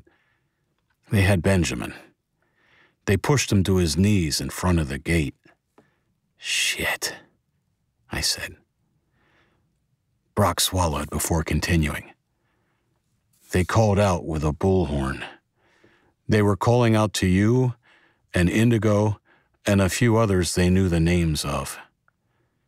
Obviously, they had forced Benjamin to give up information about us. They demanded the gates be opened or they would kill Benjamin. Anyway, they gave us five minutes. Some guy counted down the whole 300 seconds. And then, well, the gates didn't open, of course. They. They. Joe put his hand on Brock's shoulder. Don't worry. They get the picture, he said. I'll tell them what happened next, okay? Brock nodded. Brock wanted to stop them. I had to hit him to make him quit, or we both would have ended up dead. There was a short pause. Brock didn't seem to hold a grudge against his brother, and after he nodded, Joe continued. After they counted down and the gates weren't opened, they killed him. It was Ash. He gunned Benjamin down in cold blood, right there in front of the gates with a shotgun. Fucking bastard, Ben whispered. I put my hand on Joe's shoulder as he continued. They waited for around 20 minutes. I guess until they were sure they weren't going to be attacked. It took them so long to make a move. I was getting to the stage I wasn't sure if they were going to. But then someone shot off a flare, and I saw the bow and arrow guys. Archers. Luke corrected, automatically. Right, archers. They began shooting over the fence at the cutouts you set up. Luke's face remained stony. What happened next? I asked Joe. While they were still firing, this massive bulldozer came roaring from further down the road with like 200 men behind it. It didn't even slow down, just barreled straight for the old school bus. And then, boom! He shook his head. That booby trap made a real mess of them. Good, said Luke. How many do you think it took out? Hard to say, but obviously the guy driving the bulldozer. If my count is close, then I'd guess at least 10 of the ones coming up behind the bulldozer died, and a lot more were injured. What then? How long did you stay? Did they turn around? He shook his head, and the sick feeling in my gut returned. I stayed for another half hour. They didn't turn around. They pulled back to regroup, but then came forward again. I think they'd figured it out by then. They sent about a hundred men through once the fires were out. That's when I left. Ben, can you grab the map? I asked. If they track which way we've gone, we'll need to make a detour. They don't know our destination, so a couple of turns should keep them off our tail. Um, there's something else, Joe said. They have dogs. Fuck, said Luke, echoing my own thoughts. Okay. Shit. How long did it take for you to catch up with us on your bikes? Ten minutes or so, but I was really hammering it. Okay. We've come about five miles. Even going twice as fast as we've been going, they'll probably catch us in a few hours. They have some on foot, right? Yeah, about half. Even then, said Luke, there is no guarantee they won't send vehicles to catch us faster. We can't go on at the same pace. What are you thinking, boss? He hadn't called me that in a long time. We have to send the buses on ahead, escorted by a Hummer packed with as many guards as we can get in. Once they've reached Manchester, they can leave everyone and just send the buses back for us. We won't all fit, but at least we can evacuate about a hundred more quickly. Sounds like it's for the best, said Ben. The only thing is we don't know what's waiting for them in Manchester. True, but we know what's behind us. We just have to hope they'll be all right. Come on, let's break the news. We went onto the lead bus and told them the changes of plans. Of course, Neither Indigo nor Brooke was happy with the idea, but they couldn't argue with the logic. We said another goodbye, this one more poignant, and I kissed my wife and my son goodbye, holding both of them in my arms for the longest time. I saw tears in Brooke's eyes as Luke turned away from her. I vowed silently to bring him back safely to her. Can we send Ben with them? Luke asked. You know he'd rather die than let anything happen to the girls. Yeah, I thought the same myself. Ben, Danny, and Jamal will drive the buses to Manchester. I want all of them armed. See if you can stack the Hummer with at least six of your guys and the weapons they'll need. Paul can drive. Hurry. Within a few minutes, We were again waving goodbye to the bus. For real this time. Tears stung my eyes when Indigo held Max up to the window and waved his chubby little arm. I waved until the bus was out of sight, acutely aware it might be the last time I saw my wife and son. 26. After the buses departed, I took the bullhorn from the remaining Hummer. I didn't hold back. I told everyone the situation in plain terms, driving home the fact we had to move even more quickly now. I scanned their faces as I spoke. The majority were armed with homemade clubs, pickaxe handles, and other tools. I knew they would give a good account of themselves if they ever got the opportunity to get into close quarters fighting. It was a big if, though, given the firepower of our enemy. If the marauders caught up with us, most of our group would be slaughtered before raising a weapon. Our only hope was to get to Manchester without engaging. At least there, we would have a chance. I sent Bo and Brock ahead on bikes to set the pace at the head of the column I didn't think Brock should go back to track the marauders after what happened to Benjamin. He seemed more rash and likely to do something foolish than Joe. I sent Joe and the other rider, Brad, back to monitor the progress of the marauders. On the small chance they found the enemy had turned back, they were to notify us immediately. Other than that, they were to stay ahead of the marauders by a mile or so until we were in sight. At that time, they would ride forward as fast as they could to warn us, so we could ready ourselves for battle. Along the way, Brad was to leave Joe and report to us every half hour. I gave them a handwritten map with the turns we would be taking. When I thought about it clearly, the fact the marauders had dogs might actually be a mixed blessing because, to track us, they would only be able to go as fast as the animals would allow. We set off at a brisk pace. The bikes led those on foot and unarmed first, followed by Luke and me bringing up the armed contingent. The remaining two Hummers brought up the rear. We made much better ground now that Bo and Brock were at the head of the column. Within 20 minutes, we reached the town of Wolfeboro. It was right on the water, and the land around it was level and green. As we walked through it, I could see that in its time it would have been a pretty little town. But now it was just plain creepy.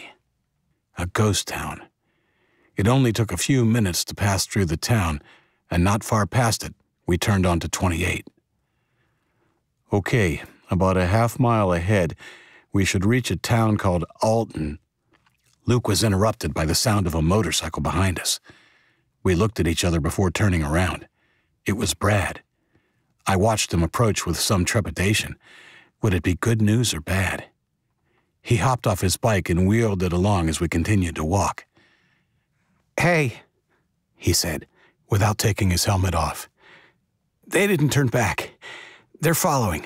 Not too fast, but faster than you guys. How many? All of them. I nodded. Dogs? Yeah. Okay. How far behind?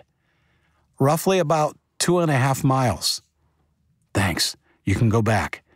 See you in half an hour. As he sped off, I looked at Luke. They've gained a mile on us already. Yeah, he said. I think we'll have to make a stand before too long. Let's worry about that later. We pushed on and hadn't quite reached Alton when Brad caught up with us again. The sun was higher in the sky now, and my stomach growled. How far now? I asked. I don't think they made as much ground this time. I think just over two miles. Still too close. We sent him on his way again, and I told him not to come back until they had closed the distance to a mile and a half. We stopped briefly in Alton to eat and drink, and were back on the move within ten minutes. I had taken a look at Luke's map dismayed to see that Alton was barely a third of the way to our destination. Things were looking grimmer by the minute. We have to start thinking about where we want to make a stand, Luke said as we walked out of town. Okay, Any suggestions? Yeah, I've already thought about it. And? In about two and a half miles, we're going to come to a river called the Merry Meeting and cross a little bridge, he said, unfolding the ungainly map and pointing to it as we walked. It's the only way across for miles around. If we can block the bridge or blow it up or something, they'll have to make a major detour to follow us. Any other options? Not unless you want to take them on in a town or on the open road. Besides, if we cross the bridge, there we can continue on to Pittsfield and get back on 107. We should be able to put some distance between us while they're finding a way around. All right, let's do it. Luke knuckle bumped me, apparently excited there would be something to do. He folded his map and strode ahead of me, suddenly invigorated and calling out encouragement to the marchers. 27. Thirty minutes or so later, we arrived at the bridge. To say it was unimpressive would be an understatement.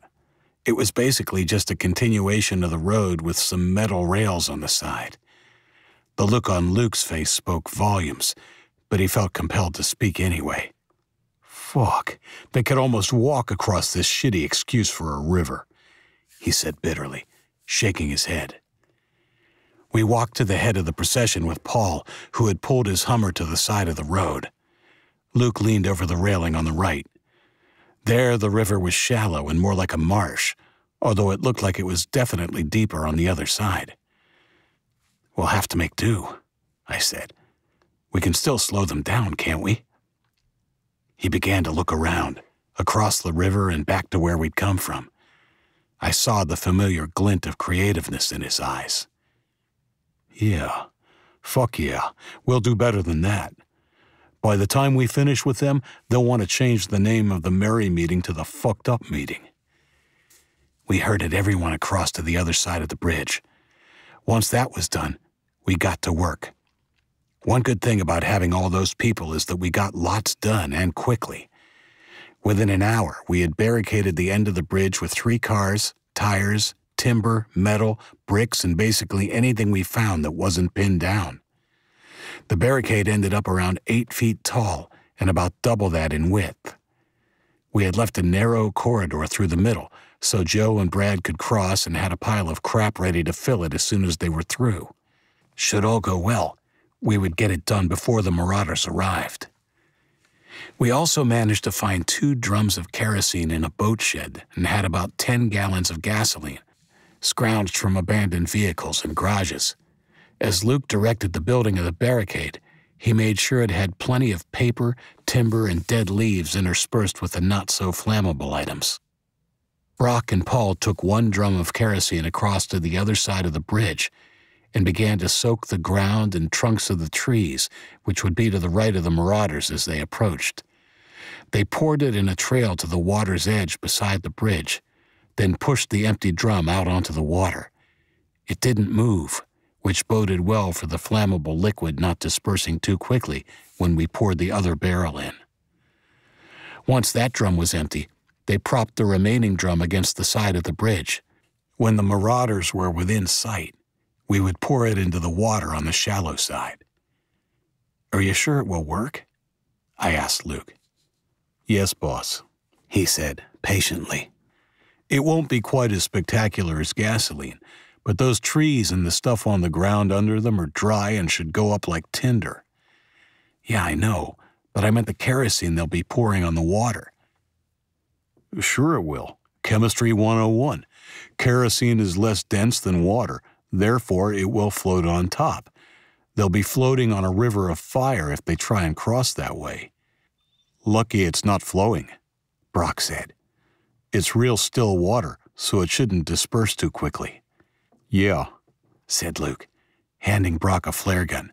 Just don't light it up until I give the signal. Now I just need one more thing.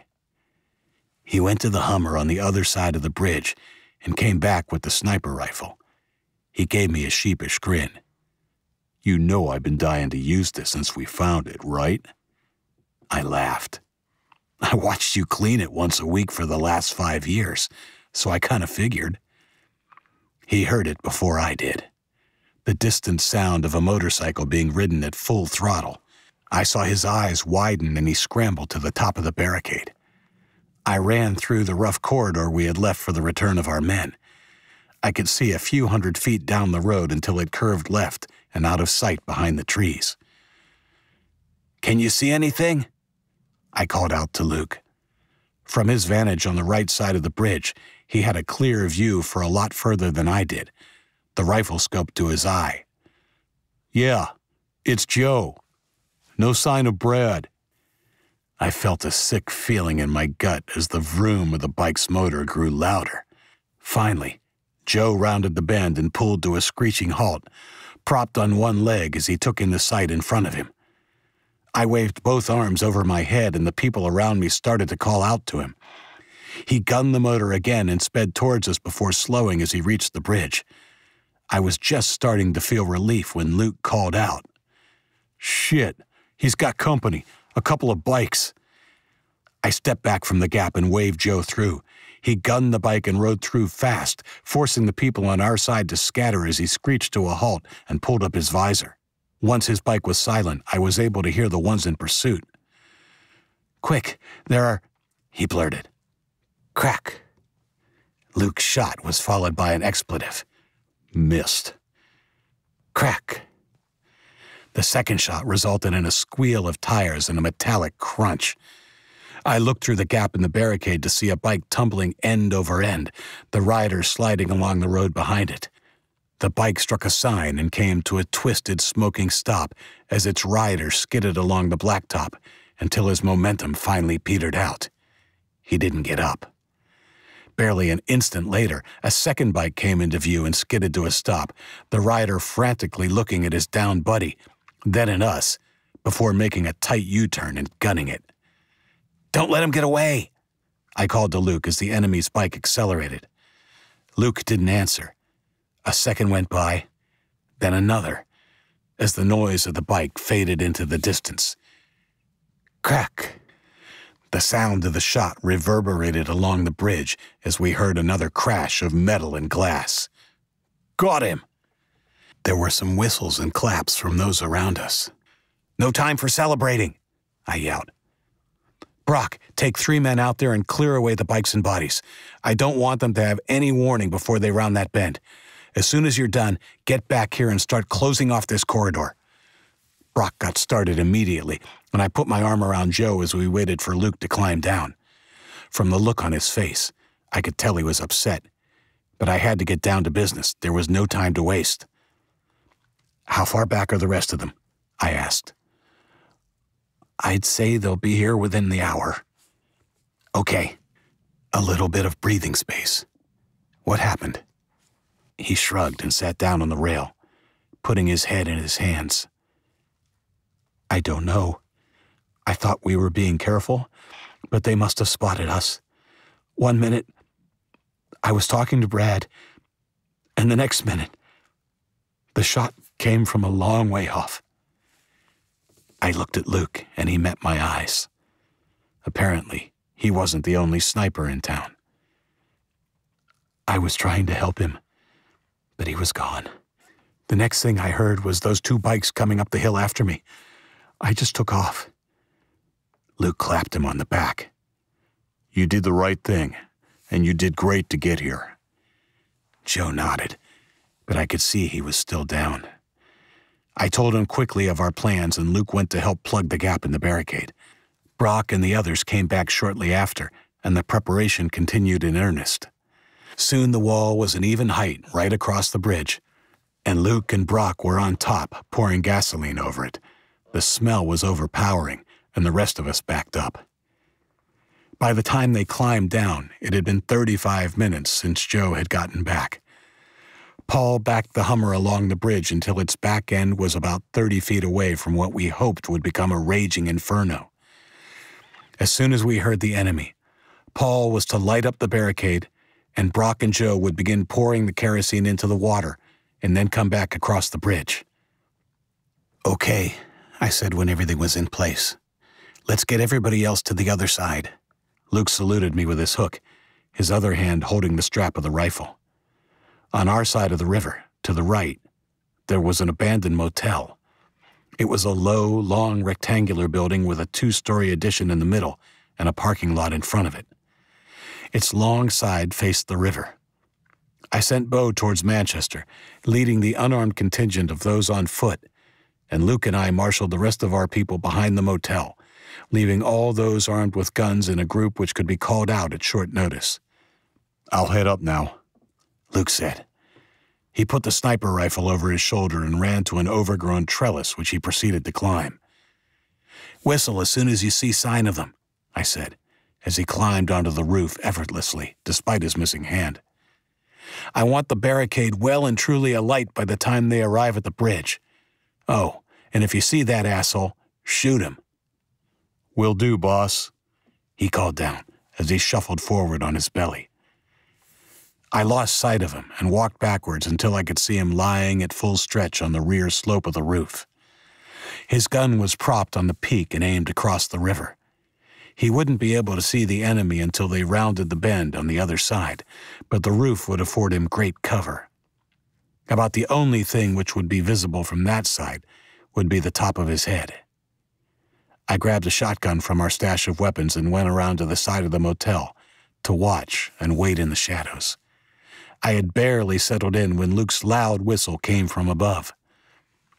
I heard a shout from the bridge, and with adrenaline pumping through my body, watched Paul run to the barricade and bend over the stack of combustibles we had placed at the base of the barricade.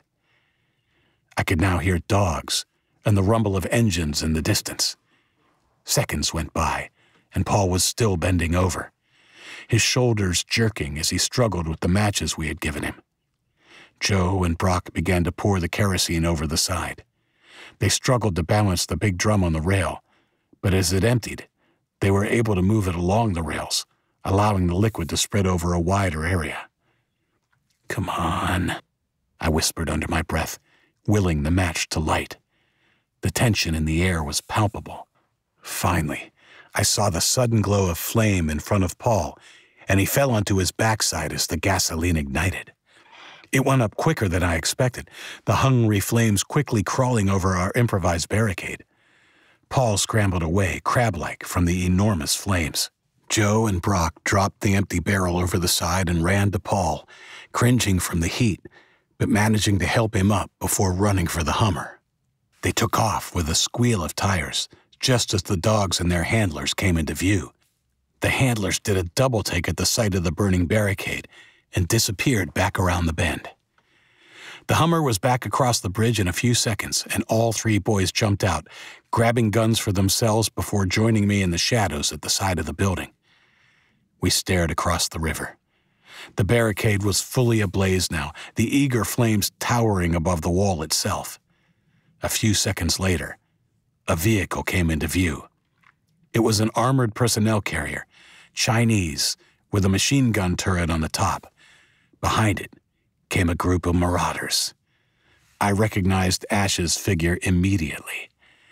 Naked from the waist up, he towered over the other two and carried himself in an arrogant and careless way, standing at full height to look our way, even as his two companions prudently took cover behind the vehicle. I also noticed that the skin of his face and upper body were a strange dark hue, but didn't have time to think about it. I began to count. I knew Luke would take his shot any second. One, two, three. Crack! I saw Ash flinch and duck down behind the vehicle, even as the man who had poked his head from the hatch in the turret was flung backwards against the rim of the hatch, the top of his head missing, before sliding lifelessly back into the hatch. I saw why Luke had taken that shot. He wanted to prevent us from coming under heavy fire from the machine gun. But even then, I wondered if he shouldn't have taken a shot at Ash while he had the chance. Luke took another shot, and I saw a web of cracks appear on the windshield of the driver's side. There was some yelling from across the river, and a group of about ten armed men rounded the trees and began firing at us. We all fell to the ground, even though Luke was their main target. I heard Luke's rifle cough several times as the windows below him shattered and chips of tiles rained onto the parking lot. I took the opportunity to look across the river as the firing continued. Luke's shooting was measured, while the enemy's was more haphazard. There were two bodies on the ground, and the gunmen now shot from the cover of the trees and the personnel carrier. I heard another shot from above us, and then Luke cursed. He was out of ammo. The barricade still burned impressively, and I decided it was time for the bulk of us to get while the going was good. Joe, Paul, I said, round up the other group and get moving. Follow 28 and go as fast as you can. Luke, Brock, and I will be along in the Hummer at some stage, but we're going to delay them as long as we can first. Are you sure? Paul asked, frowning. Yeah, we'll be fine. He didn't argue the point, even though I could see he wasn't happy. I almost second guessed myself. I had now split our people into four groups, but I let them go. I was confident they could catch the unarmed contingent Bo was leading. Joe high fived his brother Brock, and Paul warned me to be careful before they ducked low and ran to the rear of the motel. The gunfire from the other side of the river slowly died away now that Luke had left the roof. He joined us a few seconds later. You okay? I asked. Yeah, he said, nodding. Wish I'd done more damage. Wish I'd taken out the tattooed freak. Tattooed? Yeah, he's got words tattooed all over himself, even on his face. The dark color of Ash's face and torso I had noticed from a distance suddenly made sense. Oh, well, you did fine for a guy with one hand. I sent Joe and Paul on ahead with the rest of them. We have to hold this bridge as long as we can, for a few hours at least. Shouldn't be a problem. They'll probably try and wait until the barricade burns low before making a move now. Maybe not, said Brock, pointing to the far shore. I saw what he meant. Men were gathering behind the personnel carrier. Lots of them. You think they'll try and barge through with that? I asked Luke. He shrugged. Maybe. The shot I took didn't take the driver out, just fucked up his windshield. If they wait for the fire to burn a little lower, he might just be crazy enough to risk his men.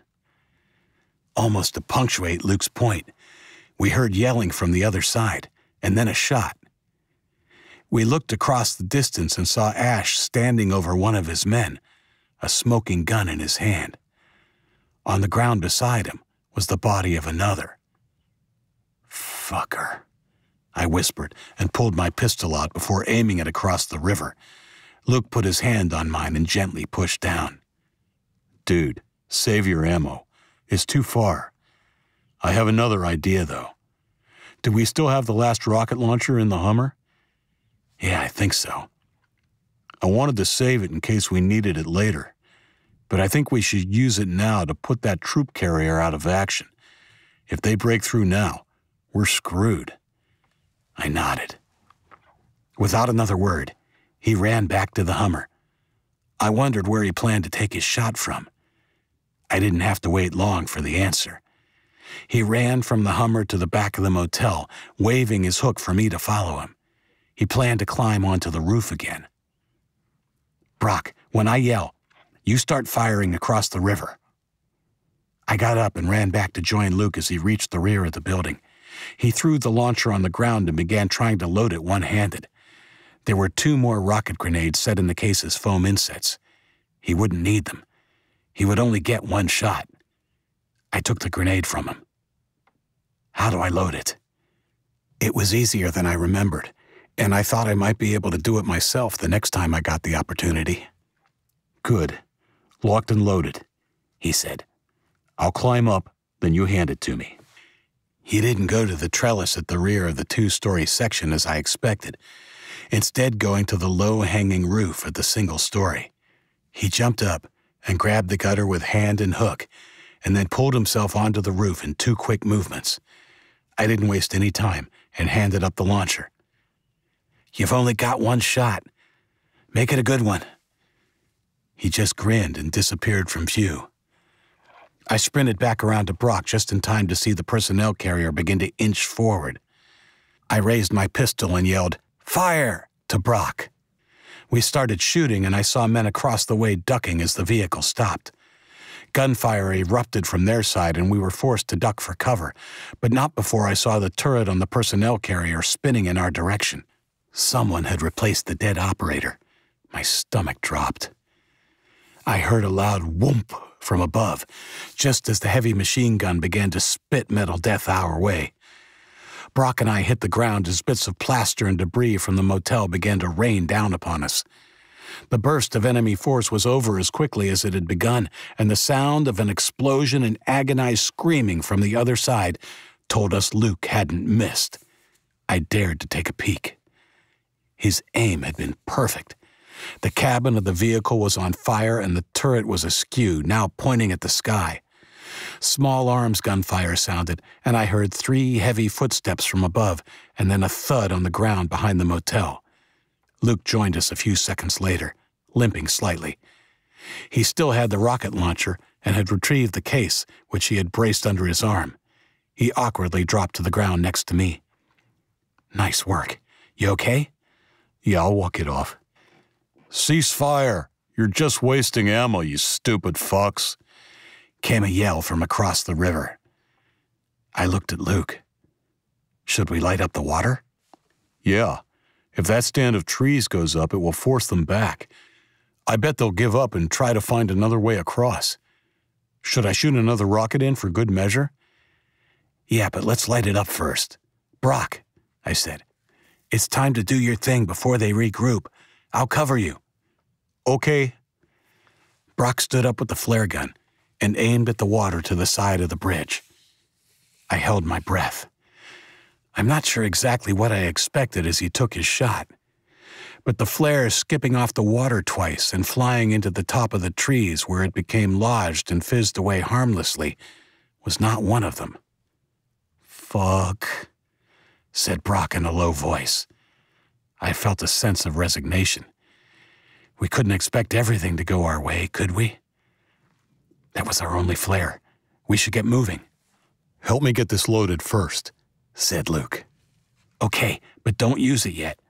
They'll be after us quicker than we anticipated now, and we might need it further down the road. I took the launcher from him and plucked the heavy rocket out of its foam cushioning in the case on the ground. No, Brock! Luke called. I jerked my head around in time to see the other boy running across the bridge in a crouch. I rammed the rocket into its housing and put it on the ground as I turned to watch Brock. We couldn't do anything but watch now. He ran straight up to the still flaming barricade and shielded his face as he reached into the heat. Just come back, dude, Luke whispered, as the younger boy pulled his hand away empty a couple of times, the heat unbearable. He persevered, though, and on his fourth attempt pulled out a foot-long lump of wood flaming at one end. Without wasting a second, he ran to the side of the bridge and tossed it over. What happened next seemed to happen in slow motion. Even as the flaming stick of wood flew end over end towards the water, Brock turned back to us with a triumphant smile on his face. And then the top of his head exploded in a spray of red, the sound of the shot echoing loudly around us. As our friend crumpled to the ground, the kerosene on the water ignited, and the flames swept towards the other bank. No! Luke yelled, beginning to scramble to his feet. I grabbed his arm, preventing him from running to help Brock, who was clearly beyond our help.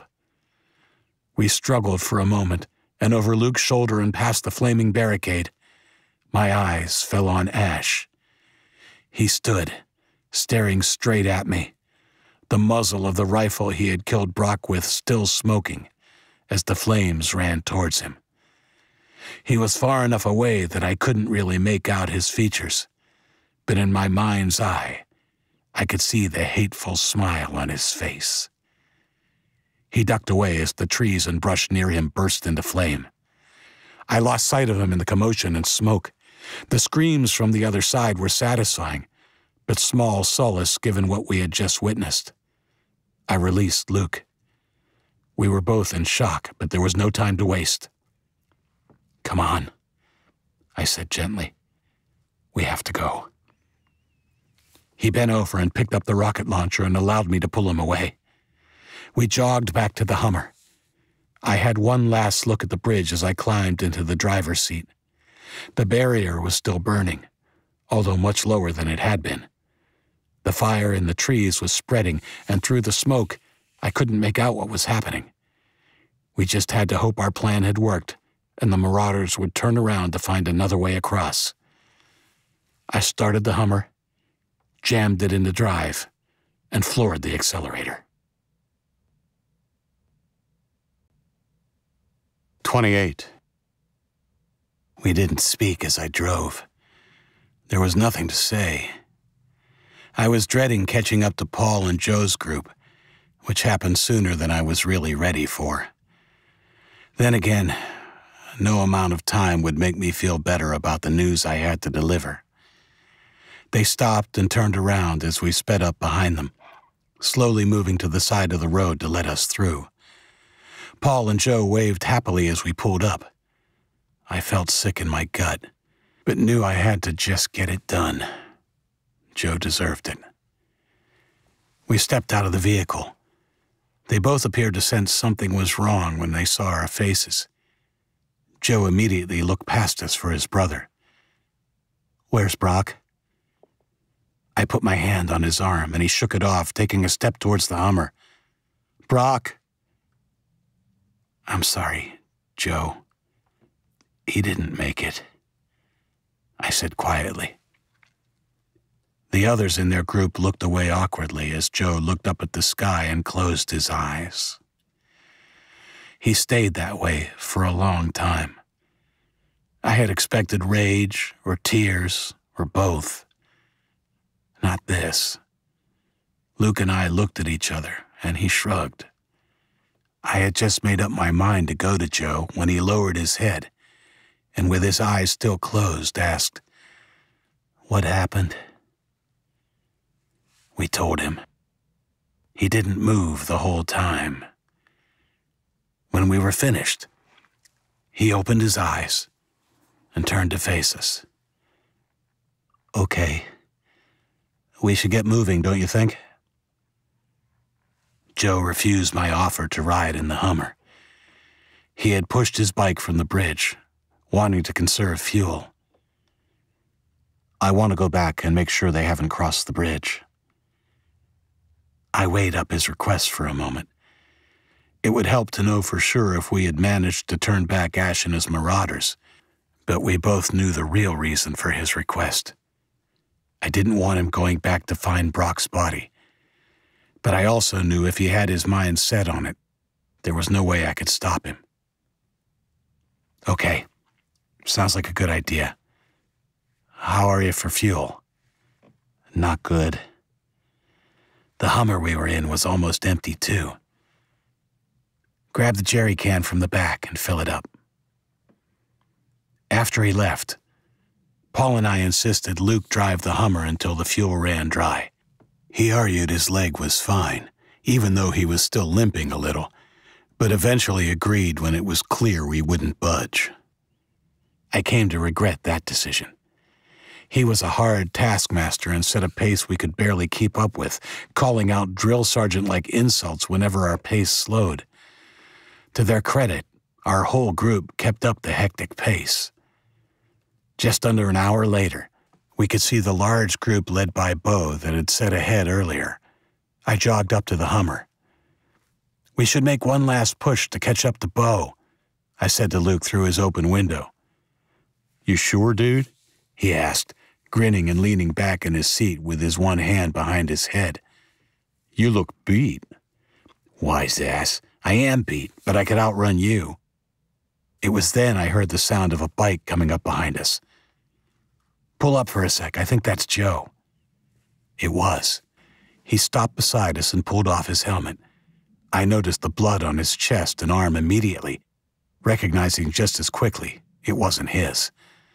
I spoke before Luke could say anything. Did they cross? No, he said in a flat voice. The fire had died down to embers by the time I got there, but they'd gone. Good said Luke. They've turned around. That should give us time to get to Manchester before them. I was happy our plan had worked, but the haunted look in Joe's eyes reminded me it had come at a cost. I came up with an idea to keep him busy. I want you to ride on ahead to Manchester and confirm the buses got there okay. Let them know we're safe, and then hightail it back to update us. He nodded and set out at once. Good move, dude. It'll take his mind off things. Yeah, I hope so. We caught up with Bo's group not long after. We updated him on what had happened, and then we all pushed on. Only a mile further on, in a spot where the trees were thick and close on both sides of the road, the Hummer ran out of fuel. Oh well, there goes my ride, said Luke. We left it by the side of the road after distributing the supplies it had been carrying amongst volunteers. Everyone was milling around, and I was just about to give the order to move out when a voice from behind called out, What's that? I looked in the same direction everyone else had turned. I didn't understand what I was seeing at first. A rounded, grayish object swung in the light breeze. I took a few steps, and then my eyes widened. A skull. It looked like it had been there a while. Even more disturbing was the fact it was a child's skull. Oh my God, there's another one, a girl said, a frightened tone to her voice. She was right. It was another one, this time on the opposite side of the road. A little bigger and a little wider, but clearly another kid's skull. Murmurs started to break out in the crowd, and I decided we had better move. Turning back was not an option. Okay, let's keep our eyes on the road and move out, I yelled. Luke, without me having to ask, walked up and down alongside the crowd as they began to push forward. In his best drill sergeant's voice, he began to get the group into something resembling a column. As we walked along, the tension seemed to become heavier.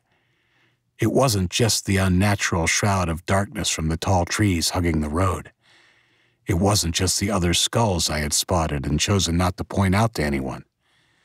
It was also the silence the silence from my people. I had become accustomed to the quiet buzz of the crowd as we had journeyed from the valley, and its absence only added to the already disturbing vibe of that stretch of road. A girl's scream shattered the unnatural silence a minute later. I jumped, the hair on the back of my neck standing up, turning this way and that. I didn't see anything out of the ordinary, and it wasn't until I followed the direction of her trembling arm, pointing into the trees, I saw what had terrified her. It was a boy, standing in the shadows of the trees, watching us. He looked about my age, tall and well built, dressed in nothing but a pair of grimy shorts, holding what looked to be a homemade spear. He was dirty, with leaves and twigs in his hair, the whites of his eyes contrasted sharply against the filth on his face. Luke was suddenly beside me. He had retrieved from the Hummer and held in his hands the axe confiscated from the killer back in the valley. There are more, lots more on both sides, he whispered. I don't think they have guns. I scanned the tree line. I began to see even more both boys and girls, some in the trees on branches, others in and around, half hidden in the shadows. The air became thick with tension, and I heard murmurs of alarm from our people as they began to realize how many there were. I turned slowly and saw just as many in the trees lining the other side of the road. The armed people in my group began to raise their weapons. There was a harsh shout from the one we had spotted first. Spears! To a man, the tree people raised their spears. Lower your guns, I yelled, putting my arms out to either side. Luke, take a couple of steps forward and lower your axe to the ground. Nice and slow.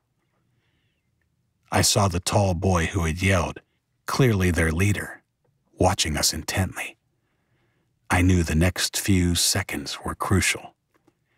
While we outgunned them, they had us surrounded.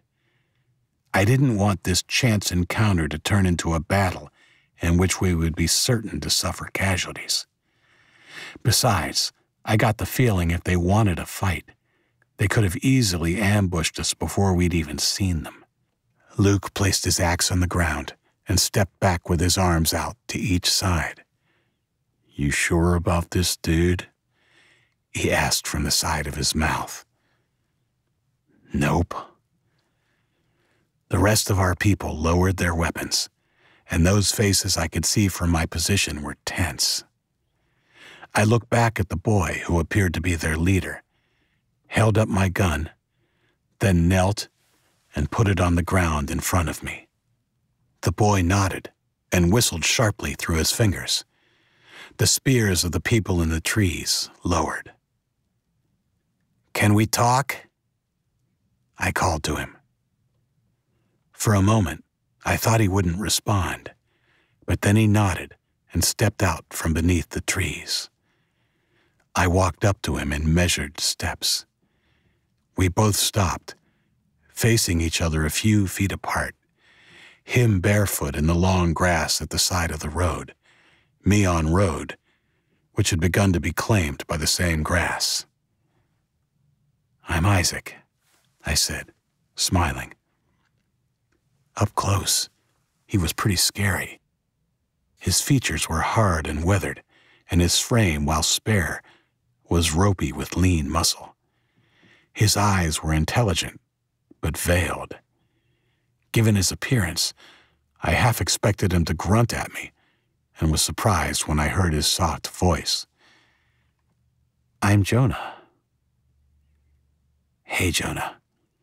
I just wanted to say, we are just passing through. We're not looking for a fight. Good. Neither are we. An awkward silence followed. I guess neither of us knew what to say. When we did speak again, it was at the same time. Where, where do? You? We both laughed. Sorry, I said. You go. I was going to ask where you're going. Manchester, I said. It's south of here. Our place got attacked. By who? A group called the Marauders. Do you know them? He shook his head. What about you? I asked. Where is your place? He swept his arm around him. You're in it. You live in the forest? He nodded. That must be tough. It's not so bad. Winters can be tough, but we have good shelters. How long have you been here? Four winters. I nodded. Clearly, they were a hardy group. I couldn't see any of us surviving a winter in the forest, but I guess one could achieve anything if push came to shove. What's with the skulls? They freaked some of my people out. That's why no one bothers us. He smiled. I was trying to figure out how to take his last statement when he clarified. Don't worry, we didn't kill them. The skulls belonged to a bunch of dead kids we found in a school bus that must have crashed during the infection. I figured they wouldn't mind helping us out. I nodded. Smart. Talk of a school bus reminded me of our destination and the people who would be waiting for us.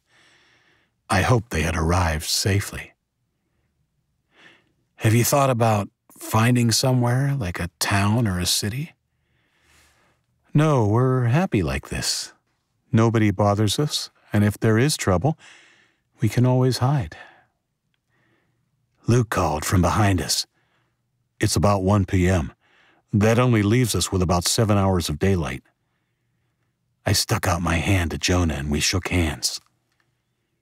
Nice meeting you. Same. Good luck getting to Manchester. I started to turn away, but the feeling I could trust this stranger was strong, and I paused. You should come to Manchester. I mean, not now, but you should talk to your people. We plan to make Manchester a home, and it would be more comfortable for you. All of you.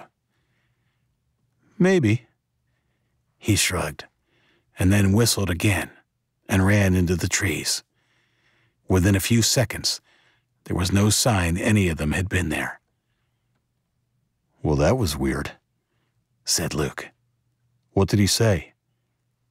Let's get moving. I'll tell you on the way. 29. The next four hours passed slowly. Tedious is the word I would use, and I welcomed the interruption when Luke tapped me on the shoulder. We need to stop and rest, dude. We still have a good 15 miles to go. These guys are out on their feet. I was loath to stop, but I knew it was necessary. Okay, we'll make it a good rest. Give them half an hour, and let them eat what's left of the supplies. I ate an apple as we passed food around and randomly wondered if I would ever taste a banana, my favorite fruit from the before days, again. When we finished distributing the supplies, I took in our surroundings. The road we were on wound its way through a green, shallow valley, and the clouds which had covered the sky for most of the day had disappeared. I was weary and decided it would be a good idea to rest up while I could. I'm going to take a nap, I told Luke, noticing the others were already doing that, laying in groups in the long, gently swaying grass lapping the road. Good idea, said Luke, as he made a beeline for a small boulder about 20 feet away.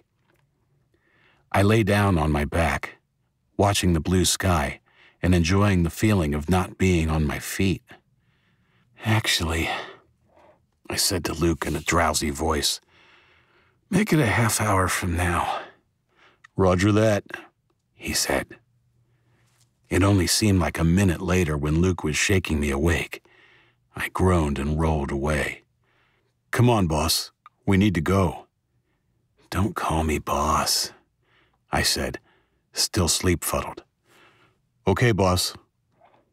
I slowly climbed to my feet as Luke roused the rest of the group. Less than five minutes later, we were on the move again. One hour later, Joe returned. I felt a rush of excitement when we heard the motorcycle in the distance and prayed for good news. When Joe skidded to a stop in front of us, we swamped him. His smile was muted, but at least it was a smile. Did they make it okay? Luke asked when Joe had dismounted and taken off his helmet. Yeah, they made it with no problems. Great, so fill us in.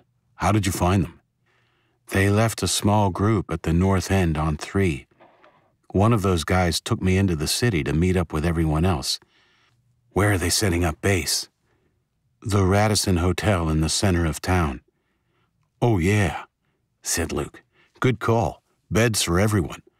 All we need to do is work on room service. Was Brooke okay? Yep, everyone was great, Joe said, once again smiling, although it didn't quite reach his eyes. I imagined it would be quite a while before he got over the pain of losing Brock. Well done, I said, and handed him a bottle of water. We only had a handful of bottles left, but he looked like he could use it. What do you want to do now? Head back or walk with us for a while? I'll walk with you if we can take turns pushing this beast, he said, pointing at his bike. Done. Within two hours, we were walking in the dark. Luckily, it was a three quarter moon and the clouds from earlier in the day hadn't made a reappearance. As long as we stuck to the road, we wouldn't have any mishaps. It seemed to take forever, and I began to contemplate whether we would have to stop for the night. I was footsore and had a kind of deep ache in my legs. I knew everyone else was feeling the physical exhaustion just as much as me. It was only a few minutes later we topped a rise and saw a sign announcing Manchester, five miles. The sign added a bit of energy to our step. We knew it would only be another two hours at the most. It wasn't quite that long. We reached the group at the north end of Manchester an hour and a half later. They had fresh water for us, along with fruit. All three were members of Luke's security force from the valley, and he had a quick chat with them before Joe led us into Manchester. We left the bike with them. They were to send a rider at any sign of trouble. Apparently, Ben had considered placing another guard on the freeway bridge to the west of the city, but in the end decided if the marauders were coming, they would also be coming in via 3. 30. Abandoned Manchester by moonlight was desolate. It wasn't a metropolis. The first buildings we passed were houses. It was more like a big town on its outskirts with the occasional high rise building. When we had discussed it as our potential new home, I had imagined a sparkling modern city. The reality was jarring. If I had been imagining a post apocalyptic American every town in the before days, this was definitely pretty close to how I would have imagined it. Mother Nature had begun to reclaim the streets. Unhealthy looking grass sprouted from the road's surface like hair from an old man's ear. The smashed windows of the buildings and houses we passed were like jagged, blind eyes, their empty gaze sinister. I don't think I was the only one who was spooked as we weaved our way through those empty streets. Of course, it could have been exhaustion but our group was the quietest I had heard it since our encounter with Jonah and his people. We turned onto Elm Street, which cut through the city, parallel to the river. There were a few houses at the beginning of Elm Street, but the further we walked, the bigger the buildings became. I pointed out an impressive office tower to Luke. It was on our right as we walked into the heart of the city and was at least 10 stories high. As best I could tell in the dark, it was newer than the other buildings we had passed. The sign said it had been known as the Brady Sullivan Tower. I made a mental note to come explore it. We walked a good 10 blocks before we reached our final destination. It's just down there, at that set of lights, said Joe, pointing a hundred yards down the road. The Radisson was set back well from the road, a plain building with a large, overgrown lawn in front of it. There was a faint glow of candlelight in the windows of the entrance. The thought of seeing Indigo and Max warmed me, but it would have to wait. I wanted everybody safely inside first. I turned around and looked back at our people. They were stretched out at least a block behind us. Joe, Paul, you go on in and help the people already in there get these guys settled. Luke, do you want to hang back with me until they're all inside? Sure thing. Luke and I patted backs and offered encouragement to the weary travelers as they passed us. Five minutes later, we followed the last stragglers up to the portico of the hotel. There was a bottleneck again to enter the lobby, and Luke and I waited as patiently as we could at the back of the line. We craned our necks trying to catch a glimpse of our girls in the lobby but it was near impossible in the candlelight until we got closer. Finally, I spotted Indigo. She was handing out blankets and pillows to the newcomers. My heart leapt in my chest when she turned my way and gave me a smile. Brooke was nowhere to be seen. Brooke must be resting, I said. Yeah, that's good. She's so close now, he said, seriously. I punched him lightly in the shoulder. Yep, won't be long now, dude, and your sleepless nights begin. I can't wait. What's it like? He asked, looking me right in the eye. It's the best thing ever, I said. You'll be a great dad, Luke. Thanks, he said, the blush of pleasure coloring his cheeks, barely discernible in the poor light. Finally, we made it inside. I waited as Indigo handed out her last welcome bundle and then embraced her in an enthusiastic hug. How is Maxie? He's good. He's in a room with Ava and Peace for tonight. They were all exhausted. She broke away from me and hugged Luke. Brooke is in room 214 if you want to join her. No elevators, of course, but it's just one flight. The stairs are over there. Here is a flashlight. Just knock. Thanks. You'd make an awesome concierge, he said, and was gone in a flash. We had a brief chat with the rest of our leadership group Paul, Ben, Jamal, Bo, Joe, and Allie before everyone headed up to bed. Jamal had already napped and would take first watch on the doors with Danny. They were both armed with guns and would fire three shots at the first sign of trouble. We were staying in room 213, opposite Luke and Brooke. We stopped in front of the door. Indigo handed me the flashlight she was carrying and reached into her pocket, pulling out a keycard, which she swiped to open the door. How? There's no power. Battery powered. But it's been years. There are a bunch of batteries in the storeroom. We changed all the batteries for the rooms we'll be using. It's where we got the flashlights from, too. Okay, great stuff, I said, taking her into my arms. You're as clever as I thought you were. Possibly cleverer, she said cheekily and pushing the door open with her foot. Max won't be back until the morning. 31. Sunlight streaming through the tinted window woke me. I rolled over to look at Indigo. She wasn't there, but a note was on her pillow. Downstairs in the dining room when you wake up. XX. Feeling warm and rested, I stared up at the ceiling for a moment, reluctant to get up. It was literally the most comfortable bed I had slept on in about six years. When I finally did sit up and put my legs over the side of the bed, I winced. Every muscle in my body ached.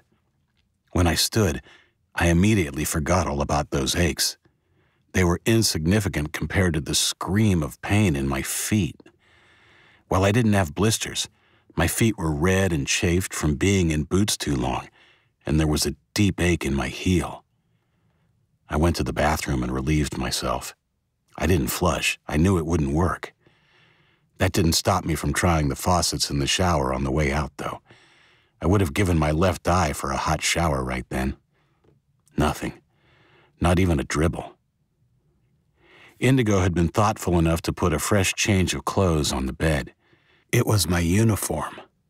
Patched faded jeans, a threadbare t-shirt, and a pair of boxers which had once been red but were now a washed-out shade of pink. I got a surprise when I picked up the t-shirt. Underneath was a pair of socks. Brand new athletic socks. I squeezed them in my hand, admiring the soft texture, and couldn't resist putting them to my cheek. Not a very manly thing to do, I know, but if only you knew what a luxury they were after so long without. Another note fell out of the socks as I separated them. I found these in a drawer.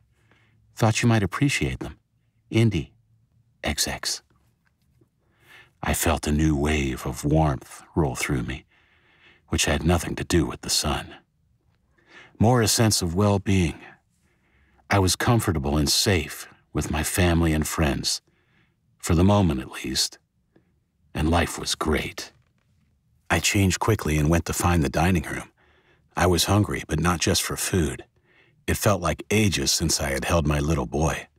The dining room was a hive of activity. It was packed with our people, but I could tell probably only three quarters of us were there. All of our original group, except for Ava, who was looking after Peace and Max at a table nearby, were at the counters serving plates of hot, simple fare to the ones who lined up for food. Indigo caught my eye and smiled after she blew a strand of hair from her face. Before falling asleep the night before, Indigo had related to me how hard they'd worked at scavenging enough food to keep the whole population going for a few days. More groups would be going out this morning and searching the surrounding buildings. After the previous afternoons, it appeared the city would be a gold mine for provisions. No other people had been spotted. The city appeared to be deserted and may have been that way since the invasion. I made a beeline for Max. He was standing against a chair, his wobbly legs getting used to holding him up. I scooped him up, much to his delight, and planted a kiss on his cheek. Maxie, you're getting so heavy. Dada. Mom says he wants to learn to walk, Uncle Isaac. He sure does, Peace. You giving him lots of practice? I sat with them for about 10 minutes until the lineup for food was only a few people deep, then took Max to get some breakfast. While we ate with our group, we decided a few of us would head to the Brady Sullivan Tower. I thought it would be an ideal place to use as a lookout, or perhaps a first line of defense if we could get some sort of weaponry up to the top. We could even live there, couldn't we? asked Allie. Possibly, I said. But here we have everything we need bedding, cooking facilities. If we could get something happening here with power and plumbing, it would be perfect. Bo, Jamal, and I are working on that, said Ben. Stay tuned. Awesome, said Luke, sniffing his armpit. I think we could all do with a shower. Brooke nodded emphatically, and we all laughed. Luke turned serious. I agree, we could definitely look at using the tower as a fortress of some kind. But it would have to be in the future. There's no way we'd be able to get set up before the marauders get here. I say we put up a barricade across Elm Street this morning and have it manned and armed before we go and scope out the tower. Sounds good, I said. And I want at least 10 people at each of the roads in. At the first sign they've tracked us down, I want them back here ASAP. Many hands make light work, and within two hours we had constructed a barricade of old cars and junk which spanned the entire road. As an afterthought, we decided to do the same on the side streets which would give the marauders access if they decided to try and sneak around. To do that work, we broke the 150 or so who had helped with the Elm Street barricade into three groups, headed by Danny, Paul, and Jamal. Luke, Indigo, Ben, and I left to look at the tower once those barricades were well underway. 32. The day was sunny, and walking through the city with my friends was a lot more pleasant than it had been the night before, when everything had still seemed so uncertain. Not that I didn't feel uncertainty that day. As much as I tried to persuade myself the marauders wouldn't track us to Manchester, the seed of doubt in my mind continued to sprout tendrils of worry. I wasn't the only one pessimistic about our chances of avoiding a confrontation with Ash and his people. Luke sidled closer to me as Ben and Indigo chatted happily. Dude, I think we need to be ready for the marauders. Hopefully they gave up once we gave them the bloody nose back at the bridge. But Ash seems like a particularly persistent kind of asshole to me. With a bit of luck, He'll think we've gone to Concord. At least that would give us more time. I think you're right. About him coming here, I mean. I have a bad feeling. Let's get this done as quickly as we can and get back to the Radisson. The Brady Sullivan complex was even more impressive in the daylight. It was set on a large open parcel of land and dominated its surroundings. It was made up of a squat section in front itself about six stories high, with a 14 story tower behind. We entered through the front doors, which were broken in, probably by looters at the beginning of the invasion, and looked around cautiously.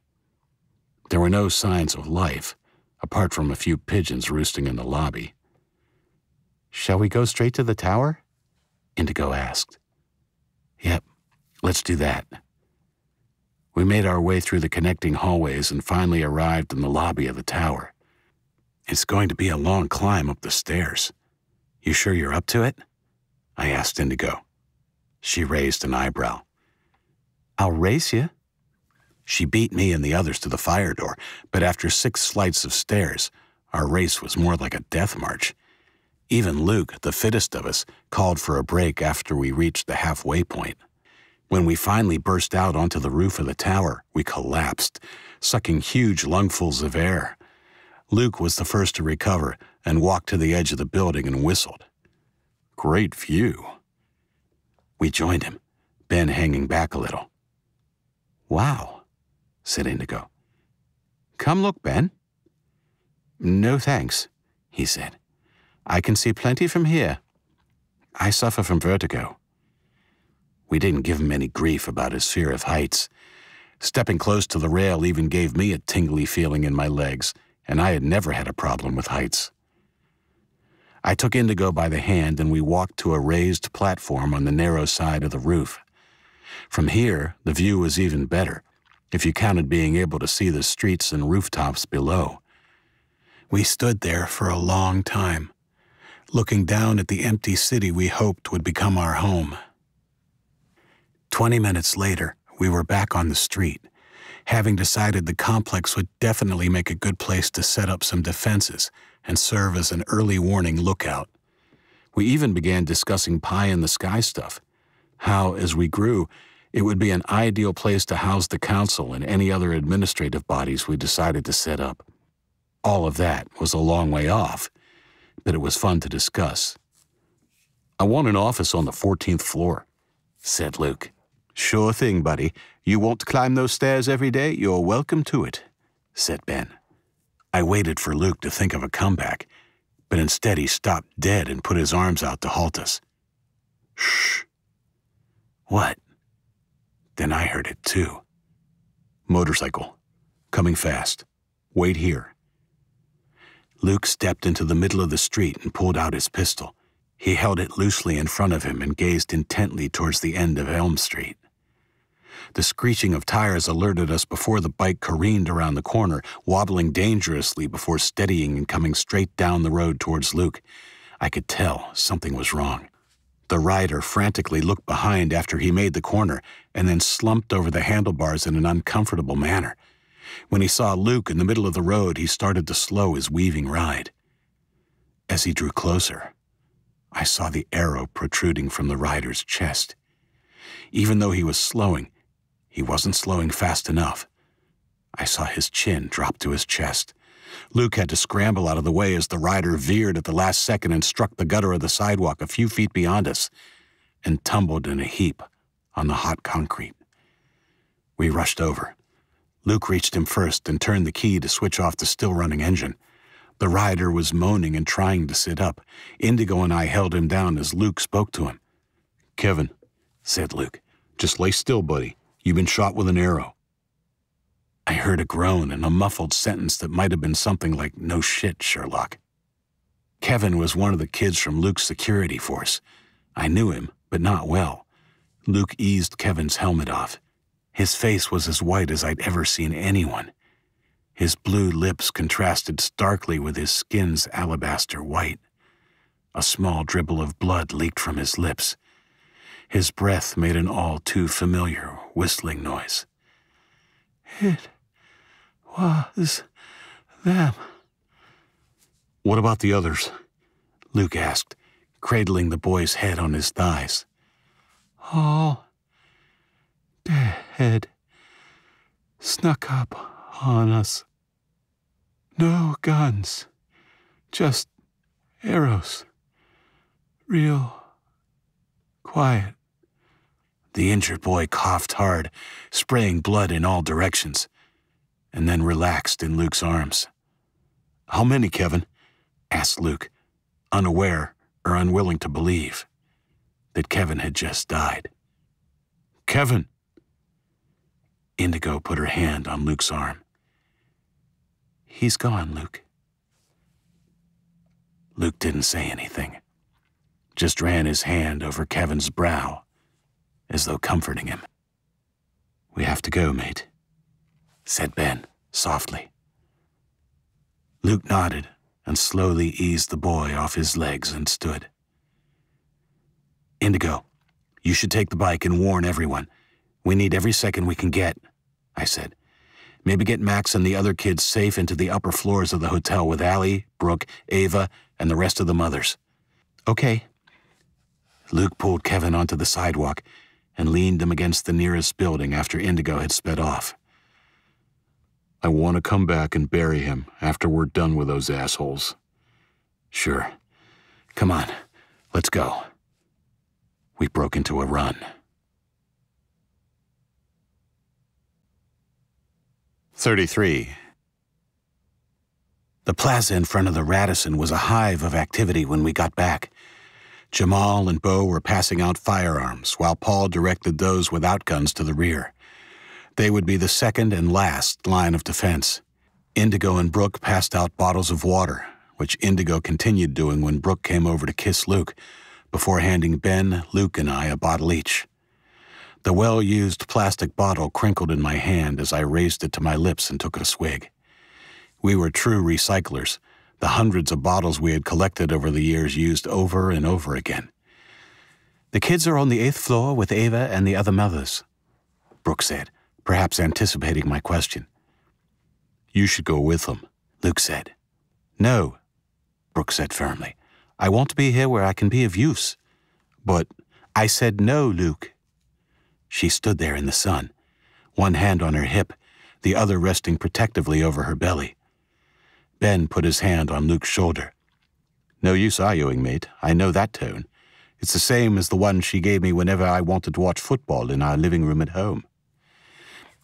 Fine, said Luke. Just stay at the back and make sure you have a gun. I don't need a gun, she said, smiling and pinching his cheek. I've got my big, hairy road warrior to protect me. Luke didn't smile, and Brooke grabbed his arm. Don't worry. I'll stay back and out of harm's way.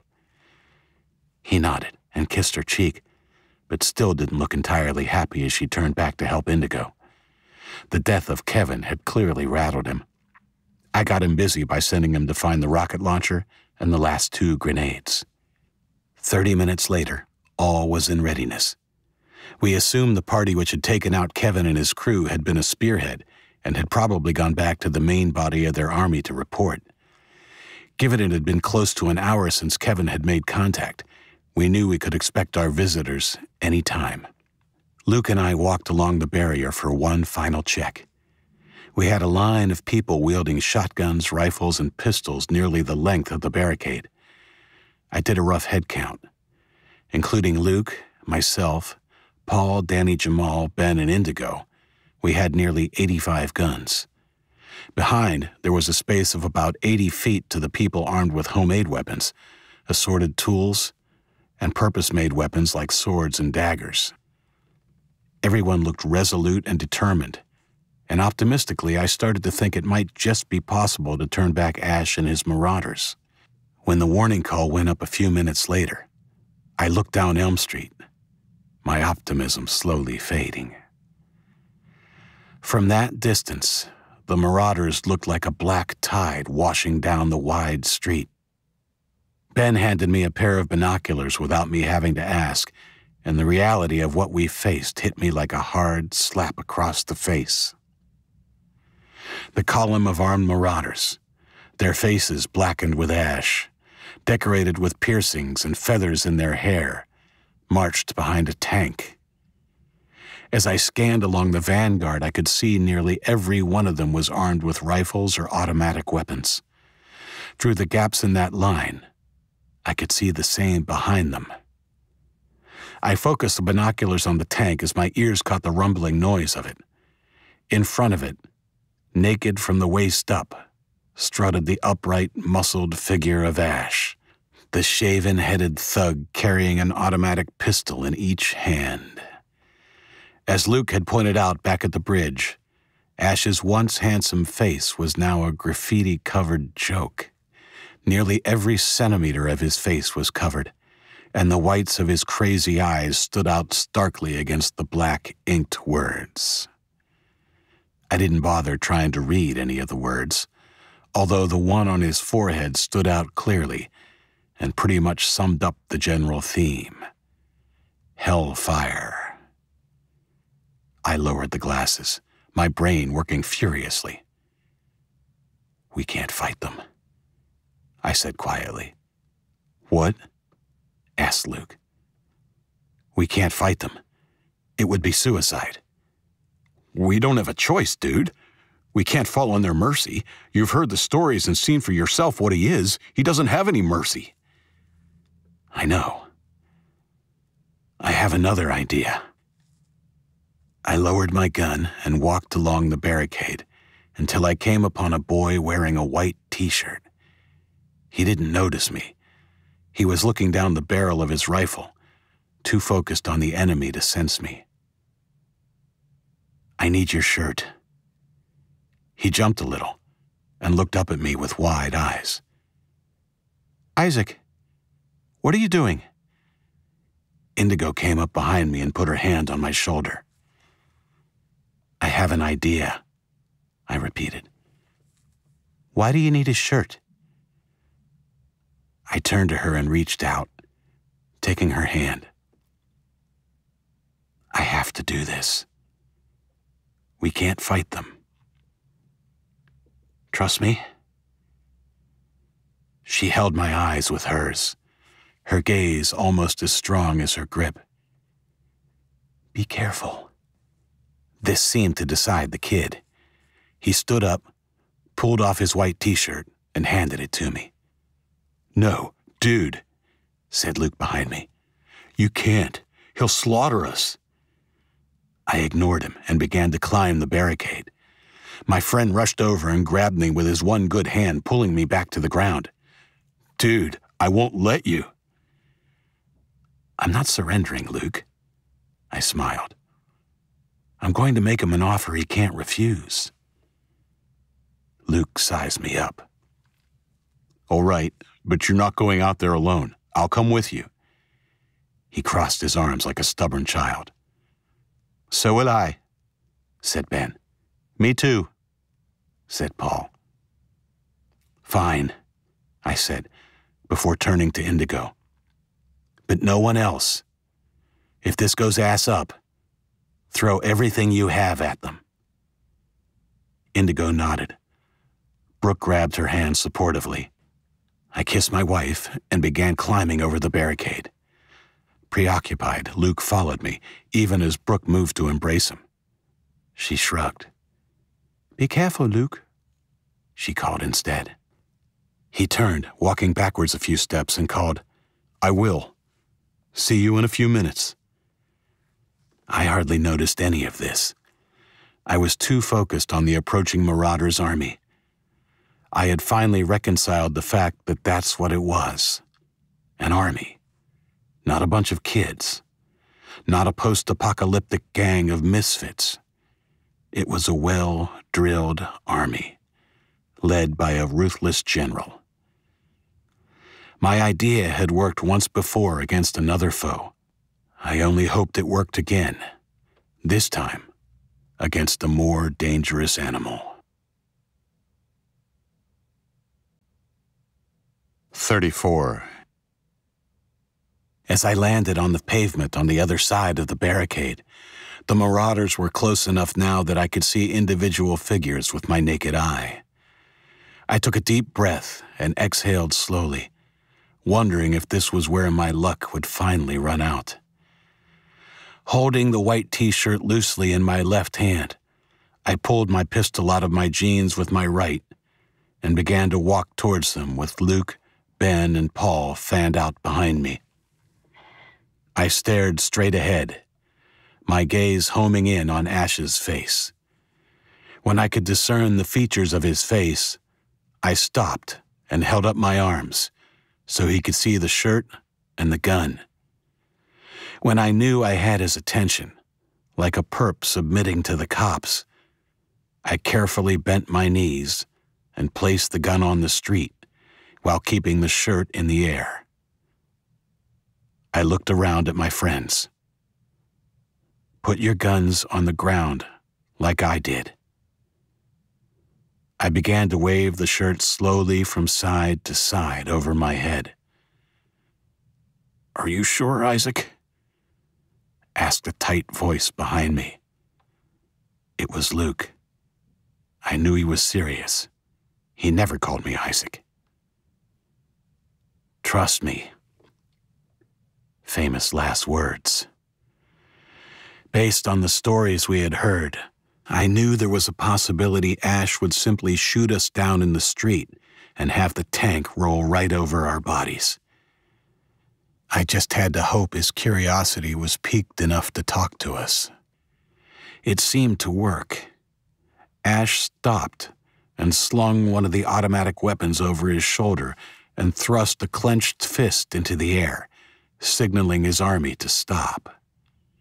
While they didn't exactly stop with military precision, the speed at which the foot soldiers followed his order was impressive. The response time of the tank, not so much. For a brief, optimistic second, I thought it might actually run right over Ash. It didn't.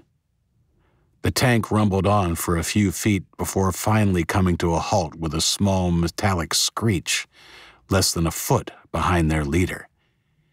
He didn't flinch, just stood there with his fist held in the air like an exclamation mark. Finally, he lowered his arm. I felt a bead of sweat run down my neck as I waited to see what he would do. A smile is not what I expected. It was a big, shark like grin, and even though I wasn't close enough to see, I knew it didn't reach his crazy blue eyes. Anders, he called, without taking his eyes from us. One of his soldiers broke from the ranks and ran forward. Still smiling, he turned. We couldn't hear what was said, but after a few seconds, Ash handed Anders his two weapons before turning back to us. His smile had faded to a grim line. Ash stretched his arms out to either side, his hands open. I nodded and lowered the shirt my white flag. We began to walk towards each other. Luke and the others began to follow. I stopped, intending to send them back. Let them come, Isaac Race, called Ash. I shrugged. If you say so. He smiled again and sauntered towards us. I saw him sizing us up one by one his gaze resting on Luke longer than anyone else. We stopped about ten feet from one another. Ash was an even more intimidating sight close up. He had grown in the intervening years, and like Luke, had filled out with solid muscle. His sheer size wasn't the only thing intimidating. Now that I could see his eyes, I almost wished I couldn't. His pale blue eyes told me more than his previous actions had. He was insane. That made him more dangerous than anyone I had ever had to face, even the natural born killer in the Drake Mountain facility, Mr. Rag. What can I do for you, Mr. Race? He asked, loud enough for his words to carry to both of our forces. I have a proposition for you. A proposition? He asked incredulously, still smiling. Yes. He laughed loudly. All right. What's your proposition? I didn't let his sarcasm or laughter get to me. I held his crazy stare. I don't want to lose any more of my people, and I'm sure you don't want to either. I propose you and I fight. Just us. If I win, your people leave. If you win, my people give you whatever food and weapons we have, and we leave. No one else gets hurt. His smile mocked me. Well, that's interesting. But you see, I want to hurt your people. I have a counter proposition. How about I kill you with my bare hands right here, and then hurt every last one of your people? Of course, I will save Indigo and Little Max for last. Coming from his mouth, their names were like obscenities, and I felt a stab of anger in my chest. Before I could respond, Luke took a step forward only to be restrained by Ben and Paul. You fucking piece of shit, Luke spat, dragging the other two over the tarmac. Let me go. I'll fucking end this now. Ash smiled. Luke's rage somehow allowed me to bring my own under control. I wouldn't be drawn into any rash moves. Luke, I yelled, turning partly to him. Let me handle this. Luke continued to struggle, shaking off Paul and confronting me with Ben still hanging onto him. I put my hand on his heaving chest. Please, I said. He looked at me, uncertain for a few moments, and then relaxed and stood up straight. He allowed Ben to pull him a few feet away. When I was sure Luke was under control, I turned back to Ash. So, you're scared to fight me? Ash burst out laughing, holding his belly as he shook. I didn't think he found it quite as funny as he was implying. Do you really think you can goad me like I'm a bully in the playground? No. My offer stands. I will kill you now. Then your big angry friend there. He nodded at Luke before sweeping his arm theatrically around. And then everyone you love, in that order. You know, I said, my voice dismissive. I knew when I found you in that closet you were just a scared little boy. Then I figured out why you hated the general so much. Danny told me how you would be called to his room in the middle of the night. You were his little bitch, weren't you? The speed at which Ash rushed forward surprised me, and his big hand around my throat choked the rest of the words from my mouth as he picked me up and drove me down onto the hard surface of the road. Luckily, my shoulder took the bulk of the heavy impact. It hurt a lot, but faded to mere background noise as his grip on my throat tightened.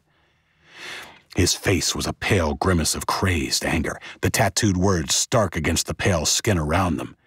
Kill on his cheekbone seemed to jump out at me as my vision swam. I reached up and tried desperately to peel his fingers from my throat, but failed. Tiny black motes began to swarm across my vision. I could hear shouting, but it was dull and seemed to come from a long way away. It was then that Luke, Paul, and Ben rushed into my field of fading vision. I was buffeted as they grabbed hold of Ash and began to rain blows upon him. It was to no avail. His grip was unrelenting, and it wasn't until Luke clamped his good hand over Ash's forehead and jerked his head back that I felt some relief. Slowly, the grip on my throat eased, and I drew deep breaths as my vision began to clear. The air that filled my lungs was the sweetest I had ever breathed. Ash didn't release his grip entirely, even if it appeared his immediate situation was hopeless. Luke's hook was pressed firmly against his vulnerable throat, and it was pretty clear that one movement from him would open him like a can of tomatoes. As insurance, Ben, his back to me and facing the Marauders' army, had his pistol pointed at their leader's head in a clear warning. Let go, or I'll rip your throat out, Luke said through gritted teeth. Ash didn't let go. Not right away. He appeared to be weighing his chances if he were to pursue his chosen course of action. Suddenly, his eyes weren't so crazy, just calculating. It wasn't until Luke pressed his hook even harder, the sharp point drawing blood, that Ash released me completely and put his hands up in surrender. Call your men off, Luke said, still pressing home his hook. I willed him not to do it. I had the feeling if we killed Ash right then and there, the rest would still attack. We needed to avoid an all out battle. Get back, everybody, he called to his men, and then looked down at me. I've changed my mind. I really would like to kill you nice and slowly. I accept your challenge. He jumped to his feet and brushed himself off when Luke let him go and stepped away. Paul reached out a hand and helped pull me to my feet. Ash regarded me with a small, dangerous smile. There were a bunch of his people just behind him, still with hands on their guns and looking tense. So, how do you want to do this? He asked me. My shoulder throbbed, and my throat was a shriek of bruised pain. The last thing I felt like doing was fighting. Unfortunately, I had no choice. You and me, here, in five minutes. I rasped. If I win, your people turn around and leave. And if. If I win, I kill every last one of your people, starting with him, he said, pointing at Luke, and finishing with your wife, after I kill your son in front of her eyes and fuck her, that is. What he said revolted me, enraged me, and even though I knew he meant it, right at that moment his statement was designed to provoke a reaction and keep me off balance. I forced myself not to react. I'll just have to make sure you don't win then, I said calmly. His mouth straightened into a hard line. Five minutes, he said menacingly. I suggest you say your goodbyes. He turned on his heel and went back to his men. I felt a little sick. Doubt and apprehension gnawed at my guts. The stakes were high, and the chips on the table were my wife and son and everyone else I cared for. It had been over five years since my battle to the death with Rag, and I had been lucky to escape that with the help of my friends. Back then, I was battle hardened by the ordeals of the six months leading up to my fight with Rag. Now I was soft.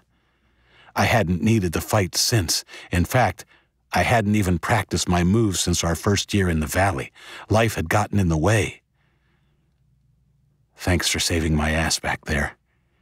I said to Luke, Paul, and Ben as we picked up our weapons. They just nodded. Luke looked lost, deep in thought. A concerned Indigo and Brooke were waiting for us when we got back over the barricade. Indigo fell into my arms. Are you okay? What did you say to him? Are they going? Not exactly. What then? What made him attack you? I challenged him to a fight to the death. If I win, the rest of them will leave. No, you can't, Isaac, she said, tears welling in her eyes. He's a psycho. What choice do I have? I asked my own voice cracking, and not only from the bruising of my throat. I took her hand. If I don't try, we'll all be slaughtered anyway. Let me fight him, said Luke. Brooke, leaning against him, looked up sharply. No, said Brooke and I at the same time. Why not? I'm as big as him, and I'm fit and ready. No offense, dude, but you're not as fighting fit as you used to be. His words stung a little and awakened a little defiance in me. I was well aware of my own shortcomings, but didn't like hearing them from someone else. I'll be fine, I said. I just need you to lead the attack on them if this doesn't go as planned. Brooke's hand on his lowered arm seemed to decide the matter. He looked down at her and nodded. Fine. But don't take any chances. Kill the fucker as soon as you get the chance. I plan to. I need to go. I'm coming this time, said Indigo. Try as I might, I couldn't dissuade her. In the end, Brooke, Ben, Paul, and Luke followed me over the barricade and out into the middle of the road. When he spotted us, Ash sauntered forward with a smile on his face and similar number of men. I pulled off my t shirt as he got close and threw it to Indigo. While I wasn't fat, no one was fat in the after days. I wasn't exactly well muscled. And truth be told, I felt a little inadequate as I faced him. When he stopped, he looked me up and down, then laughed, before looking over at Indigo. Really? You're into him? I think you need some of this, he said and grabbed his crotch through his jeans. Fuck you, psycho. He's ten times the man you are. Ash made an amused face and nodded.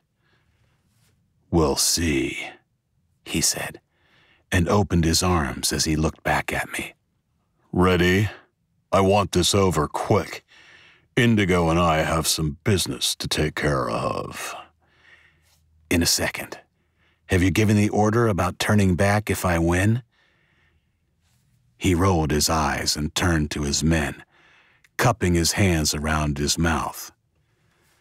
If I happen to trip, bump my head, and kill myself when I'm fighting this guy, he called, I want you all to turn around and head back home. Do not attack. Is that clear? There was a chorus of yes, sirs, and he turned back to me. Satisfied? He asked, running his eyes over Indigo before settling on Brooke and licking his top lip suggestively. You don't need to bother giving your people any orders. I'll take care of things myself after you're dead on the road. I glanced at Luke.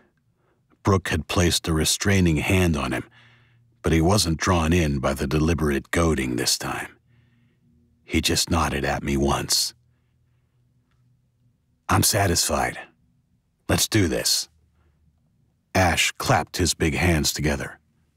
All right. Some action at last. As the people around us stepped back a few paces, Ash and I limbered up. My stomach was churning now, and I struggled to bring my nerves under control. I remembered the calming exercises of my martial arts training and closed my eyes. I pictured little Maxie's smiling face as I inhaled and exhaled deeply. It worked to calm me. When I opened my eyes and raised my fists, Ash was standing with his arms crossed and tapping his foot on the road surface. Finally. His arms were by his side, and he didn't raise them as he clenched his fists and stalked towards me. I capitalized on his mistake. I didn't retreat. Instead, I took two quick steps forward and jabbed him in the face twice before swinging a right cross at him. Even though he had lost valuable time having his arms lowered, he was able to raise his left arm in time to block my punch before reaching out to grab me. I was already gone, though, retreating a safe distance as he regained his balance and wiped blood from under his nose. I began to hope. He didn't appear to have any basic martial arts knowledge. Hopefully, it would make up for my lack of fight fitness. Not bad, he said, trying to appear nonchalant and failing. He was a little shaken. I didn't say anything, just circled him warily, a little more confident than I had been before my first flurry of blows. When he approached again, this time more slowly, he had his fists up. I let him come to me as I bounced on the balls of my feet. It was my turn to be surprised. When he was within a yard of me, Ash suddenly lowered his shoulders and charged. I managed to get one punch in before his heavy tackle carried me backwards into the hard surface of the road. The shoulder he had driven into my chest winded me badly, and as we crashed onto the road, his heavy weight on top of me, I fought to get air into my lungs. I felt him struggling to get his hands free, and knew if they found my throat again, I was done for. I clamped his right arm under my left and began raining blows upon his head with my free hand. They were hard blows, with two purposes. One, to inflict as much damage as I could, and two, to keep his left hand away from my throat by making him use it to defend against my attack.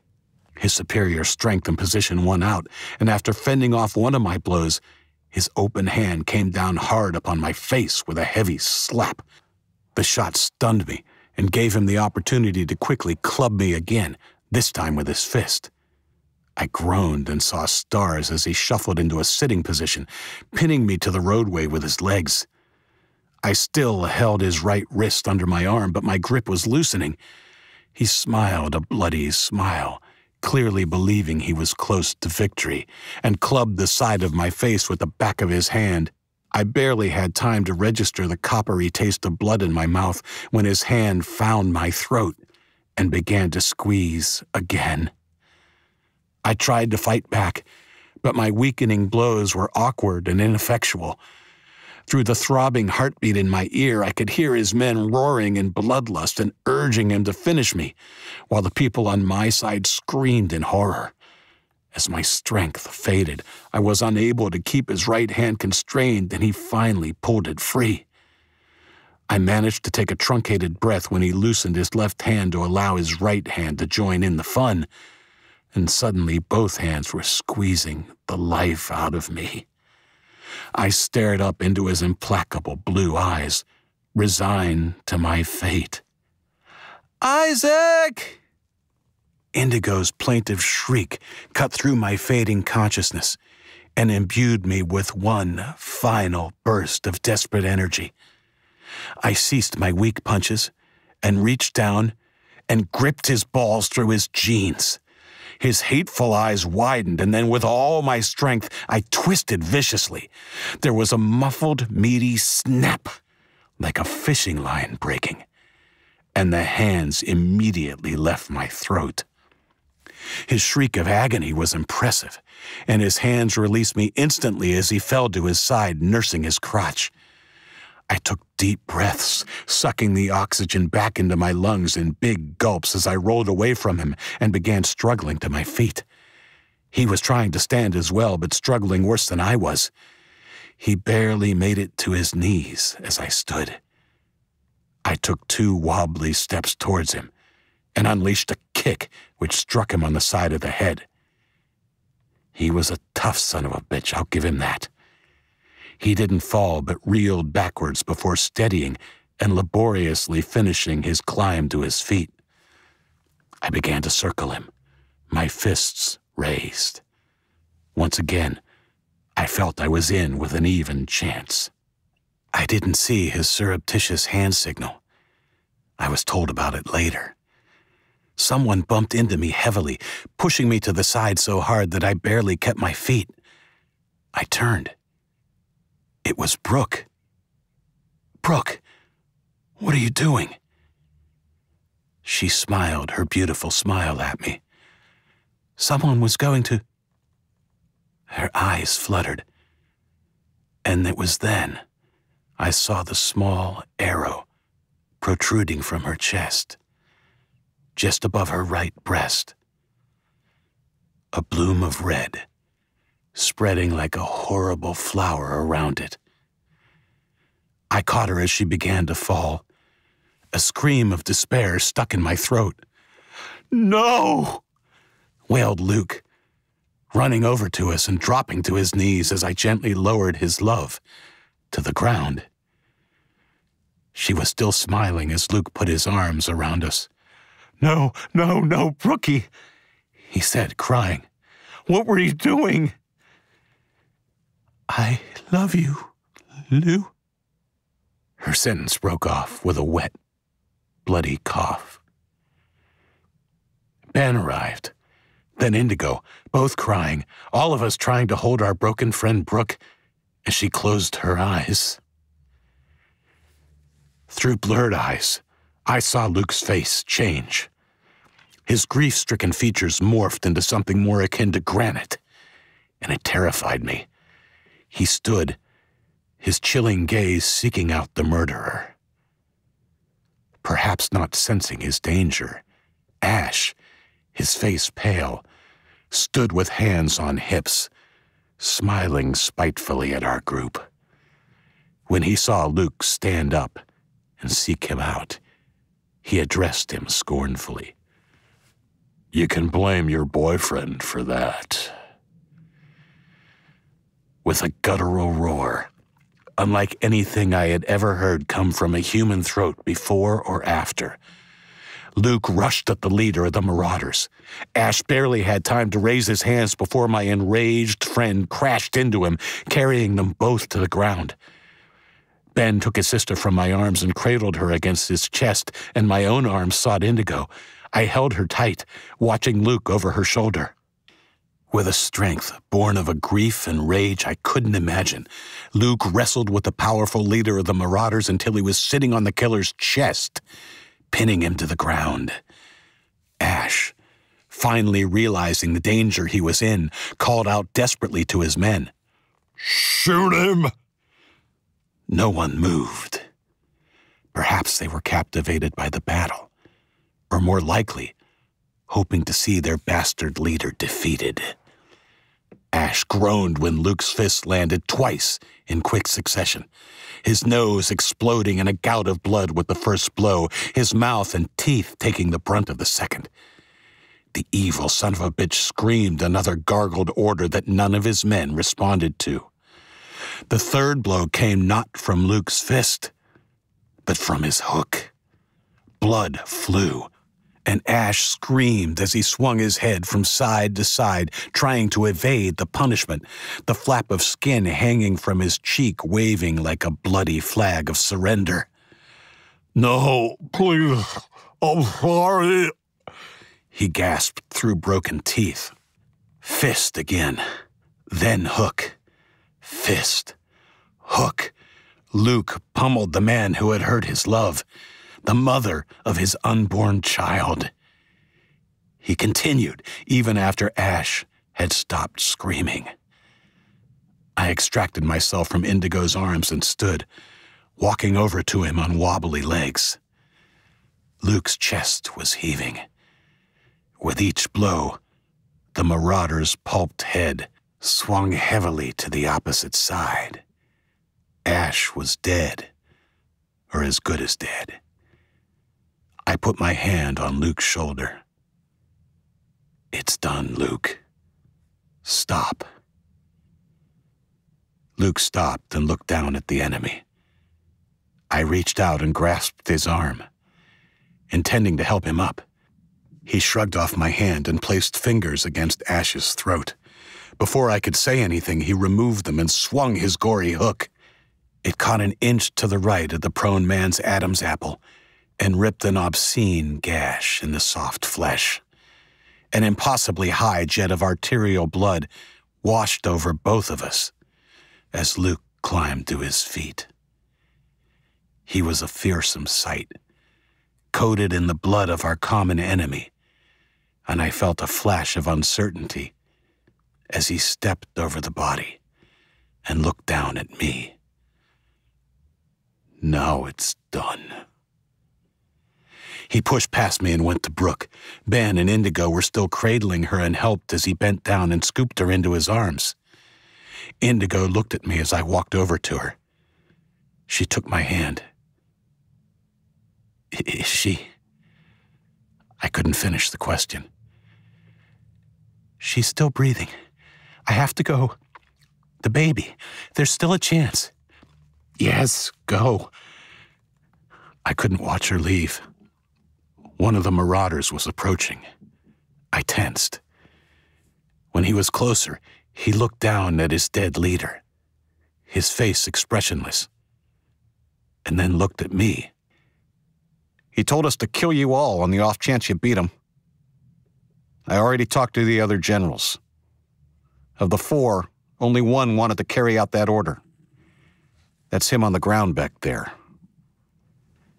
I followed the direction of his gesture and saw the body of a big guy on his back with a knife in his chest. I nodded and turned, suddenly bone weary. Wait, called the Marauder's erstwhile general, and ran around to face me. Some of us are interested in joining forces. That is, if you'll have us. The others will go back. No, I said, and walked past him. The Marauders had been conditioned to kill. I didn't see how they could be assimilated with us without endangering our own people. Please. I stopped and sized him up. He was a fresh faced boy of about 18. I thought I could see the kid he had perhaps been still in him. What's your name? Jared. You know what? I believe in second chances. But there's been a lot of damage done here today. Go home. Take all of your army with you. If you still feel the same way in three months, just before it begins to get really cold, come back and see me. Just you. Bring a list of names, and I will talk to you about every person on that list. Be careful about who you put on it. If we let them in and they don't assimilate, I will hold you personally responsible. Yes, sir. Three months. Thank you. I didn't wait to watch them go. I went after my people. 35. The next few hours were harrowing. Luke was a mess, raging, kicking walls, and breaking furniture one minute, then going back to the room and holding Brooke's hand as he sobbed uncontrollably the next. Jamal was our resident medico, but he'd only had first aid training as a kid in high school. Brooke's wound was far beyond his capabilities, and even when Indigo asked, he refused to try and remove the arrow in case it killed her. The best he could do was monitor her. We had some rudimentary medical instruments and a few books, so he was at least able to monitor the baby's heartbeat and know it was fast, much faster than it should be. As the minutes and then hours ticked by, the sense of hopelessness became greater. Luke never demanded they do more. On one level, he was encouraging and comforting Brooke, whispering that he loved her and that she would be okay. But on another level, his lack of interaction with Indigo and Jamal seemed to indicate that perhaps he knew that the situation was hopeless. Brooke died three hours after we took her into the hotel, having never regained consciousness. Luke, Ben, and Indigo were with her when she passed. And later, Indigo told me her breathing had become very ragged and finally just stopped. Pale but calm, Luke was holding her hand and seemed not to notice. When Indigo broke the news to him, he simply nodded and kissed Brooke's forehead before getting up and heading to the door. Jamal, I, and the others were talking quietly and waiting outside when it opened. Jamal had come out for a break and to give us an update. Luke's face was like stone. He didn't look at us or even back at Indigo when she called after him. Luke, we need to try and save. He was through the door at the end of the hall before she could finish her sentence. She looked at me helplessly and then became all business. Jamal, quick. We have to do a cesarean. Allie, you come help too. Jamal and Allie bustled through and I was about to follow Luke when a drawn looking Ben emerged, pulling the door closed. Tears were running down his cheeks, and I felt myself choke up.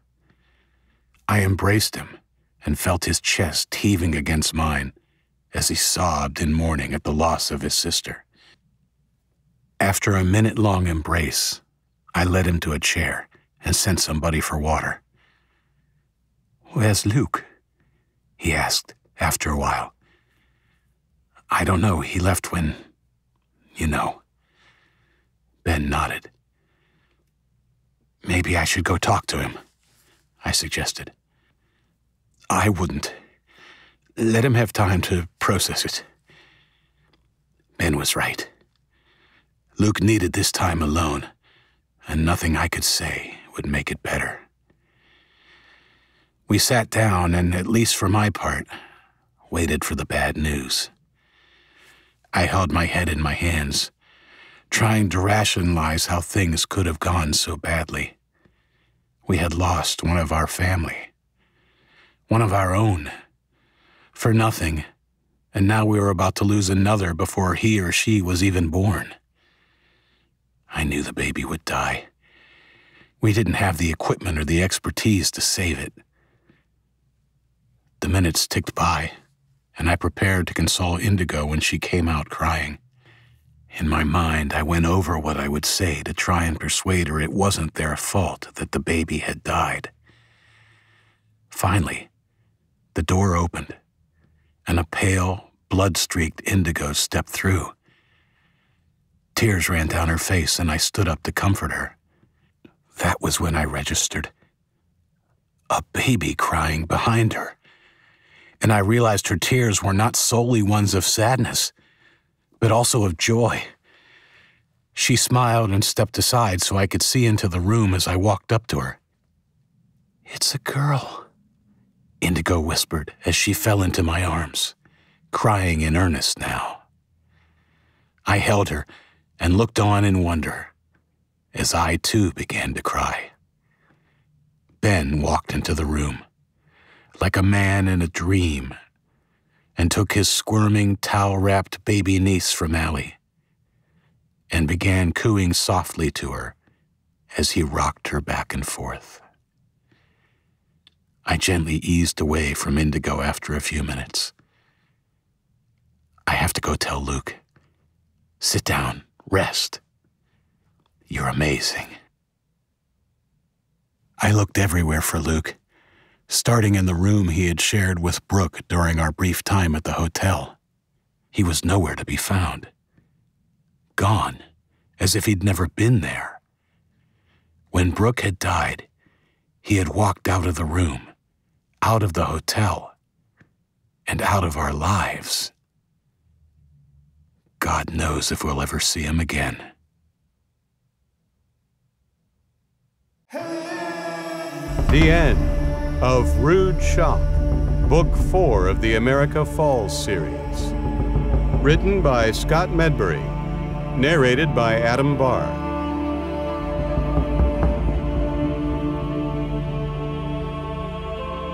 If you're enjoying Scott's audiobook content, please like and subscribe. It's the best way to help out the channel.